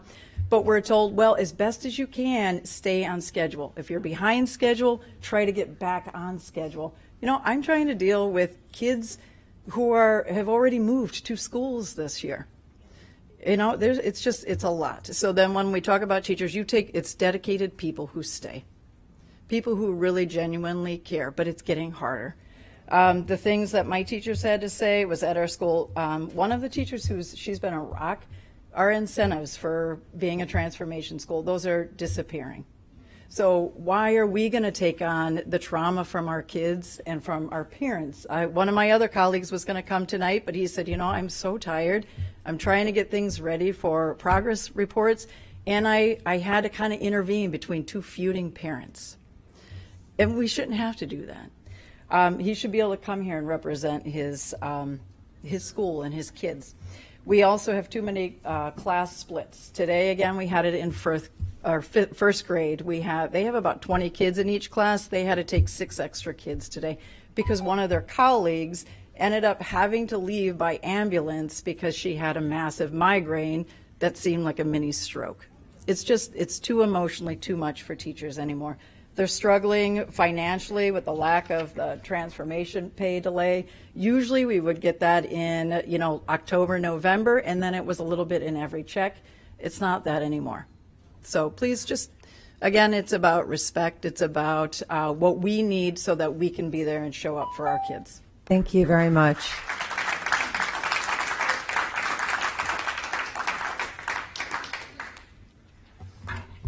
Good evening, board members. Aaron Zions, Pierce Middle School, former CTA board member, FEA governance member. I'm pleased to receive the emails and see in TV that we are doing so well that we are ranked number one in fourth grade uh, reading and math, three and eighth grade. And in, uh, and in simple business terms, it's respect the people that work for you, which means you're going to honor the contract. Not, it, it is a contract based upon years of service, not on steps. Years of service means how many years have you been here? How many years have I been servicing you? 21. 21 at the same school, and inner city school, never less than a C. Always love to say that because, you know, it's tough to work in some of those schools. People here have been telling you all day long. I've sat on contract negotiations. I was there when we said, hey, we only have 3% reserves. We can't go below 3% reserves. All right, we'll work with you. We have 11% reserves, about $136 million. The charge to go to, well, approximately, if I remember the numbers correctly, maybe close to $100 million, whatever it is. The charge to go and pay this pay rate is really $26 million, which you said you pay. But here's the thing that disrespects the teachers. Oh, but we won't make it your service years. They want their service years. I'm retiring. It's not my money anymore. I'm going to finish my years here and I'm retiring. But they're still going to be here. And I'm inspired by a lot of them. But what we do to our teachers is not inspiring. Take Renaissance pay. Well, we're going to pay you a little bit in November. It used to be October, and a little bit in May. Well, what was I going to do for Christmas presents? Oh, yeah. That's the money in May. I guess we'll have Christmas in May this year. I mean, that's where our teachers are. I'm fortunate. I'm very fortunate. I'm blessed. But I sit here with teachers that struggle every day, and it's not fair and you guys need to correct it. And you have the power to. That was a joke coming to the teachers and say, let's just give you a bonus. We'll give you one, but not two. In business, you, would have what happened uh, in China. They all walked out of Apple. We're not doing this two weeks uh, surrender thing anymore. They, you're not going to have it. Look at where you're at 900 teachers you need, 150 bus drivers. We have buses that, that, that, get to school so late and come so late. Roger and I didn't get here until 6 o'clock today, having to stay on duty. And we want to participate. And by the way, if you want to respect me, I'd like to be able to come to the meetings and hear the whole meeting. I'm a middle school teacher. Thank you. Thank you. Next speaker, please. Hello, everyone. Angela Colanello here. Uh, Ms. Vaughan, I heard you were getting paper for a lot of people, so I do want to say thank you for that. It's much appreciated. I'm very happy to see all of the faces here, and I want to ask you, you have your teachers here, your workforce. Do you feel the desperation? You can feel it in the room. You can see it. You can hear it. I walked in here and I was amazed. It just overcame me with how much desperation I feel out of everyone here. Um, I'm bringing my quotes with you from me um, from the last time that I heard. Also, I took some time. I was probably late because I was as a an effective teacher reflecting on myself from the last couple times I spoke with everyone here and I sounded so mousy and small I couldn't believe it. So I'm trying to assert myself and make sure that I am heard for my people. I'm sharing some quotes with you from the last time. I heard a third grader say, that's why I don't want to become a teacher. I heard a fifth grade teacher say, I just don't want to teach anymore. I just don't want to do this. I heard another third grade teacher through the tears in the morning. I'm so overwhelmed. I just don't want to be here. Just crying. Third year here. Um, reading my little Papa John's paper for the sacrifice that you make here is a free pizza it's being recognized the suffering, the desperation, the overwork, everything. We're all doing the work of four or five people. It's very, very exhausting. Another quote today from another teacher I want to talk to you. I'm just so confused. I don't understand who decided on these all unannounced observations. I'm so worried about this VAM score. I don't even know like what I'm supposed to be doing or who decided this and what it's so subjective. What if that person doesn't like me? Da da da. Like there's so much pressure. And there's so, as everyone here has said, like there is so the morale and the worry and the concern of every single teacher just walking down the halls. You see it in the faces, you hear it in the kids. Excuse me. Um, I'm going to go on and talk about the budget and how we spoke about whether it was the COVID budget or regular budget and how teacher um, pay cannot be part of the budget, teacher increases. I need to sit here and remind you, please listen Teachers are the budget. Without the teachers, without the students, there is no school board. We don't have a district. We are the budget. We are the workforce. Teachers, safe buildings, some curriculum, children, the budget, and then sprinkle in some coaches, some people, other staff. I need you to please understand that we are here still begging, still desperate, and please, please start taking care of our people. Thank you all. Thank you. Our final speaker this evening. Thank you. Good evening to our elected school board members and our current superintendent. Heidi Glick from Alonso High School, senior rep and school and member of the HCTA board. The first thing I'd like to do tonight is apologize. I was rather heavy handed in my speech the last time I was here. I actually hit the podium. I was very upset by some of the comments that had been made earlier, and I let it affect me, and for that I am sorry. I'm actually here tonight to say thank you.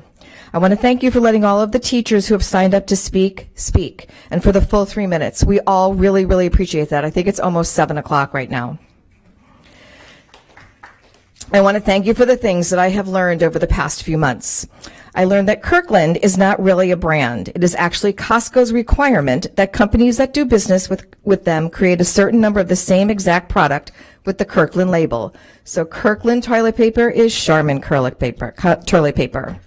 I learned that some store brands are just as good as the name brand. I learned that Dr. Thunder is almost as good as Dr. Pepper. I learned that some generic drugs do work as well as the others, but unfortunately I learned that some do not, but I'm okay now. I learned that Suave does not really do what others do for less as they claim. I learned that even though I have not received a raise and my salary is the same, I've actually received a pay cut as the district's medical has increased and actually prices for everything else has increased. I learned that I do not have a hard corner for safety because I need desks for my students. I learned to reduce the number of assignments I have given in the past because I cannot get them graded in a timely fashion due to the number of students in my classes. I learned that even though supportive administrators ask for things to help us, the ones in the actual classrooms, they have also been turned down as well. I learned that my students are as frustrated as we are with the crowded classrooms. I learned that students are frustrated for their teachers. I learned that a first year adjunct at HCC makes more money per hour than a teacher at the top of our scale. I learned that old classroom decorations will just have to do. I learned that more responsibilities does not equal more respect, nor does it equal more pay. I learned that five EAP visits are not enough. I learned that hoping kids are absent so there are enough chairs for everyone in the room is not nice, but unfortunately necessary. I wanted to thank you for encouraging everyone who might be eligible for drop to look into it and to enroll if they were able, they were able.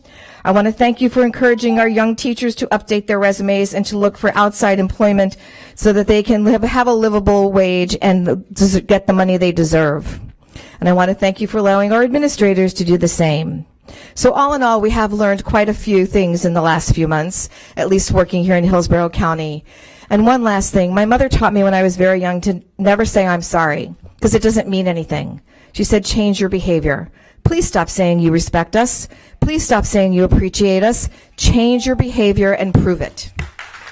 Thank you. Thank you. We're going to go ahead and take a short recess. Okay, we're going to go ahead and take like a five minute recess so that way everybody can clear out. Thank you, all of you, for coming. Thank you for, for speaking, and thank you for being here. We'll just take a short recess.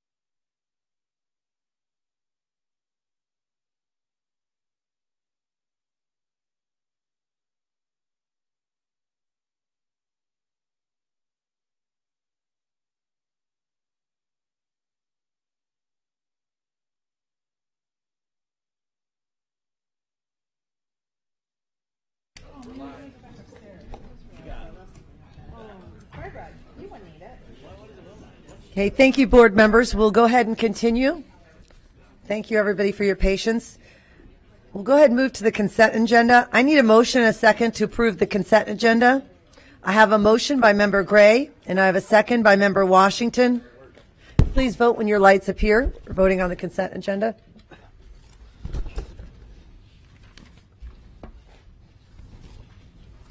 And it passes unanimously.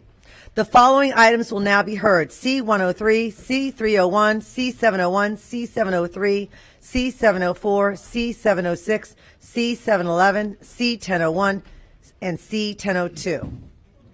Go ahead and start with 103, which is a sole source uh, paper education company incorporated for the purchase of unlimited chat-based tutoring for students in grades 6 through 12. Superintendent Davis will highlight this item.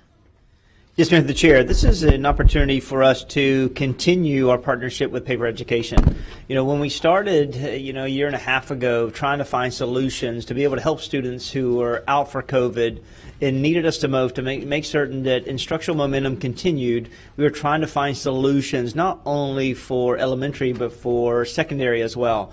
And while elementary, we stood up a, a handful of teachers to be able to uh, make available to our students who are sick, our students who are out, to make certain that learning was continuous to help them. We also identified a, a platform and a corporation that would provide 24-7 tutoring to grades uh, 6 through 12 with that process, we know that uh, over that year we served close to 16,000 students, over 47,000 activities, and students from 105 schools.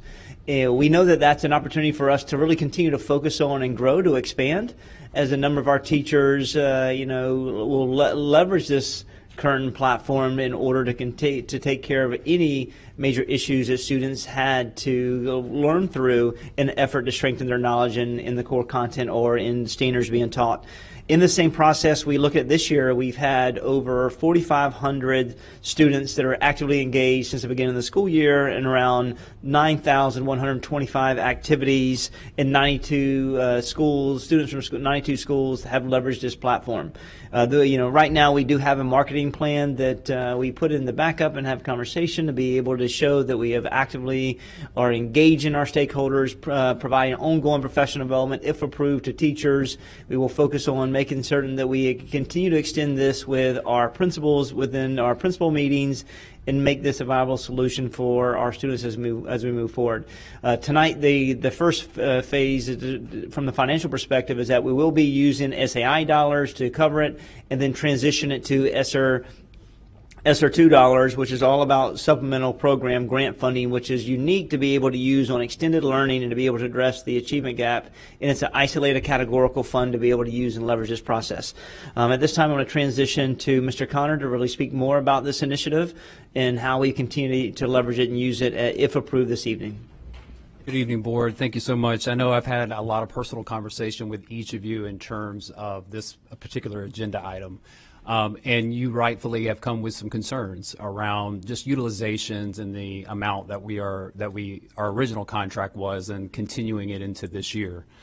And so we went to this um, back to the company and we wanted to make sure that we were maximizing every opportunity to reduce the contract and we were successfully able to negotiate down from $27 per student to 12 uh, $12 and some change. And so that was a significant um, um, agreement or proposal for as we move into this year because the company also realized that there is more to do in terms of really marketing to get more students involved. We need uh, exposure. And as we've done an analysis of this and as we determine what our plan is to really increase this, I really think it comes down to promotion with our teachers and getting them to really understand the value and how to leverage this with their students. And so since then, in, in, in, about February, we were able to secure from Paper, the company, an actual dedicated customer success manager, someone who lives right here in Hillsborough County, who is dedicated to really helping market it and uh, provide training and to do all the necessary components so that we can see an increase in usage. And since that time, we have done things such as posters in every school. They've actually put up six billboards across the county. They did TV commercials in the month of March to start promoting this in the summer, and we know that the usage obviously declines in the summer, but we leveraged every every one of our summer learning opportunities, our bridge camps at high school and middle school, to really educate our students on what the program was about, which is great when you think of an eighth grader moving to high school in ninth grade and they're being oriented to their new classrooms and their new their new environment and understanding some of these resources that are at their disposal if they hadn't seen them before. We have really made a presence in some of the community events, such as the Back to School Bash put on by uh, Mr. Thaddeus Bullard. We were, they had a presence out there and other uh, community events as well. They've been invited to all of our principal meetings to ensure that our principals understand. We actually did survey our principals, and our principals, um, the 71 out of 80 some odd principals that responded to that, we had a very high return rate.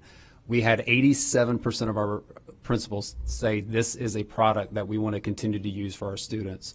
Another part of that survey was what else could we do to help promote that? And, and that included social media posts.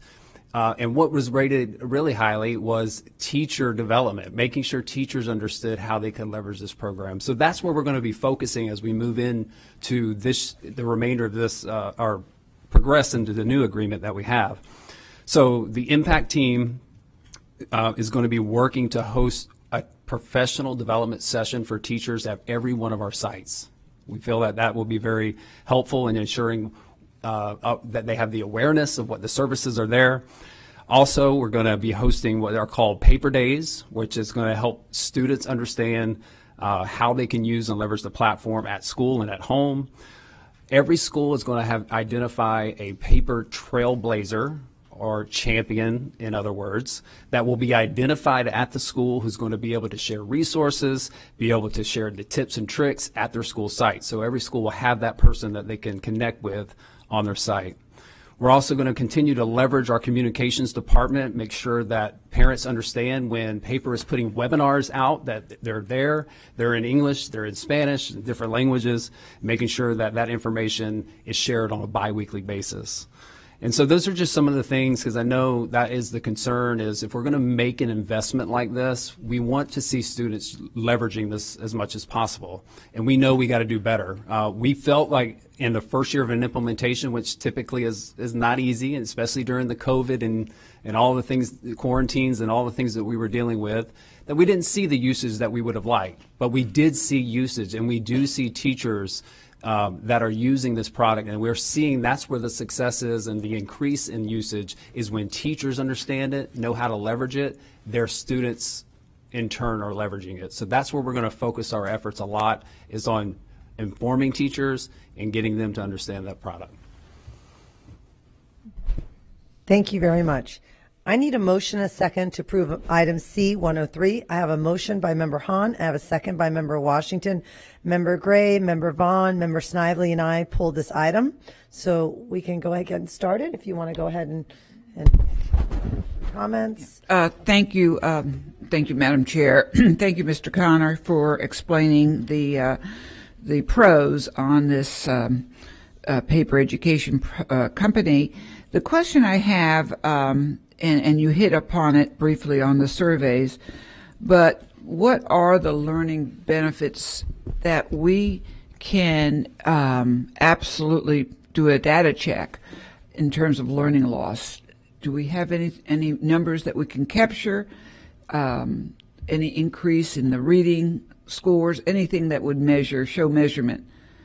Well, it, we're trying, you know, it's very hard to draw a direct line to the 24 7 tutoring to achievement. But what we have seen, as noted in a lot of our, our data recently released and what we're seeing in our progress monitoring data, is that we're seeing that we are mitigating learning loss as compared to other school districts. So when you look across and you're seeing school districts seeing some significant declines as a result of the last two and a half years, and Hillsborough is maintaining and sometimes exceeding.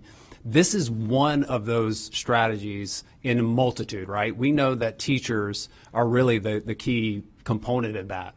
But there are other things too, such as providing an access to 24/7 tutoring that students can leverage. We've talked extensively with paper about how can we correlate specific usage with the program to specific outcomes and state data. And they're working through that process with us and want to and want to work with us specifically to determine how we can do that better so that we can create that straight line mm-hmm. in terms of that correlation. So that's more to come on that but you know what i see in in terms of all the resources available it's not one thing that does it. It's a culmination of all of those things that keep hillsborough where we're at in, academically well, I mean, on the pragmatic side, I look at uh, in two positive ways. Number one, uh, with the uh, coming about of more and more technology, uh, with the students, students use technology. This is something that is student friendly. Um, and if the teachers are supporting it, which I'm going to ask, I know the principals uh, seem to be supporting, but how about our teachers? Anecdotal type of comments made, anything of that nature that Yes, so we do get we do get anecdotal data actually um, as they engage into the program. Um, they may be presented with a survey, and we do get some anecdotal feedback from them. I don't have any quantitative data, but we got plenty of testimonials of how this has been very successful and how teachers uh, perceive this program. Uh, which I did provide to the board this afternoon. So I won't read them all, but there definitely there's some very positive feedback from our teachers in terms of usage.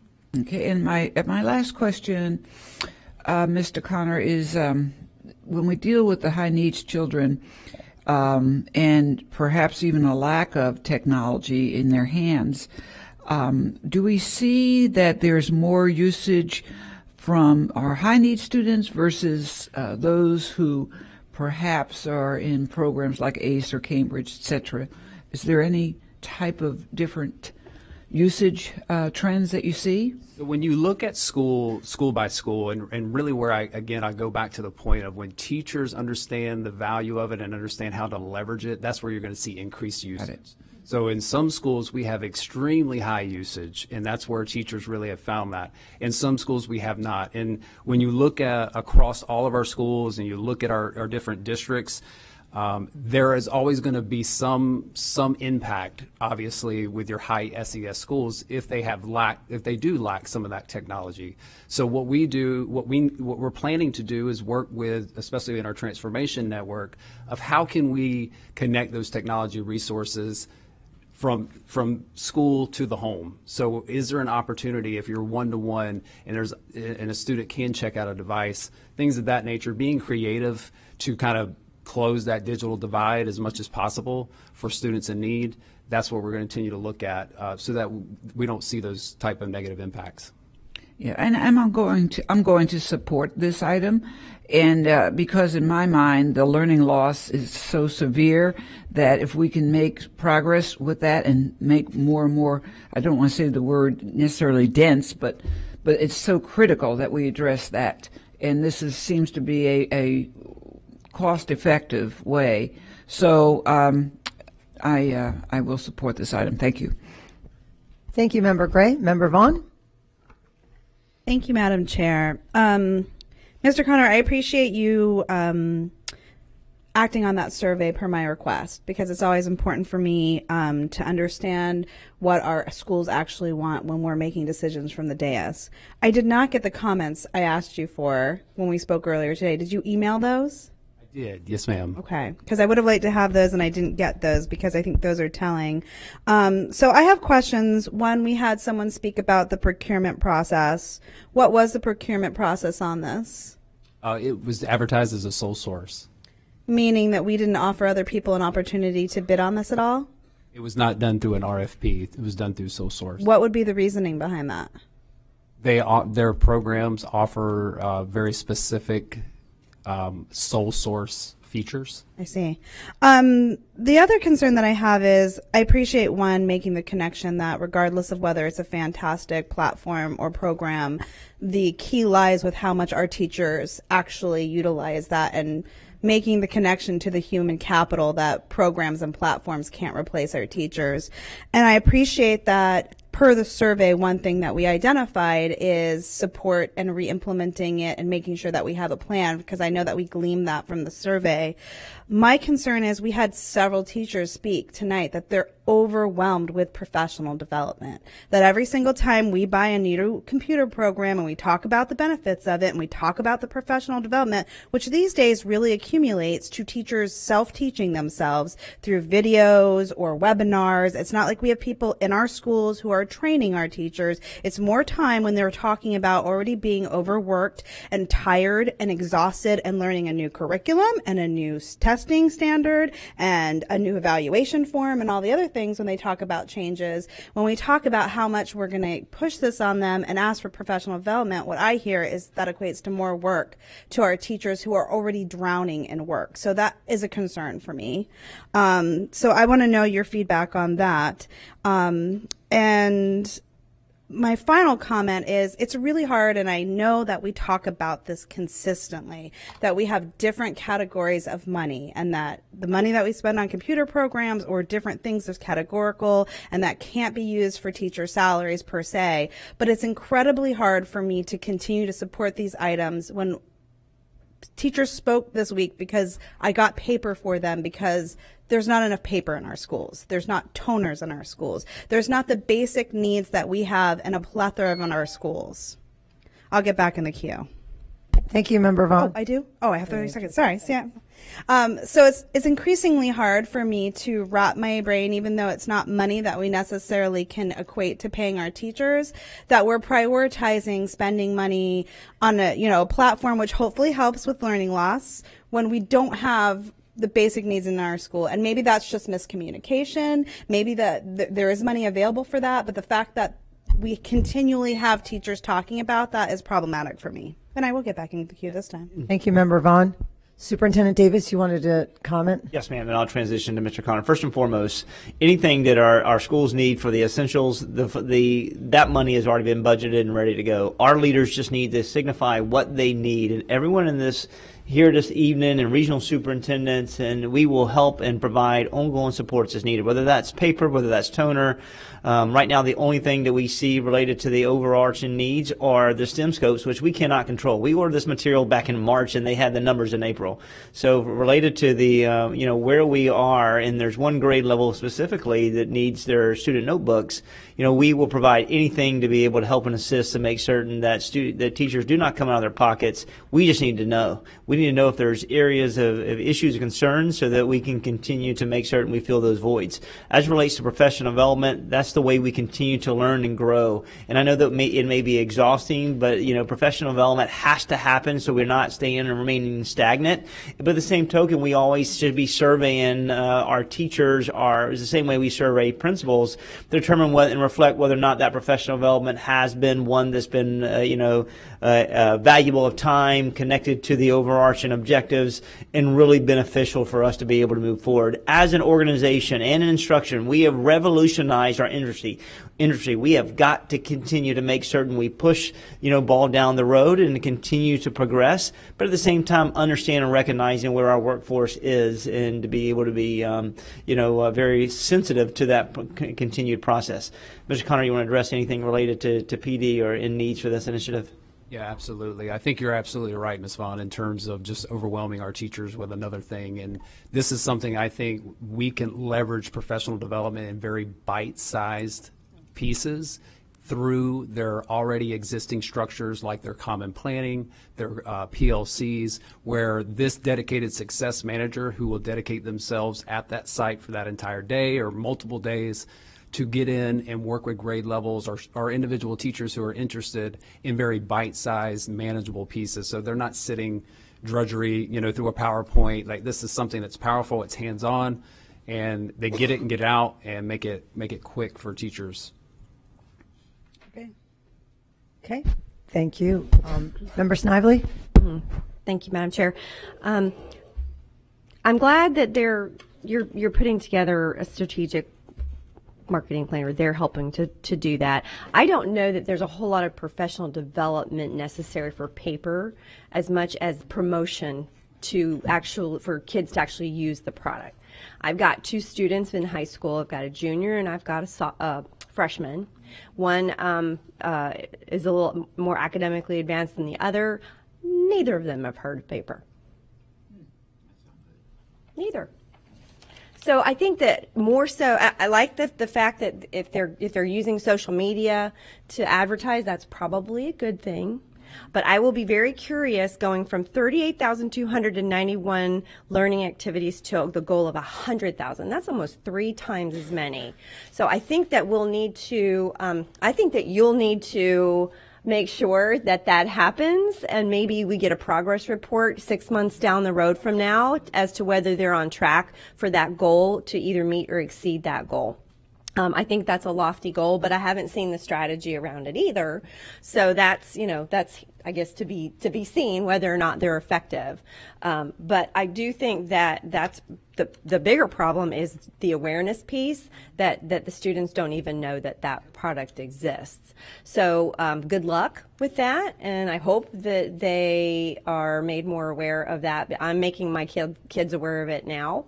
Um, and and I'm hoping that more kids become aware of it if it's if it's there to you know truly help kids with online tutoring. And that's for a parent who has children who have used you know outside sourcing for tutoring. It's very helpful for me because tutoring is is expensive. You know, it, it can be anywhere, and you know, Miss Combs, you owned a tutoring company at one point in time. It can be like twenty five to fifty dollars an hour, depending on what type of tutoring is is done and what level of tutoring is done. So as a parent, this is great because I'm not having to pay additional dollars. It's not exactly the same, obviously, as a one-to-one that you're going to get with a tutor. Um, so it's not necessarily for every student. Some students will still need that one-to-one with an actual tutor, but maybe for the kids who need just a little bit of help and not necessarily that level of one-to-one, that this could be something that helps um, helps them as well well. I'm just concerned about making sure that the, the, the students know that exists and that you know whether it's just bringing it to their attention on a regular basis whether it's in the classroom or other outlets of marketing that that you know they just need to know where to go. Where to go is on canvas. Where do you click? How do you get into it? And really they're self-sufficient. They're going to figure it out they don't really need anybody to teach them how to, to do it. Maybe just to find it and click on it and get and get logged into it. But that's pretty much all that they're going to need. I think. Thanks.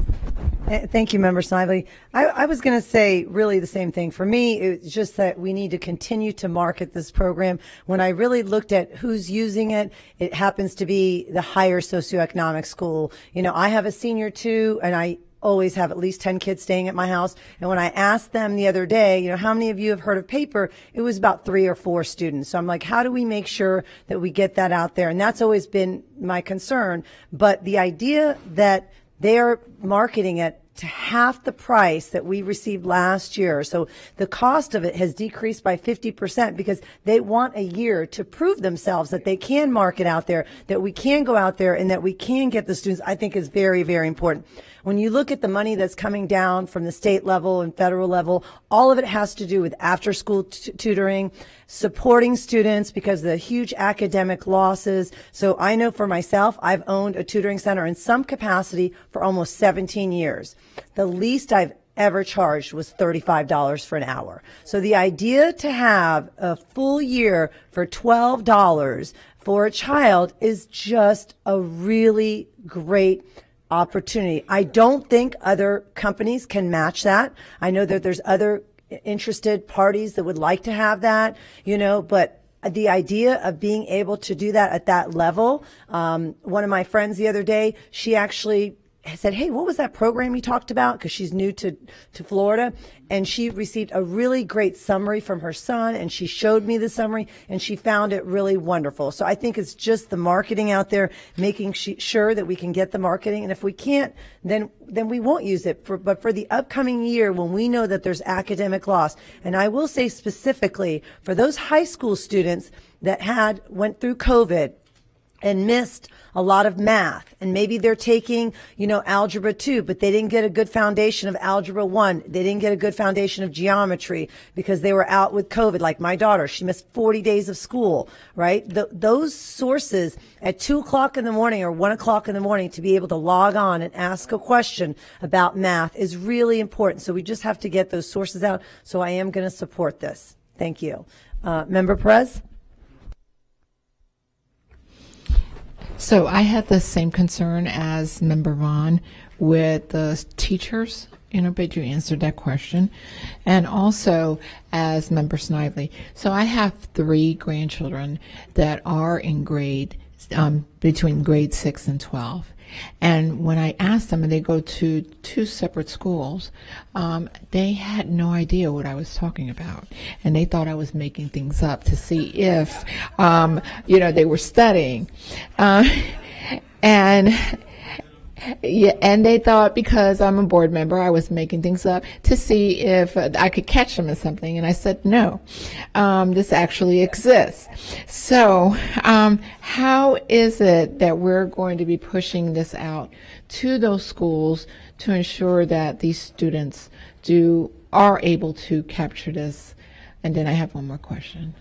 Yeah, thank you. Um, I really do believe the linchpin in this is the teacher because students will respond to what teachers expect. And if teachers feel that this program is valuable, we have to do a better job of really educating our teachers about the power of the program and how they can leverage it for essay review, to help them in, in their workload, but also the, the importance for their students to have this access beyond school hours, right?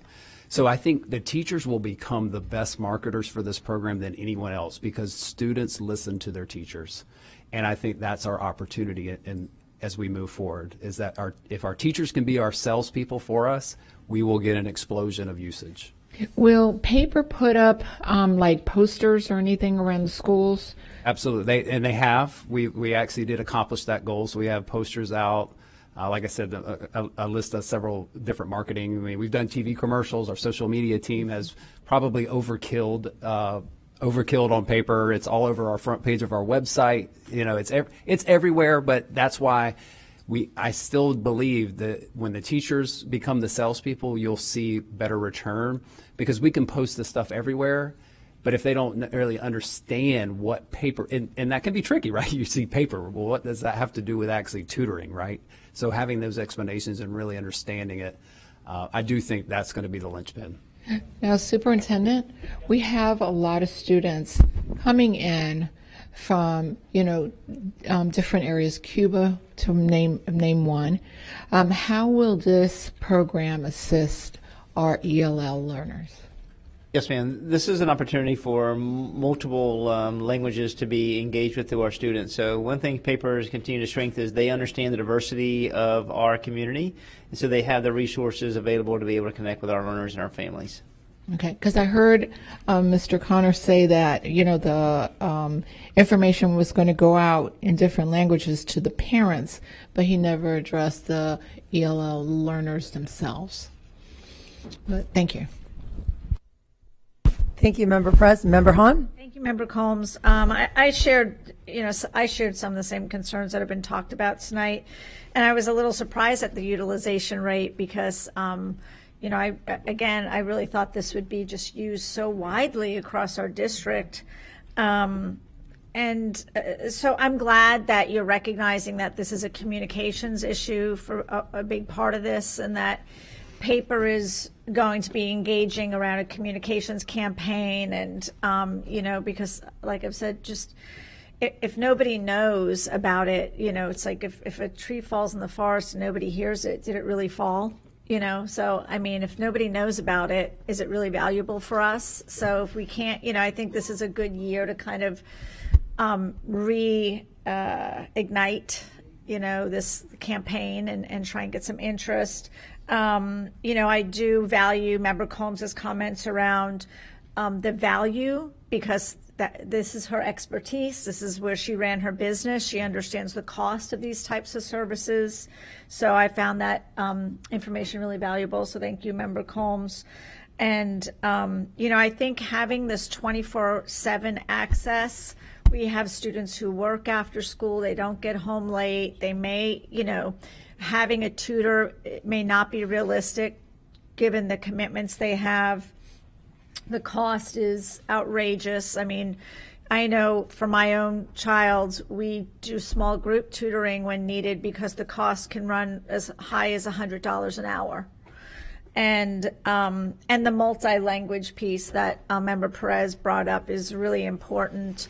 Um, having so many different languages that um, our students need uh, would benefit from instruction in their own native language, and the fact that this has that embedded in it to a larger extent than we provide um, is positive. So I'll be supporting this item.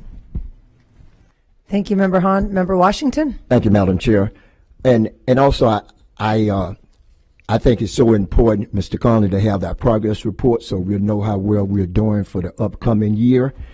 And I would also like to what I like about it, you'll be working with transformation, uh, so we could get some of that digital divide caught up with, which I think is very important. You want to say something about that? Just because I know you were a former coach, we also talked to Mr. Robinson in athletics, and we are going to make it a part of their mandatory study hall as well. And I didn't say that earlier, so I want to make sure you just prompted me to. Well, you already got my vote. Yes, that did. That sealed the deal with Shake Washington. Try to get that fourth. But uh, anyway, I think it's a great deal, and and uh, I I will support it. Superintendent Davis, you wanted to have some closing comments on Yes, ma'am. And, and I appreciate the conversation because this is a lot of money. And, and, and I also thank our team for going back to paper and holding them accountable about the usage rate and taking it from $2.6 million to a $1.2 million ask and expenditure. And also us being able to leverage some additional funds that will become available to use it categorical over the next year or two. But I think this year is pivotal for us to determine the overall effectiveness. And we will provide the quarterly mid-year report and, you know, to be able to show the board the analytics and, and also to look at the impact of the marketing that continues that we will partner with paper to be able to push out. If this deems at the end of the year not to have major increase in value with usage rate, with also students and number of schools, then openly we will we'll bring this back to the board. And I think that that's about having uh, organizational controls and quality controls to make certain that we are getting the return on investment in this process. But we appreciate it. Go ahead.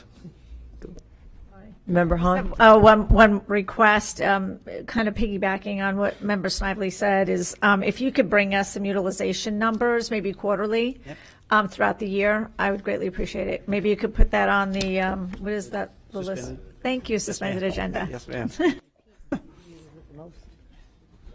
Well, at any rate, what I wanted to say is the sustainability, uh, Mr. Connor.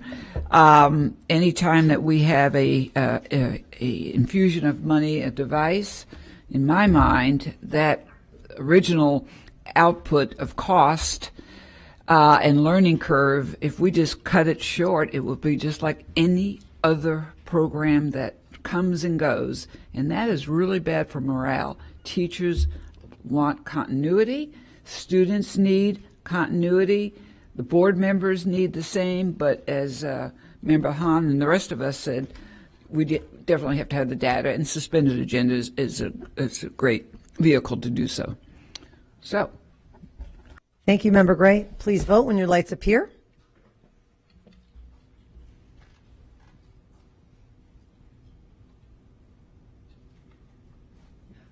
And it passes six to one with Member Vaughn voting no.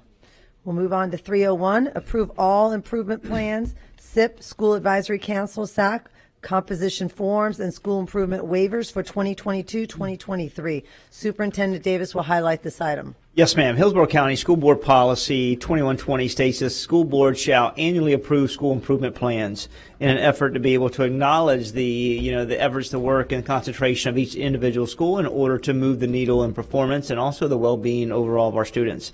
In this, you'll see that there's major focal points in our school school improvement plans that are reviewed and thoroughly supported through our schools and our divisions to be able to look at uh, content areas of focus, how they will lift certain contents in order to and move the needle and help students with performance. Also with family engagement, what they seek to do from a professional development perspective, what will be their instructional strategies at their particular school, how they will address any behavior strategies, and also being able to use all this information based on data analytics to be able to make informed decisions, to be able to help and engage our stakeholders with input, and to be able to create this fluent document that we see in front of you this evening. So just bringing this to the board for approval, but also understanding that this document will could be uh, adjusted as they continue to look at progress monitoring and, and also work with their local instructional leadership teams and community to determine and, and recognize priorities within their particular school. Thank you, Superintendent Davis. I need a motion and a second to approve item C301. I have a motion by member Washington. I have a second by member Gray. Member Snively, you pulled this item. Do you have any questions or comments? Uh, no, I just thought it was um, important to pull this one and just vote separately because it's, um, you know, bar- to support our board policy and to also um, highlight the item and, and, and the fact that um, we are striving to have more A, B, and C schools and, and less D and F. So I just thought it would be good in case other board members also had any comments or discussion on it as well. Thank you, Member Snively. Please vote when your lights appear.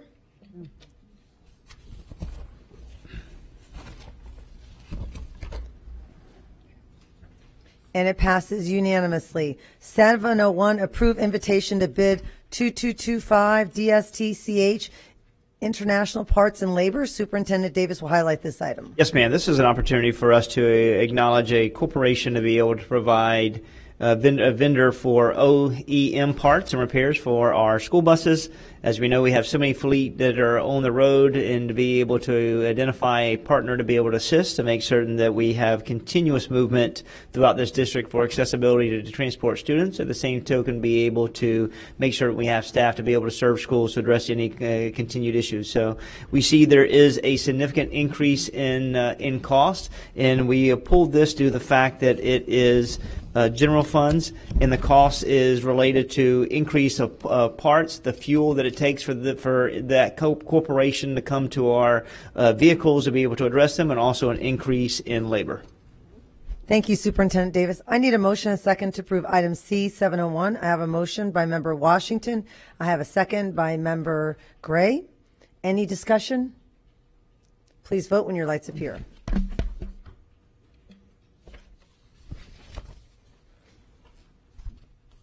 And it passes unanimously. 703, invitation to bid 22137 MST EJ Wax and Flooring Products. Superintendent Davis will highlight this item. Yes, ma'am. This is an opportunity to award a vendor to be able to address uh, the the re finishing of our floor hardwood floors in, in our school district. This is the finished floors. They look at uh, floor re- uh, removal. They look at cleaning the floors and also being able to go back and make certain that we are restoring these floors. These are for every hardware surfaces within our schools.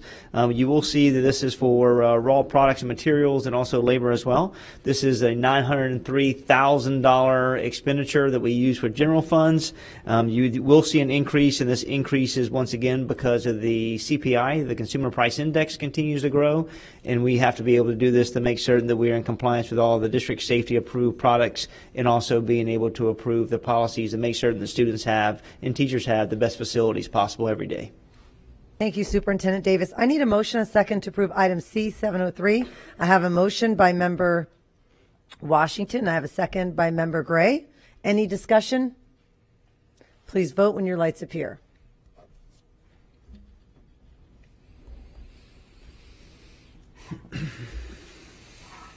and it passes unanimously. 704, request for proposals, 22235 MST EJ Solid Waste and Recycling Services. Superintendent Davis will highlight this item. Yes, ma'am. This is an opportunity for the school district to really look at um, the solid waste and recycling services and make sure that we're in compliance with Hillsborough County expectations and also the the city of T- uh, Tampa expectations and requirements. And what this does is really look at our solid waste and recycling management services as we transition to be able to um, to ha- have this expenditures and recycle due to the fact we're a big organization. This is a 2.7 million dollar expenditure with, within our school district, which is out of general fund. Thank you. I need a motion a second to approve item C 704. I have a motion by member Gray. I have a second by member Washington. Any discussion?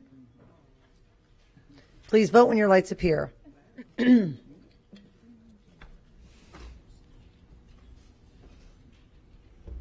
it passes unanimously. 706, approve change order number one of the access control system installations at various sites, project number 100474. Superintendent Davis will highlight this item. Yes, ma'am. This is continued efforts for safety and security. One thing we want to continue to do is make certain that every one of our structures, from elementary, middle school, and high school, have hardened structures to be able to, to protect who's transitioning and gaining access to our facilities um, every single day within the organization. So this is continued expansion of the work we've already done for the last couple of years, and to make certain certain that every one of our facilities is primed and ready and, and has controls to be able to protect our employees and the same token, the same token our students. This is a 1.2 million dollar budgeted uh, access that we will use with safety and security dollars that are categorical funds outlined and identified by the state.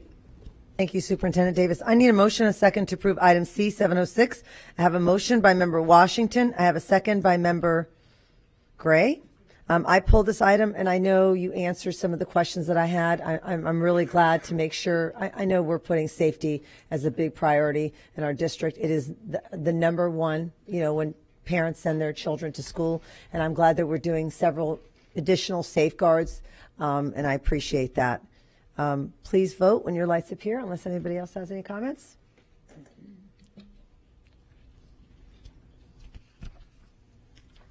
Passes unanimously. 711, agreement with the City of Tampa, Tampa Police Department for the 2022-2023 School Resource Officer Program. Superintendent Davis will highlight this item. Yes, ma'am. This is to make certain that we remain in compliance with with um, with the bills that were passed due to the horrific incident within Parkland. To make certain that we put an asset at every one of our schools. This is a renewal of a contract uh, with an annual renewal with Tampa Bay uh, with Tampa Police Department to make certain we have resource officers in 26 of our schools.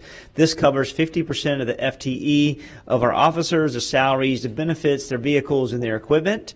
And for us, it's a uh, contract that does not exceed two million dollars.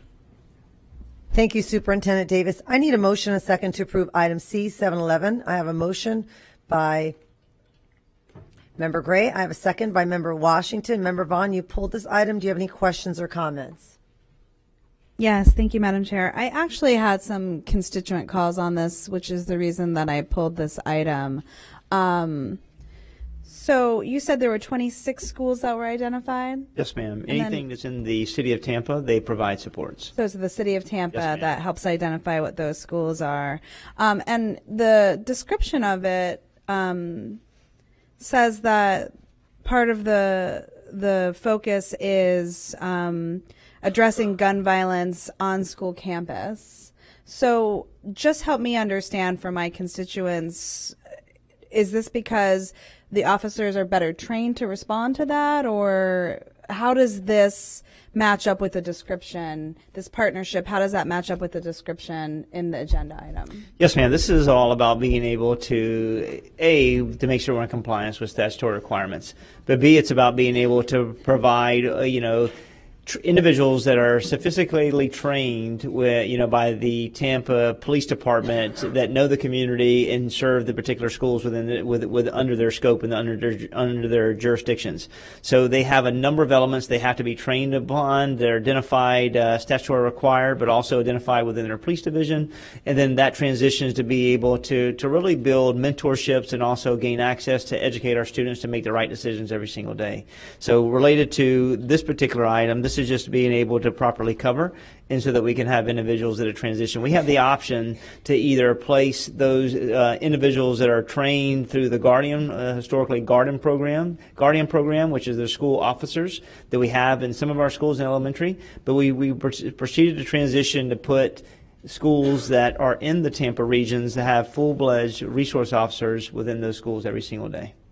got you and so would you say because the way that you you know you talked about it part of the focus is fostering positive relationships with be. our students and making sure that they're supporting them and making good choices Yes, ma'am. That, that is a uh, continuous uh, criteria that we want to make certain that we don't need individuals that are just on campus to enforce the law. Even though that is their role and responsibility, we need them to be able to build relationships every single day, in, not only with our students but within that particular community and be a part of that in a proactive uh, manner. So, educating, mentoring, just building, you know, positive connections. That's what we want out of those individuals, and at the same token, being able to enforce the law and protect our students, you know, and also our employees on campus. and so in lieu of this in county schools where they're not within the city limits you're saying we utilize our guardian and lightem program We use we, we use our school officers and we use guardian our, and lightem's different Gardy. Yes, ma'am. We use our school officers at elementary schools, and also we leverage in our high schools and middle schools outside of the of the city of Tampa. We use the Hillsborough County Sheriff's Office, and they do a really good job. And you know, Chief O'Connor, at the same token, with uh, you know Sheriff Chad Chronister, they work in concert with John Newman in an effort to be able to stand up a workforce that is consistent in their approach every day. Thank you. Thank you, Member Vaughn. Member Perez.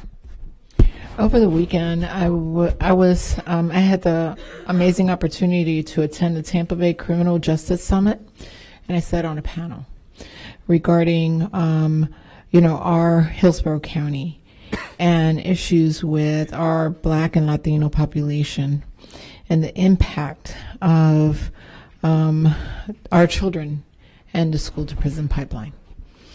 And um, a lot of the conversation was surrounding the fact of the um, SROs in our schools. Um, can you can you um, speak to that, please? Speak to the, the, The- relationship or The the school to prison pipeline issue and the SROs. And Yes, ma'am. So through the chair, it's extremely important for us to be able to continue to to really focus on that, you know, breaking the cycle of prison to pipeline. And, and this is all about making certain that we have a code of student conduct. And at the same token, we build beautiful relationships between students and our teachers and our administration and our resource officers on campus every single day. And we are making certain that we implement, you know, positive behavior intervention supports along the way that will really coach our students to make good decisions. And this is where seven mindsets come into play, especially for the secondary level, really so students can make a, just become a better self.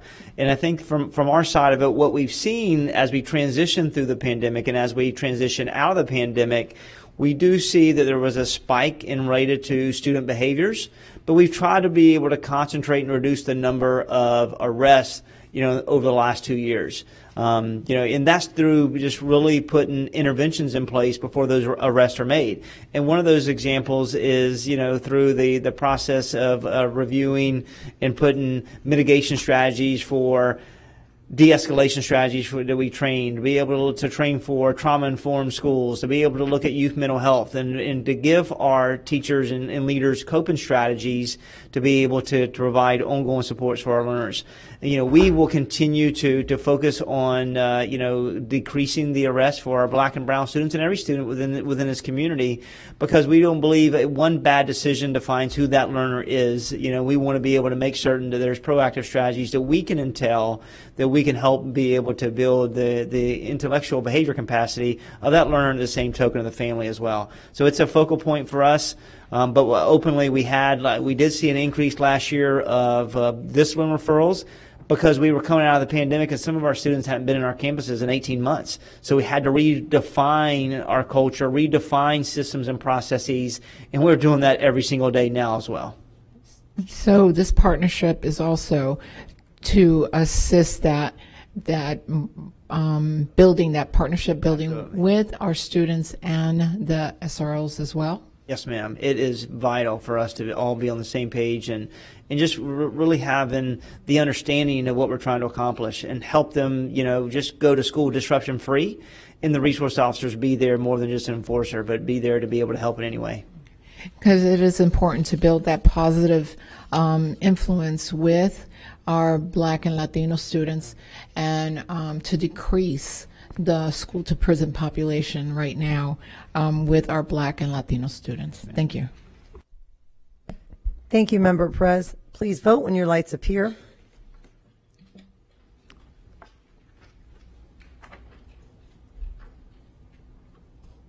And it passes unanimously. 1001 EduPoint Synergy Training Supplement. Superintendent Davis will highlight this item. Yes, ma'am. As you know, in July, in July of 2019, the school board approved the transition to EduPoint uh, education systems to be able to move forward as the new system information system, uh, the new student information system.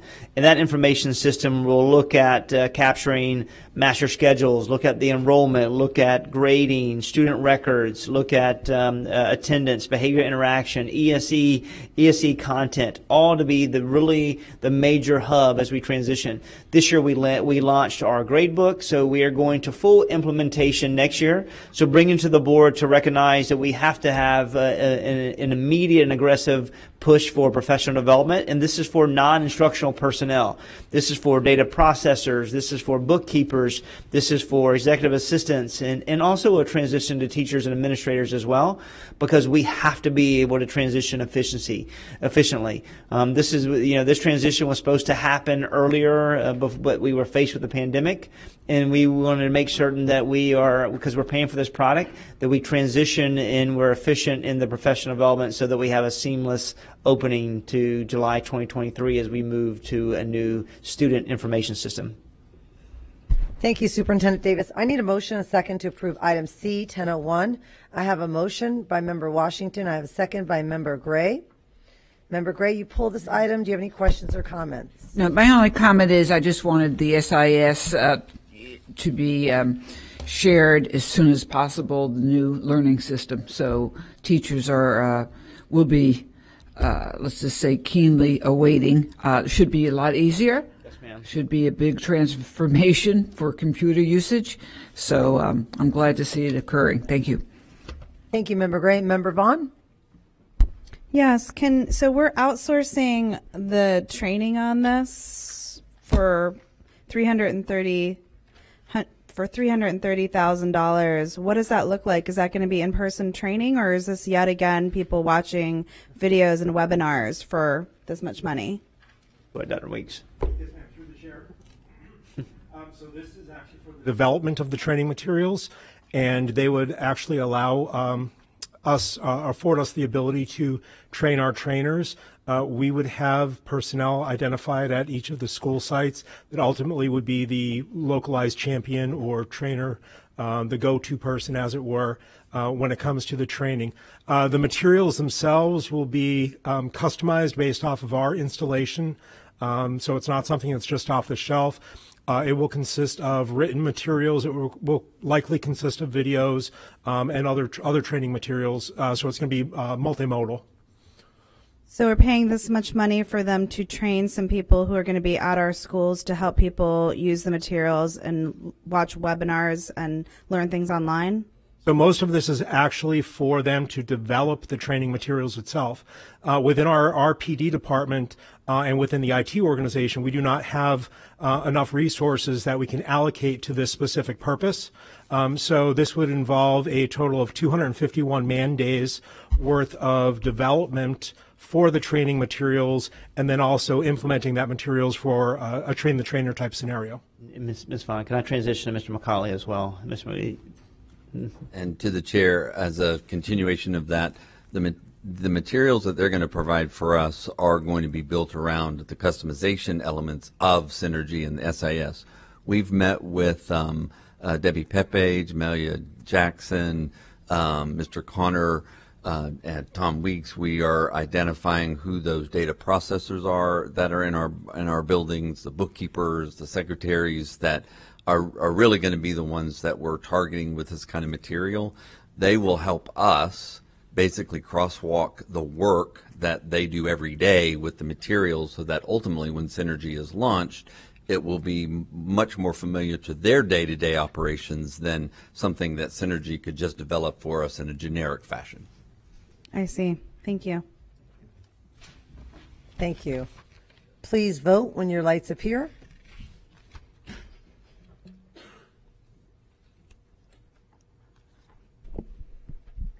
And it passes six to one with member Vaughn voting no. 1002, the SHI quote number 2262017 with SHI Incorporated for Infor software licensing renewal and support. Superintendent Davis will highlight this item. Yes, ma'am. This is an opportunity for us to provide upgrade to Infor, our enterprise resource uh, planning software, in addition with our workforce management suites. This is agreement to be able to make certain that our Infor cloud suite that focuses on our financials, our management supplies, our human capital uh, needs, and at the same time being able to look at attendance services as well. This is definitely an expenditure that, that we have uh, historically had. We this is a 2.1 million dollar expenditure that we have to use out of general fund dollars. Mr. Week, Dr. Weeks, anything? Uh, nothing. Thank you so much, Superintendent Davis. I need a motion and a second to approve item C 1002. I have a motion by member Washington. and I have a second by member Gray. Thank you. Member Gray, you pull this item. Do you have any questions or comments? Thank you, Madam Chair. Uh, quick question. Um, Dr. Weeks, uh, Superintendent Davis, uh, am I correct in uh, in asking, uh, I mean, or in saying that this controls, this system controls about every aspect of HR?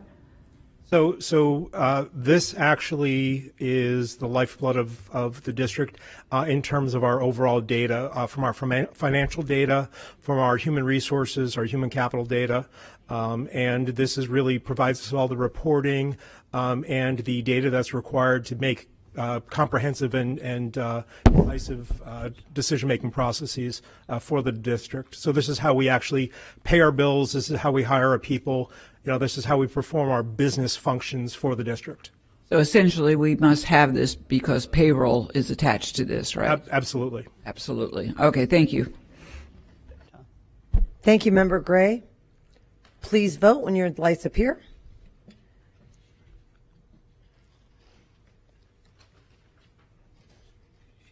And it passes unanimously.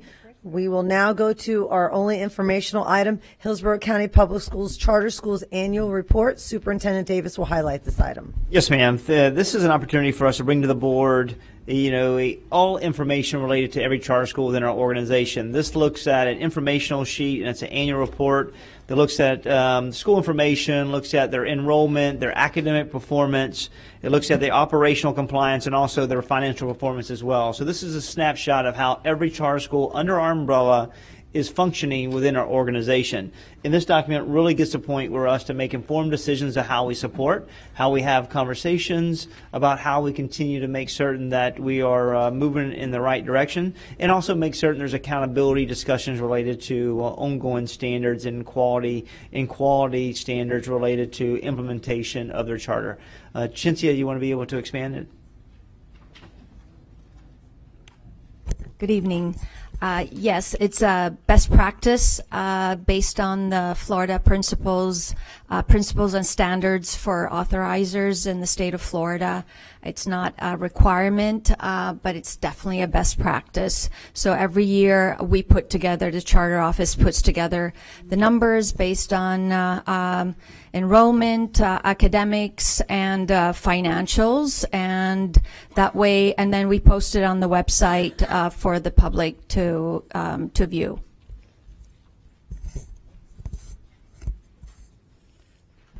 Thank you, um, Dr. DeLang. This is an informational item, so we're not going to vote on that, but we'll go ahead and, and go to comments. Member Vaughn, begin with you. Thank you. Um, I just, I really love the layout of this. I thought it was really easy to read and I really appreciate it. And I think it's very eye opening and really important. And because we make it public, I just really encourage parents, especially when they're looking at charter schools, to go and look at, um, you know, the grades and the information on here and specifically the statistics as well. I mean, one thing that I thought was really interesting when I was looking through this is, you know, how many of these have a very low free and reduced lunch as well as a low, you know, um, ESE population, um, which I think is really interesting because um, they're not necessarily dealing with the same challenges that we are. But overall, I just wanted to say, I, you know, I really appreciate this document. I thought it was really user friendly, very easy to read, really laid out very well. I appreciate all the hard work that went into it, and I just encourage parents, you know, when they're making choices, to go and read this information and really know, you know, make educated choices. Thank you. Thank you, Ms. Vaughn. Thank you, Member Vaughn. Member Gray? Thank you, Dr. DeLang. This is very informative, uh, and uh, ditto, ditto, um, Member Vaughn. I would say this, though, even though we've added, you've added upon our request more columns of information, um, very good for the parents to know because this is the era of competition, school choice. Um, Dr. DeLang, I, I went over the list of certified and non-certified teachers, and I think it probably is. In, uh, it's more, much more critical now because of the teacher shortage nationwide. But I think if we have a, another column that shows certified versus uncertified. Now I know about the two-year promissory uh, but the different categories of certification against, uh, you know, Dr. Marie Whalen, you mentioned that all of our Hillsborough County Public School teachers are certified. So I think that's important for the public to, and you can uh, interrupt uh, for sure, but that's the quote that I got. I think it's very important the public sees the absolute maturity of the faculty. And maturity meaning the amount of years that they have experience, and for sure, if they're certified, if they are certified in their subject area. Your comment? Sure, thank you. Uh, it, it's very difficult to capture um, um, one given time uh, of all um, charter teachers uh, that are certified. Again, we do uh, track, actually, our certification office tracks that. Uh, they go through our certification office in HR uh, to determine whether they're eligible or not. Um, some who are eligible uh, uh, start working as non-certified and then they work towards their certification. And uh, between our office and uh, um, this our certification office we uh, continuously ask where they are in uh, in earning their certification through either our ACP program through the district or our, the HCC's EPI program. So that's ongoing all throughout the year. And actually, I think uh, the HCP program is a two or three year program. So it, takes a while. Um, so it, uh, maybe what we could capture is the actual certified teachers, but not uh, those teachers who are eligible to be certified or working towards their certificate. Yeah, and I think that's a, a great start on olive branch. But I will say, when you have, say, Na- Navigator uh, Leadership School that is minus um, probably about, hmm, hold on, I have the numbers in my head, but it might be almost 26 teachers that are uncertified, according to the list that you gave me of certified versus uncertified. That's significant for any school it's significant if we had in say uh, any given of our schools if we had 26 uncertified teachers what i'm saying is if there's a way we can be more uh, specific with the experience level. And you and i can talk offline or off dais uh, but i did want to bring that up. And I, I specifically want to thank you too for putting all this together again. I know a lot of work went behind this Absolutely, and uh, I just want to make sure the staff in the charter office gets the credit because it does take a lot of time and a lot of um, uh, it takes months actually uh, to do this, and uh, they are just a phenomenal group of uh, ladies. Yes, thank you. Thank you, Dr. DeLange. Um, Member Perez.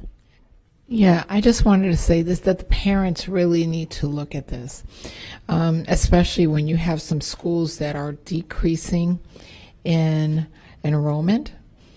Um, and, you know, the, the grades are very telling um, in there.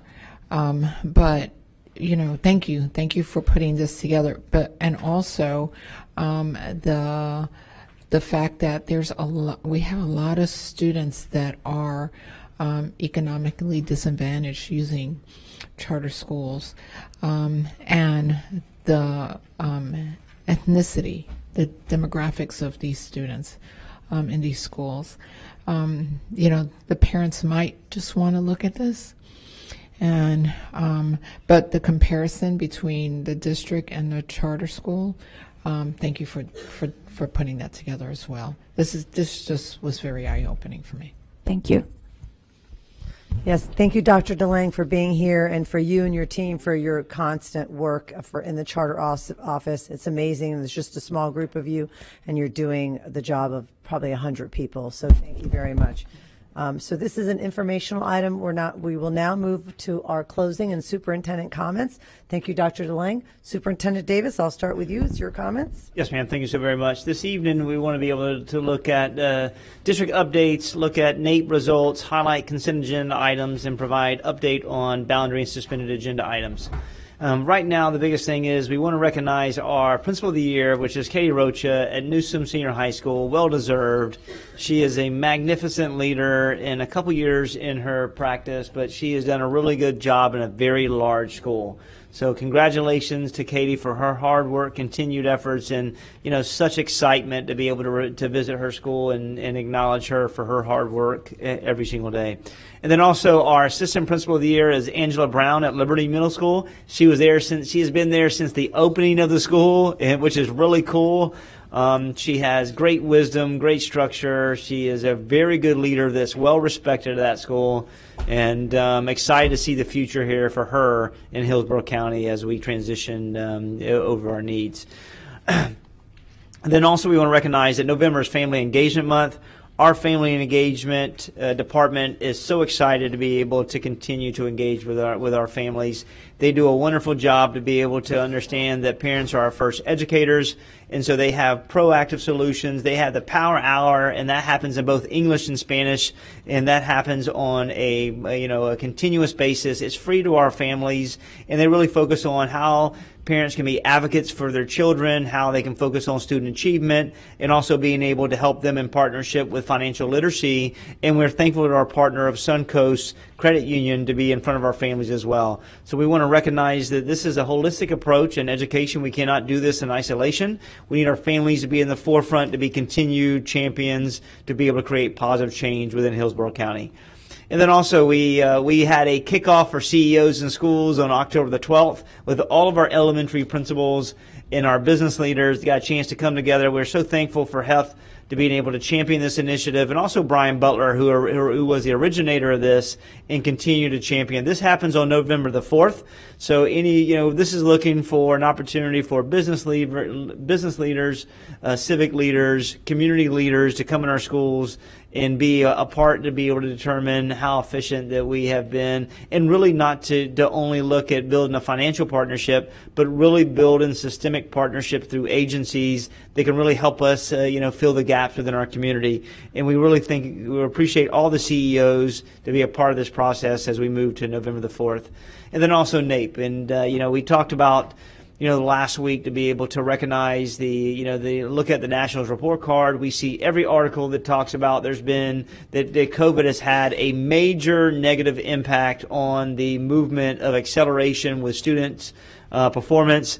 But one thing we have to recognize is the hard work that Hillsborough County teachers, administrators, re- regional superintendents, district staff, chiefs have put in place to be able to create to change. And this is a, a slide that recognizes all of the jurisdictions that were part of the uh, TUDA assessment, which is the Trial Urban District Assessment, and you see it's all over the country. And then once again, recognizing that our fourth grade students, this is the first time in history that fourth grade reading and mathematics in Hillsborough County is ranked number one in the nation. And it is about the hard work and concentration of our teachers, but it's also coupled with all the positive changes that we have implemented in the school district over the last couple of years to be able to focus on instructional frameworks, align curriculum, and give sophisticated platforms that allow us to be successful. So hats off to everyone actively involved in this organization. This goes to every employee, every student, every board member, every family member who's taken this serious. And um, same thing in fourth, in fourth grade mathematics.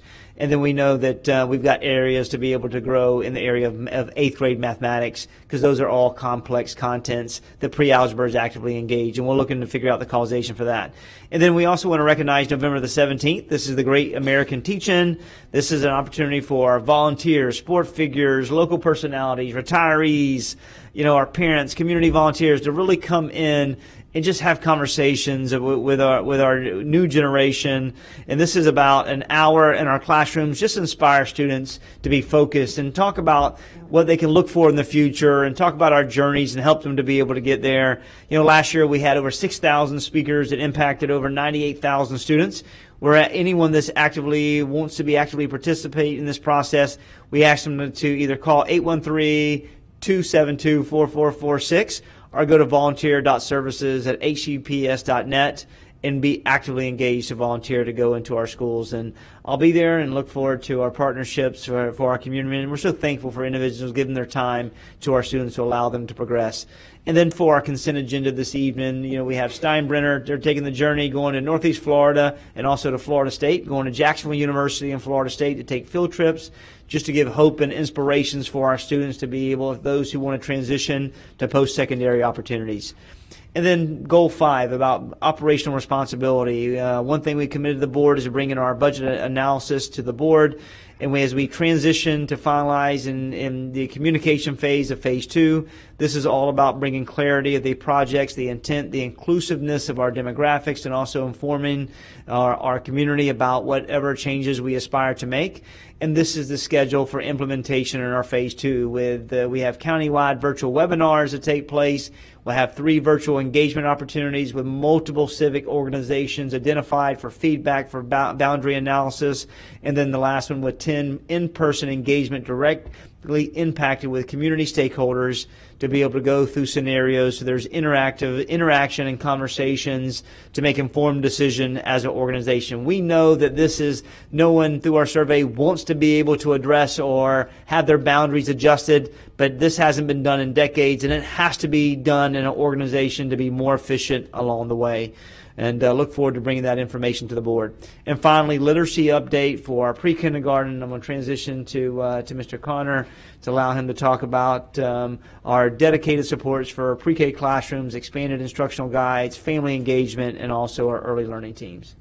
Thanks, Mr. Superintendent. I just did it. I just did it. Okay, I'm sorry. All right. Uh, we can go to the next one. No, th- we just we're proud. I mean, you know, it's a it's a K twelve approach, and even starts in pre K, and, and, we've done some amazing work um, along the way in our pre kindergarten, and we've now have dedicated district support in every one of our pre K classrooms, really focusing on supporting the teachers with implementation, with instruction and the curriculum. Uh, in terms of curriculum and the, the instructional guides, we've really expanded what's built into that to help support our teachers, really looking at how they can use formative tools to, based on evidence and research practices, to make sure that students are uh, getting a really holistic education. Um, also, the team has really done a great job in engaging families through the monthly newsletters that we're creating, bringing home those focus skills and those follow-up activities that can easily be implemented in home at home, and those are in English and in Spanish, and also just uh, that vertical articulation because we know once they transition into kindergarten up to first grade, uh, that vertical articulation and getting that alignment from those early developmental standards to the new best standards is critical. So we've aligned our district support to help with that vertical articulation so that we can see that. So that's the update for pre-kindergarten literacy. Thank you, sir. And thank you. That's it. thank you, Superintendent Davis. I think we leave it Okay, Member Washington, I think usually we'll just leave it as comments, and I, I think people have some direct questions, so during their comment, they can. Yeah, yes, yeah, yeah, we usually we do that. Member, Member Washington, go ahead. Thank you, Madam Chair. Um, I just want to make a couple of comments about tonight with the NAACP. Uh, we have to realize the operation of the WWAACP is not our responsibility. This is the board. We don't we don't govern the operation of of the NAACP, and uh, we did have some concerns tonight. And I would like for the superintendent to elaborate on those concerns, please, if you would. Yes, sir, the chair. We have, we recognize the concerns uh, when this uh, initiative took place. I believe it was about a week ago, week and a half ago. Um, we know that we do have an MOU that stands and try to show good faith partnership with the NAACP, who continues to be active participants in, in our community. Uh, I am. We will be looking into any violations of our MOU to be able to address that uh, with the leadership of the NAACP openly to be able to protect the school district, and that's what you know our overarching needs have to be in the forefront. So this is about making certain that there's no other entities that are using those facilities and that if we're going to be able to host them as a partner, then they continue to make certain that uh, they are in seamless communication with their stakeholders and community holders to make certain they're all on the same page with the implementation. But we would definitely look and uh, at the MOU that we currently have and have multi, and have conversations with uh, with leadership and President Lewis to be able to address any concerns of the community as we move forward. Thank you. Appreciate it. Um, I want to go into our uh, this weekend at Allen Temple. Uh, Member Perez and I had a great time. We had the uh, health fair at Blake. Ooh, quite a few people were there. We gave vaccinations. We had they had music, food, a lot of health uh, enhancement there, which was good for the community. It was a community affair, and we had a great time. And we also helped out the community with health issues. Um, moving along, we also uh, also was able to attend the uh, House of Emeritus luncheon.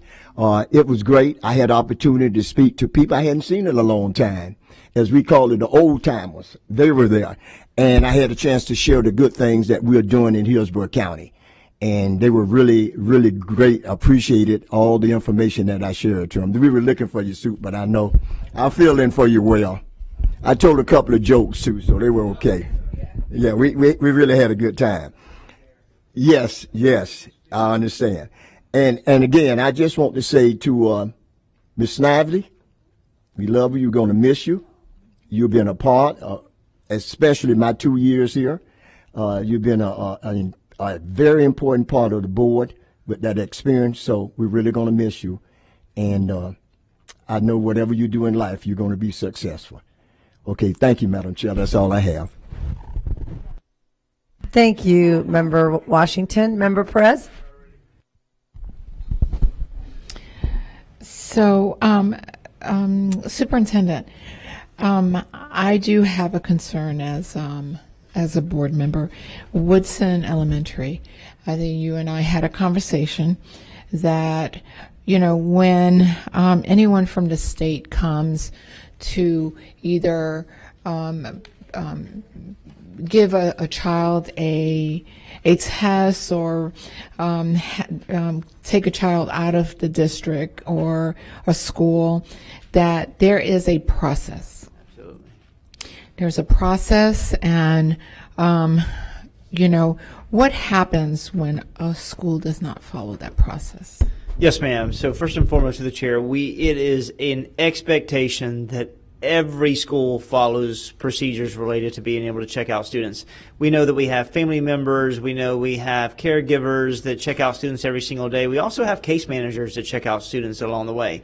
And is there our role our role and responsibility is to check identification, to check those individuals in. They have a sign out log, do they they sign out so that we uh, truly understand and approve of those individuals that are transitioning and taking our students you know, bringing them in the school and also transition out of school. So if it is not followed, then we will start progressive discipline immediately. And this is outlined by our collective bargaining agreement. And, and this is an expectation for this. As relates to the school, you know, a, a, a poor decision was made. We have addressed that individual employee and we'll continue to monitor the situation. And at principal meetings, I will make certain that I remind all of our leaders to make certain that there, there's protocols to be followed because safety is our greatest priority within our school. When children are um, come through the doors of our schools, we are then responsible for those children. Absolutely. I know that when my grandchildren are with me, I feel, you know, I am like, you know, uh, eagle eyes because I know that their mother, my daughter, has, uh, you know, um, placed those children in my, although they're my grandchildren, in my responsibility. So I understand that when, you know, they're missing for one second, you know, my heart drops to my feet and I'm just running and trying to find them. And so I can't imagine when a when a parent comes to school and they're told, "Oh, somebody took your child," and it's a 35 minute window before they know where their child is. Um, that's unexcusable. Through the chair, I completely agree. In, in this particular case, this was the case manager checks the student out multiple times a week, and the sign out log just was not signed. It is unacceptable. This should be followed every single day, regardless if you know, if I'm the parent and I go and check out Caitlin every single day, I should be required to show my identification and to sign that log every single day, regardless if they know me as superintendent or whatever it may be. It is an expectation for everyone. Thank you. Yes, ma'am. And um, I also want to talk about these textbooks. So I I have an issue with with teachers not having textbooks. Can you address that, please? Yes, ma'am, the chair. This is what we continue to face related to STEM, STEMscopes. It's our math adoption. We uh, selected a, uh, a vendor in March. We have informed that vendor what we needed. They have all that in writing in April and it became to a paper shortage. And this is not only unique to Hillsborough County, but throughout the state and throughout the nation, that many school districts do not have materials. Um, everyone ha- and they, ha- don't have the print materials. Everyone has the digital materials. And the biggest stressor is being able to make certain they are printing the content to be able to to interact with our students. As of right now, we're looking at third grade student notebooks that do that do in elementary schools that students do not have those notebooks, and some of our fourth grade students as well do not have that content, uh, do not have the notebooks. Our teachers are doing a remarkable job, and also our leaders as well, printing out content and academic services and providing uh, continued uh, support through whether it be Daniela Simic, whether it be uh, Debbie, Debbie Pepe, they have inundated schools to be able to identify. One thing that uh, I have asked and engaged our team to do is to reach out our schools and determine whether or not they need ongoing assistance with paper purchasing or toner as well, because that never should be a barrier to be able to make certain that we have systemic movement. Um, I am deeply concerned about this. We will address this upon completion once we have all of our materials in hand at every one of our schools. We will make certain that I get with Mr. Connor, his team, and also with our legal department to determine whether or not there's liquidated damages that we can assess for not having the content within our schools and hold them accountable for that process. Thank you. And the elevator. Um, you know, um, a child with disabilities always has to have accessibility. And if there was a fire, if there was, you know, an issue, you know, that child should always have accessibility to a way out, the elevator. Is that already handled and fixed? Through the chair, I just learned of that issue tonight. So uh, it sounds like uh, through the teacher that spoke this evening that the operations team did address it. I will say openly that we are we've had major concerns being able to get parts for everything that we have to be able to make certain our facilities are functional.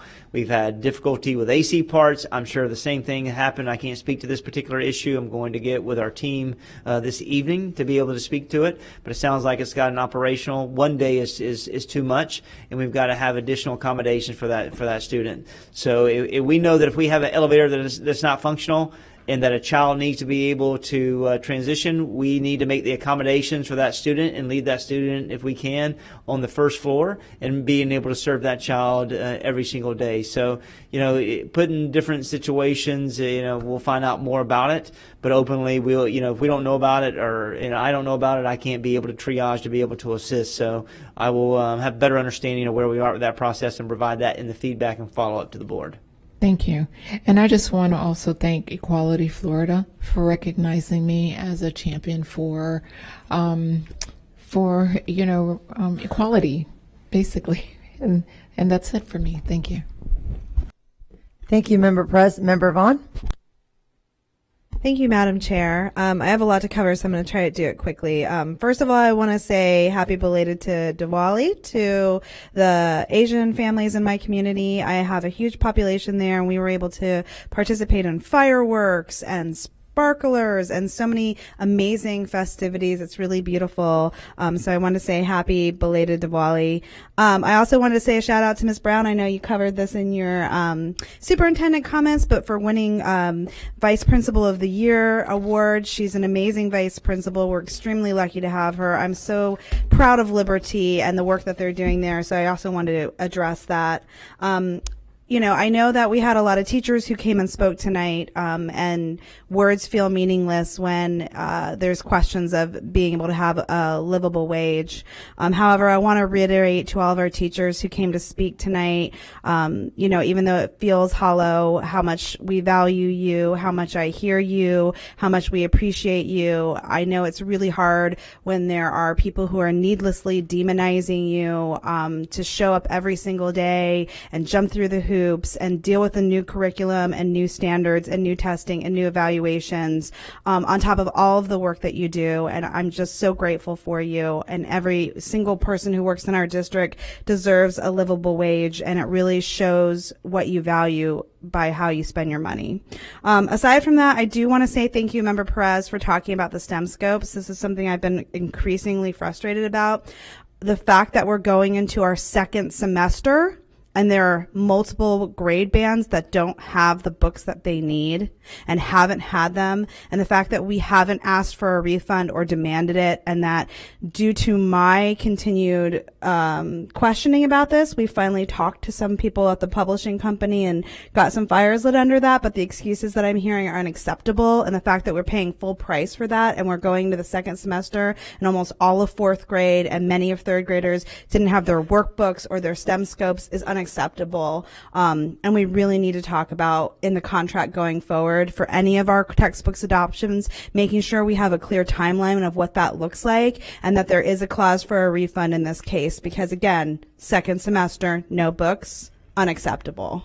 Um, I also want to say congratulations, Member Perez, for the Equality Florida um, Award. That was amazing. It was an amazing event. So many great people from our community there.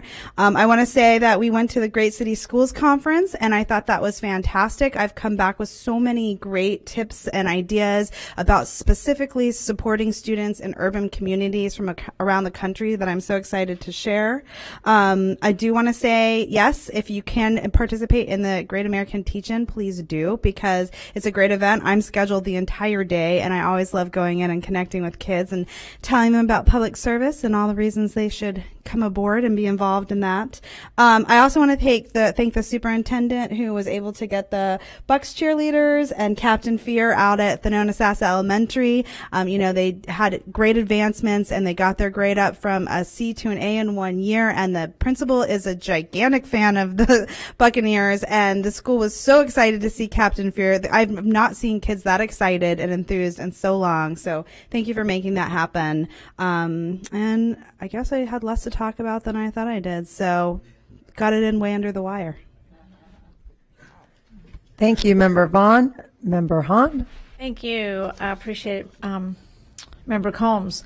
Um, uh, one thing um, that I've noticed uh, in regard to the sex ed curriculum opt out form, um, I've had some constituents reach out because they were frustrated that they still couldn't find the form. It took me quite a while because it is at the very, very, very, very, very bottom, as bottom could be, of our website. Um, it's pretty small, so I don't know if we can, you know, move that to a more visible area, given that that instruction is happening now. So parents are looking for that form now. Um, it also says uh, it's a science course opt out, and so it's not real specific. So again, my parents, my constituents were, well, where's the sex ed one? Because they saw science, they didn't connect that. So if we could be more explicit that this is the sexual education opt out form. Um, that would also be helpful. The other thing, I know there's always lots of conversation about being sensitive to the fact that we have a majority of Hispanic families in our district, and yet when I click on the website translation, the website will translate to Spanish. However, the form does not because it's a static photo. So if that could be changed, because I don't know how you can opt out of something that you can't read, I'd really appreciate it within the next 24 hours because, as I said, the instruction's happening now and parents are looking for that form now. Um, okay. Um, another note, I want to catch up on some things. Um, one, I don't know if Pablo can show the early childhood literacy fair video. Um, that took place um, two weeks ago, and we had hundreds of families show up on a Saturday morning. Close to 600 families were registered.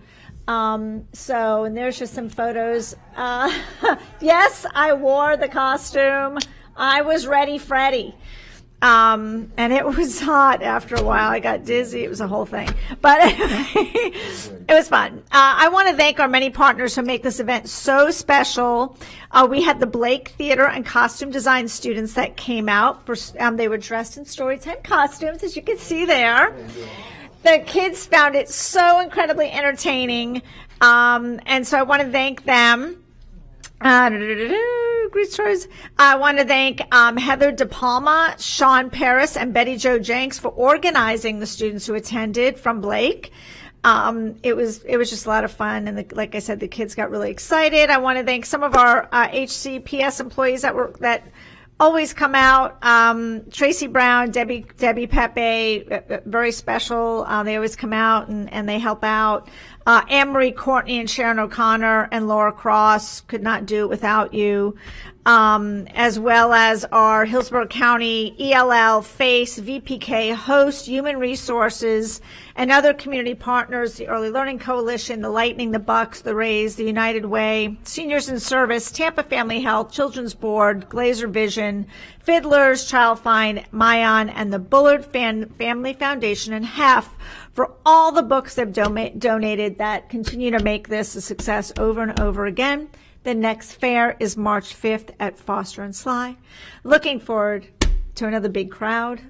Um, uh, and then the same day is the literacy fair, but in the afternoon, and the last day of Hispanic Heritage Month was um, a STEM event that was focused on coding robots, and it was um, the the the um, groups of kids came all over from South County. It took place in in Wimauma at um, a church down there, and many of our Hispanic young young students from um, surrounding schools attended for free. We gave them breakfast and lunch for the event. Um, and they had so much fun and they got, I gave away two books and they probably popped up there, but, uh, one was about women, famous uh, women in STEM who have made, you know, great strides. And the other was, um, to celebrate Hispanic History Month. And it was Hispanic women who have done great things around the world. And half the book was, the, the book was all in English. And then the second part of the book was the same book, but all in Spanish. So it had beautiful illustrations. And so that kind of wrapped up Hispanic Heritage Month. I want to thank real quick, um, because I know uh, time is short. Uh, I want to thank my sponsors, which was EdGems Math and the Women's Conference of Florida. Um, they were phenomenal. EdGems really made has made a commitment to support the development of STEM and literacy throughout our community, and they understand the positive impact that this type of experience can have for students, whether they go on to pursue a STEM field or for any field they pursue. The skills they learn um, whether it's team building or problem solving or analytical skills or um, all those are all things that they can carry with them through life. Um, so I couldn't be more thankful for their support. Uh, also, a big thank you to Pastor Carlos Irizarry of Wholesome Community Church in Wimauma for providing space and hosting the event. Eric and Dory James uh, Jones, again from EdGems, for providing their middle school curriculum, which um, we use to create the um, activities for that day. So there was a real connection between our math middle school curriculum and what the girls were doing that day during the event, which was really cool to see. And Dr. Holmquist Johnson for providing the day long coding activities. She's an expert around STEM and these types of events. And um, to the parents who trusted us with their children for the wonderful event and for that day, they came and watched um, the competition at the end, and it was so much fun. And that is it. Thank you. Thank you, Member Hahn. Member Gray? Thank you, Madam Chair. I just want to recognize um, Gary Graham of Durant High School. He's been awarded and recognized as achieving a gold school status from the Hillsborough Healthy Schools. His work and his staff at Durant High School have created a healthy, social, and emotional school environment. This is supported by the many programs and policies that nurture positive behavior and promote a feeling of belonging and respect for all students, staff, and families. And indeed, uh, Gary, you were uh, and you are a transformational type of principal at Durant. We thank you very much for that wonderful, positive school environment.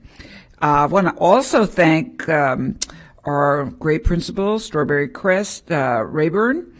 Uh, she allowed me to judge Halloween doors, but I think what I got out of it most was the amount of work each teacher does uh, to prepare for their class. I mean, some of the teachers taught AP along with, um, oh gosh, two other subject areas of high depth very highly skilled faculty, but and a hardworking one at that.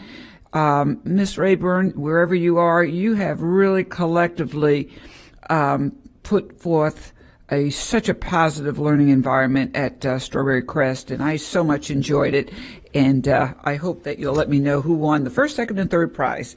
Next, um, I want to thank the public school advocates for not only their wonderful uh, ride, um, which um, Member Combs, Member Vaughan, Member Washington, we all had a great time, and uh, and also probably the most important part too is their support for the community schools, um, and just to remind all those who want to know about community schools, it really involves uh, supporting with transportation, medical care, food pantries, parent parental engagement, internship from universities, and on and on. Great organization. Thank you, public school advocates. Also, I was happy that we all, Superintendent Davis, and uh, I believe it was, uh, I know it was Member Washington, Member Combs, Member Vaughan, myself, um, we truly got a lot out of the Council of Great City Schools. And uh, I know that uh, we, at least for myself, I remember getting a lot of the high needs black uh, students and the high needs Hispanic students, both male and female, learning about what supports and resources have effectively changed their trajectory as uh, far as education goes and social and emotional needs. Very, very informative, rich convention. Thank you, Kristen Davis, for driving me there and back and supporting uh, me as we uh, collectively engaged in many workshops. So, okay, she gets a few points. Uh, by the way, uh, Ms. Davis usually does drive me to Orlando and back on other occasions, so thank you so much. Well, we go to Central Florida. Uh, uh, uh Central Florida education, all work related. Yes, sirree. Okay. Uh, also, uh, again, a congratulatory expression of high, um, high, high just a high caliber principal, Principal Katie Rocha of Newsome. Um, we're so happy for her to have the uh, the I mean the um, principal of the year and Angela Brown at Liberty Middle School as the AP principal of uh, AP assistant principal of the year. So last also, member Snively, you will be missed. We we are just so fortunate and blessed to have your presence for all these years. So thank you. Thank you, Member Gray. And just a couple things. Um, I want to thank you, Superintendent Davis. We had another really successful Latin education equity community roundtable, um, and you continue to really uh, listen to the Latin community, and we're seeing the numbers increase with the amount of principals going in the um, principal to pipeline. I know Araceli, Melissa Morgado, Marcos Murillo. We have so many great leaders who are in the district, and, and thank you to everybody who's going and continuing to support that. I also wanted to say um, thank you to Hillsborough County Public School Advocates. It was such a great evening there. It's a nonpartisan group, but what's great is they really make sure that they support support community schools and they see the need of community and advocating and how that can really move students. Um, I had the pleasure of today and also last week to work with Future Career Academy and be on the business panel at Hillsborough High, Wharton, Bowers Whitley, and Chamberlain. And it's just amazing to see all those seniors out there and to hear just from a group of business individuals talk about how it's so important that they can, the importance of workforce development and that not every child is going to go to college. But if they do decide to go to college, a lot of those businesses offer that support so students can graduate debt free. Um, as I was going through, I just I would be remiss to talk if I didn't talk about going to Chamberlain and meeting uh, Mr. Bartholomew Matthew, who is the culinary teacher there, who taught at, who, who was a student there eight years ago at Chamberlain. And not only did he, I have the best salad ever there, but more importantly, the passion that he had for his students and the passion he had for that program was just so powerful. Um, and it goes along with so many teachers like that. Tomorrow, I have the pleasure to work with um, Miss Lewis at Hillsborough High School. We'll be team teaching the 3DE program, and I'm going to give the students all of the many challenges that we have as school board members, you know, with uniforms, books, and I'm going to wait to hear what the students say. What, you know, they look at the pros, they look at the cons, and then they come up with a, with a recommendation. So I, I'm really curious and excited about that. And finally, um, this coming up Saturday, November 5th, is going to be the Veterans Day Parade in Town and Country, which is an amazing event. I mean, last year I walked the entire thing. Um, I was on a, you know, on a in a fire with the, some firefighters for a little bit, but most of the time I walk through because it's a great opportunity to see really the people in my community, the people in town and country. So I welcome all of you to come out. It's a wonderful event to honor our veterans and also to really get to know our community. Um, and lastly, um, Member Snively, I, I wish you all the best and thank you for your eight years of service. And please, if you'll close out the meeting for us. Thank you, Madam Chair. I'm going to start heavy and then I'm going to go light and then I'm going to end heavy.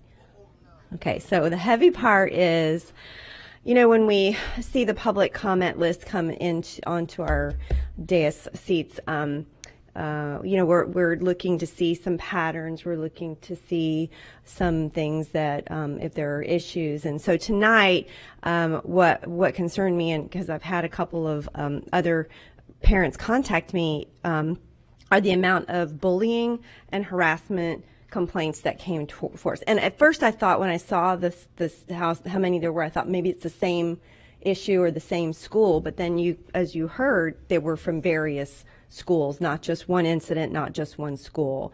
And so I, I've asked um, um, some folks to, to meet with me recently, uh, Ken Hart and and um, um, Monica, we have a meeting set up tomorrow just to talk a little bit about some issues uh, around our discipline and code of conduct, um, and making sure that we are that we have the right practices in place with surrounding that. So I would ask moving forward if you could please as a board take a hard look at that code of conduct and the disciplinary action that's being taken and making sure it's appropriate for students and for the school for the safety of students. Um, 5517 is our bullying and harassment policy. So um, please, please, please take a look at that and make sure that it aligns with our code of conduct and disciplinary action. Okay, so that's the heavy part. All right, the light part is um, there are three schools left for CEOs in the schools November 4th. Lopez Elementary and Seffner, Thompson Elementary and Ruskin, and the Nodasessa Elementary School.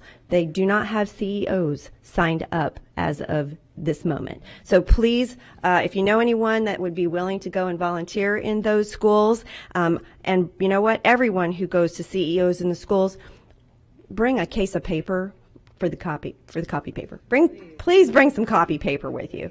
Bring a ream, bring a case, bring some copy paper to these poor schools.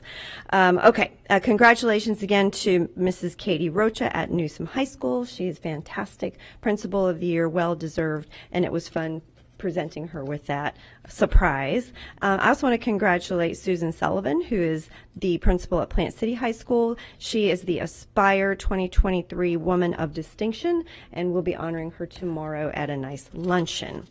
Okay, and then again, just thank you so much. It's been a wild ride these eight years. It's it's um, you know I feel good leaving on my terms and, and welcoming a new person in, and I know that you will welcome her and make her feel right at home um, and get her up to speed as quickly as possible. Um, she's she'll be a great advocate for children.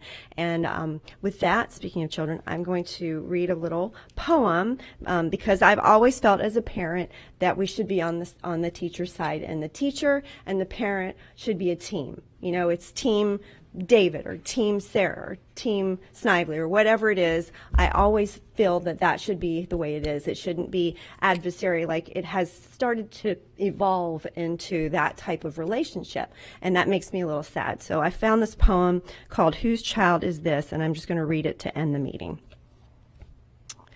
Whose child is this? I asked one day, seeing a little one out at play. Mine, said the parent with a tender smile, mine to keep a little while, to bathe his hands and comb his hair, to tell him what he is to wear, to prepare him that he may always be, and each day to do the things he should. Whose child is this? I asked again. As the door opened and someone came in. Mine, said the teacher, with the same tender smile. Mine to keep just for a little while. To teach him how to be gentle and kind, to train and direct his dear little mind, to help him live by every rule and get the best he can from school. Whose child is this? I asked once more, just as the little one entered the door. Ours, said the parent and the teacher as they smiled, and each took the hand of the little child. Ours to love and train together, ours this blessed task forever. Thank you. Thank you so much. This meeting is adjourned.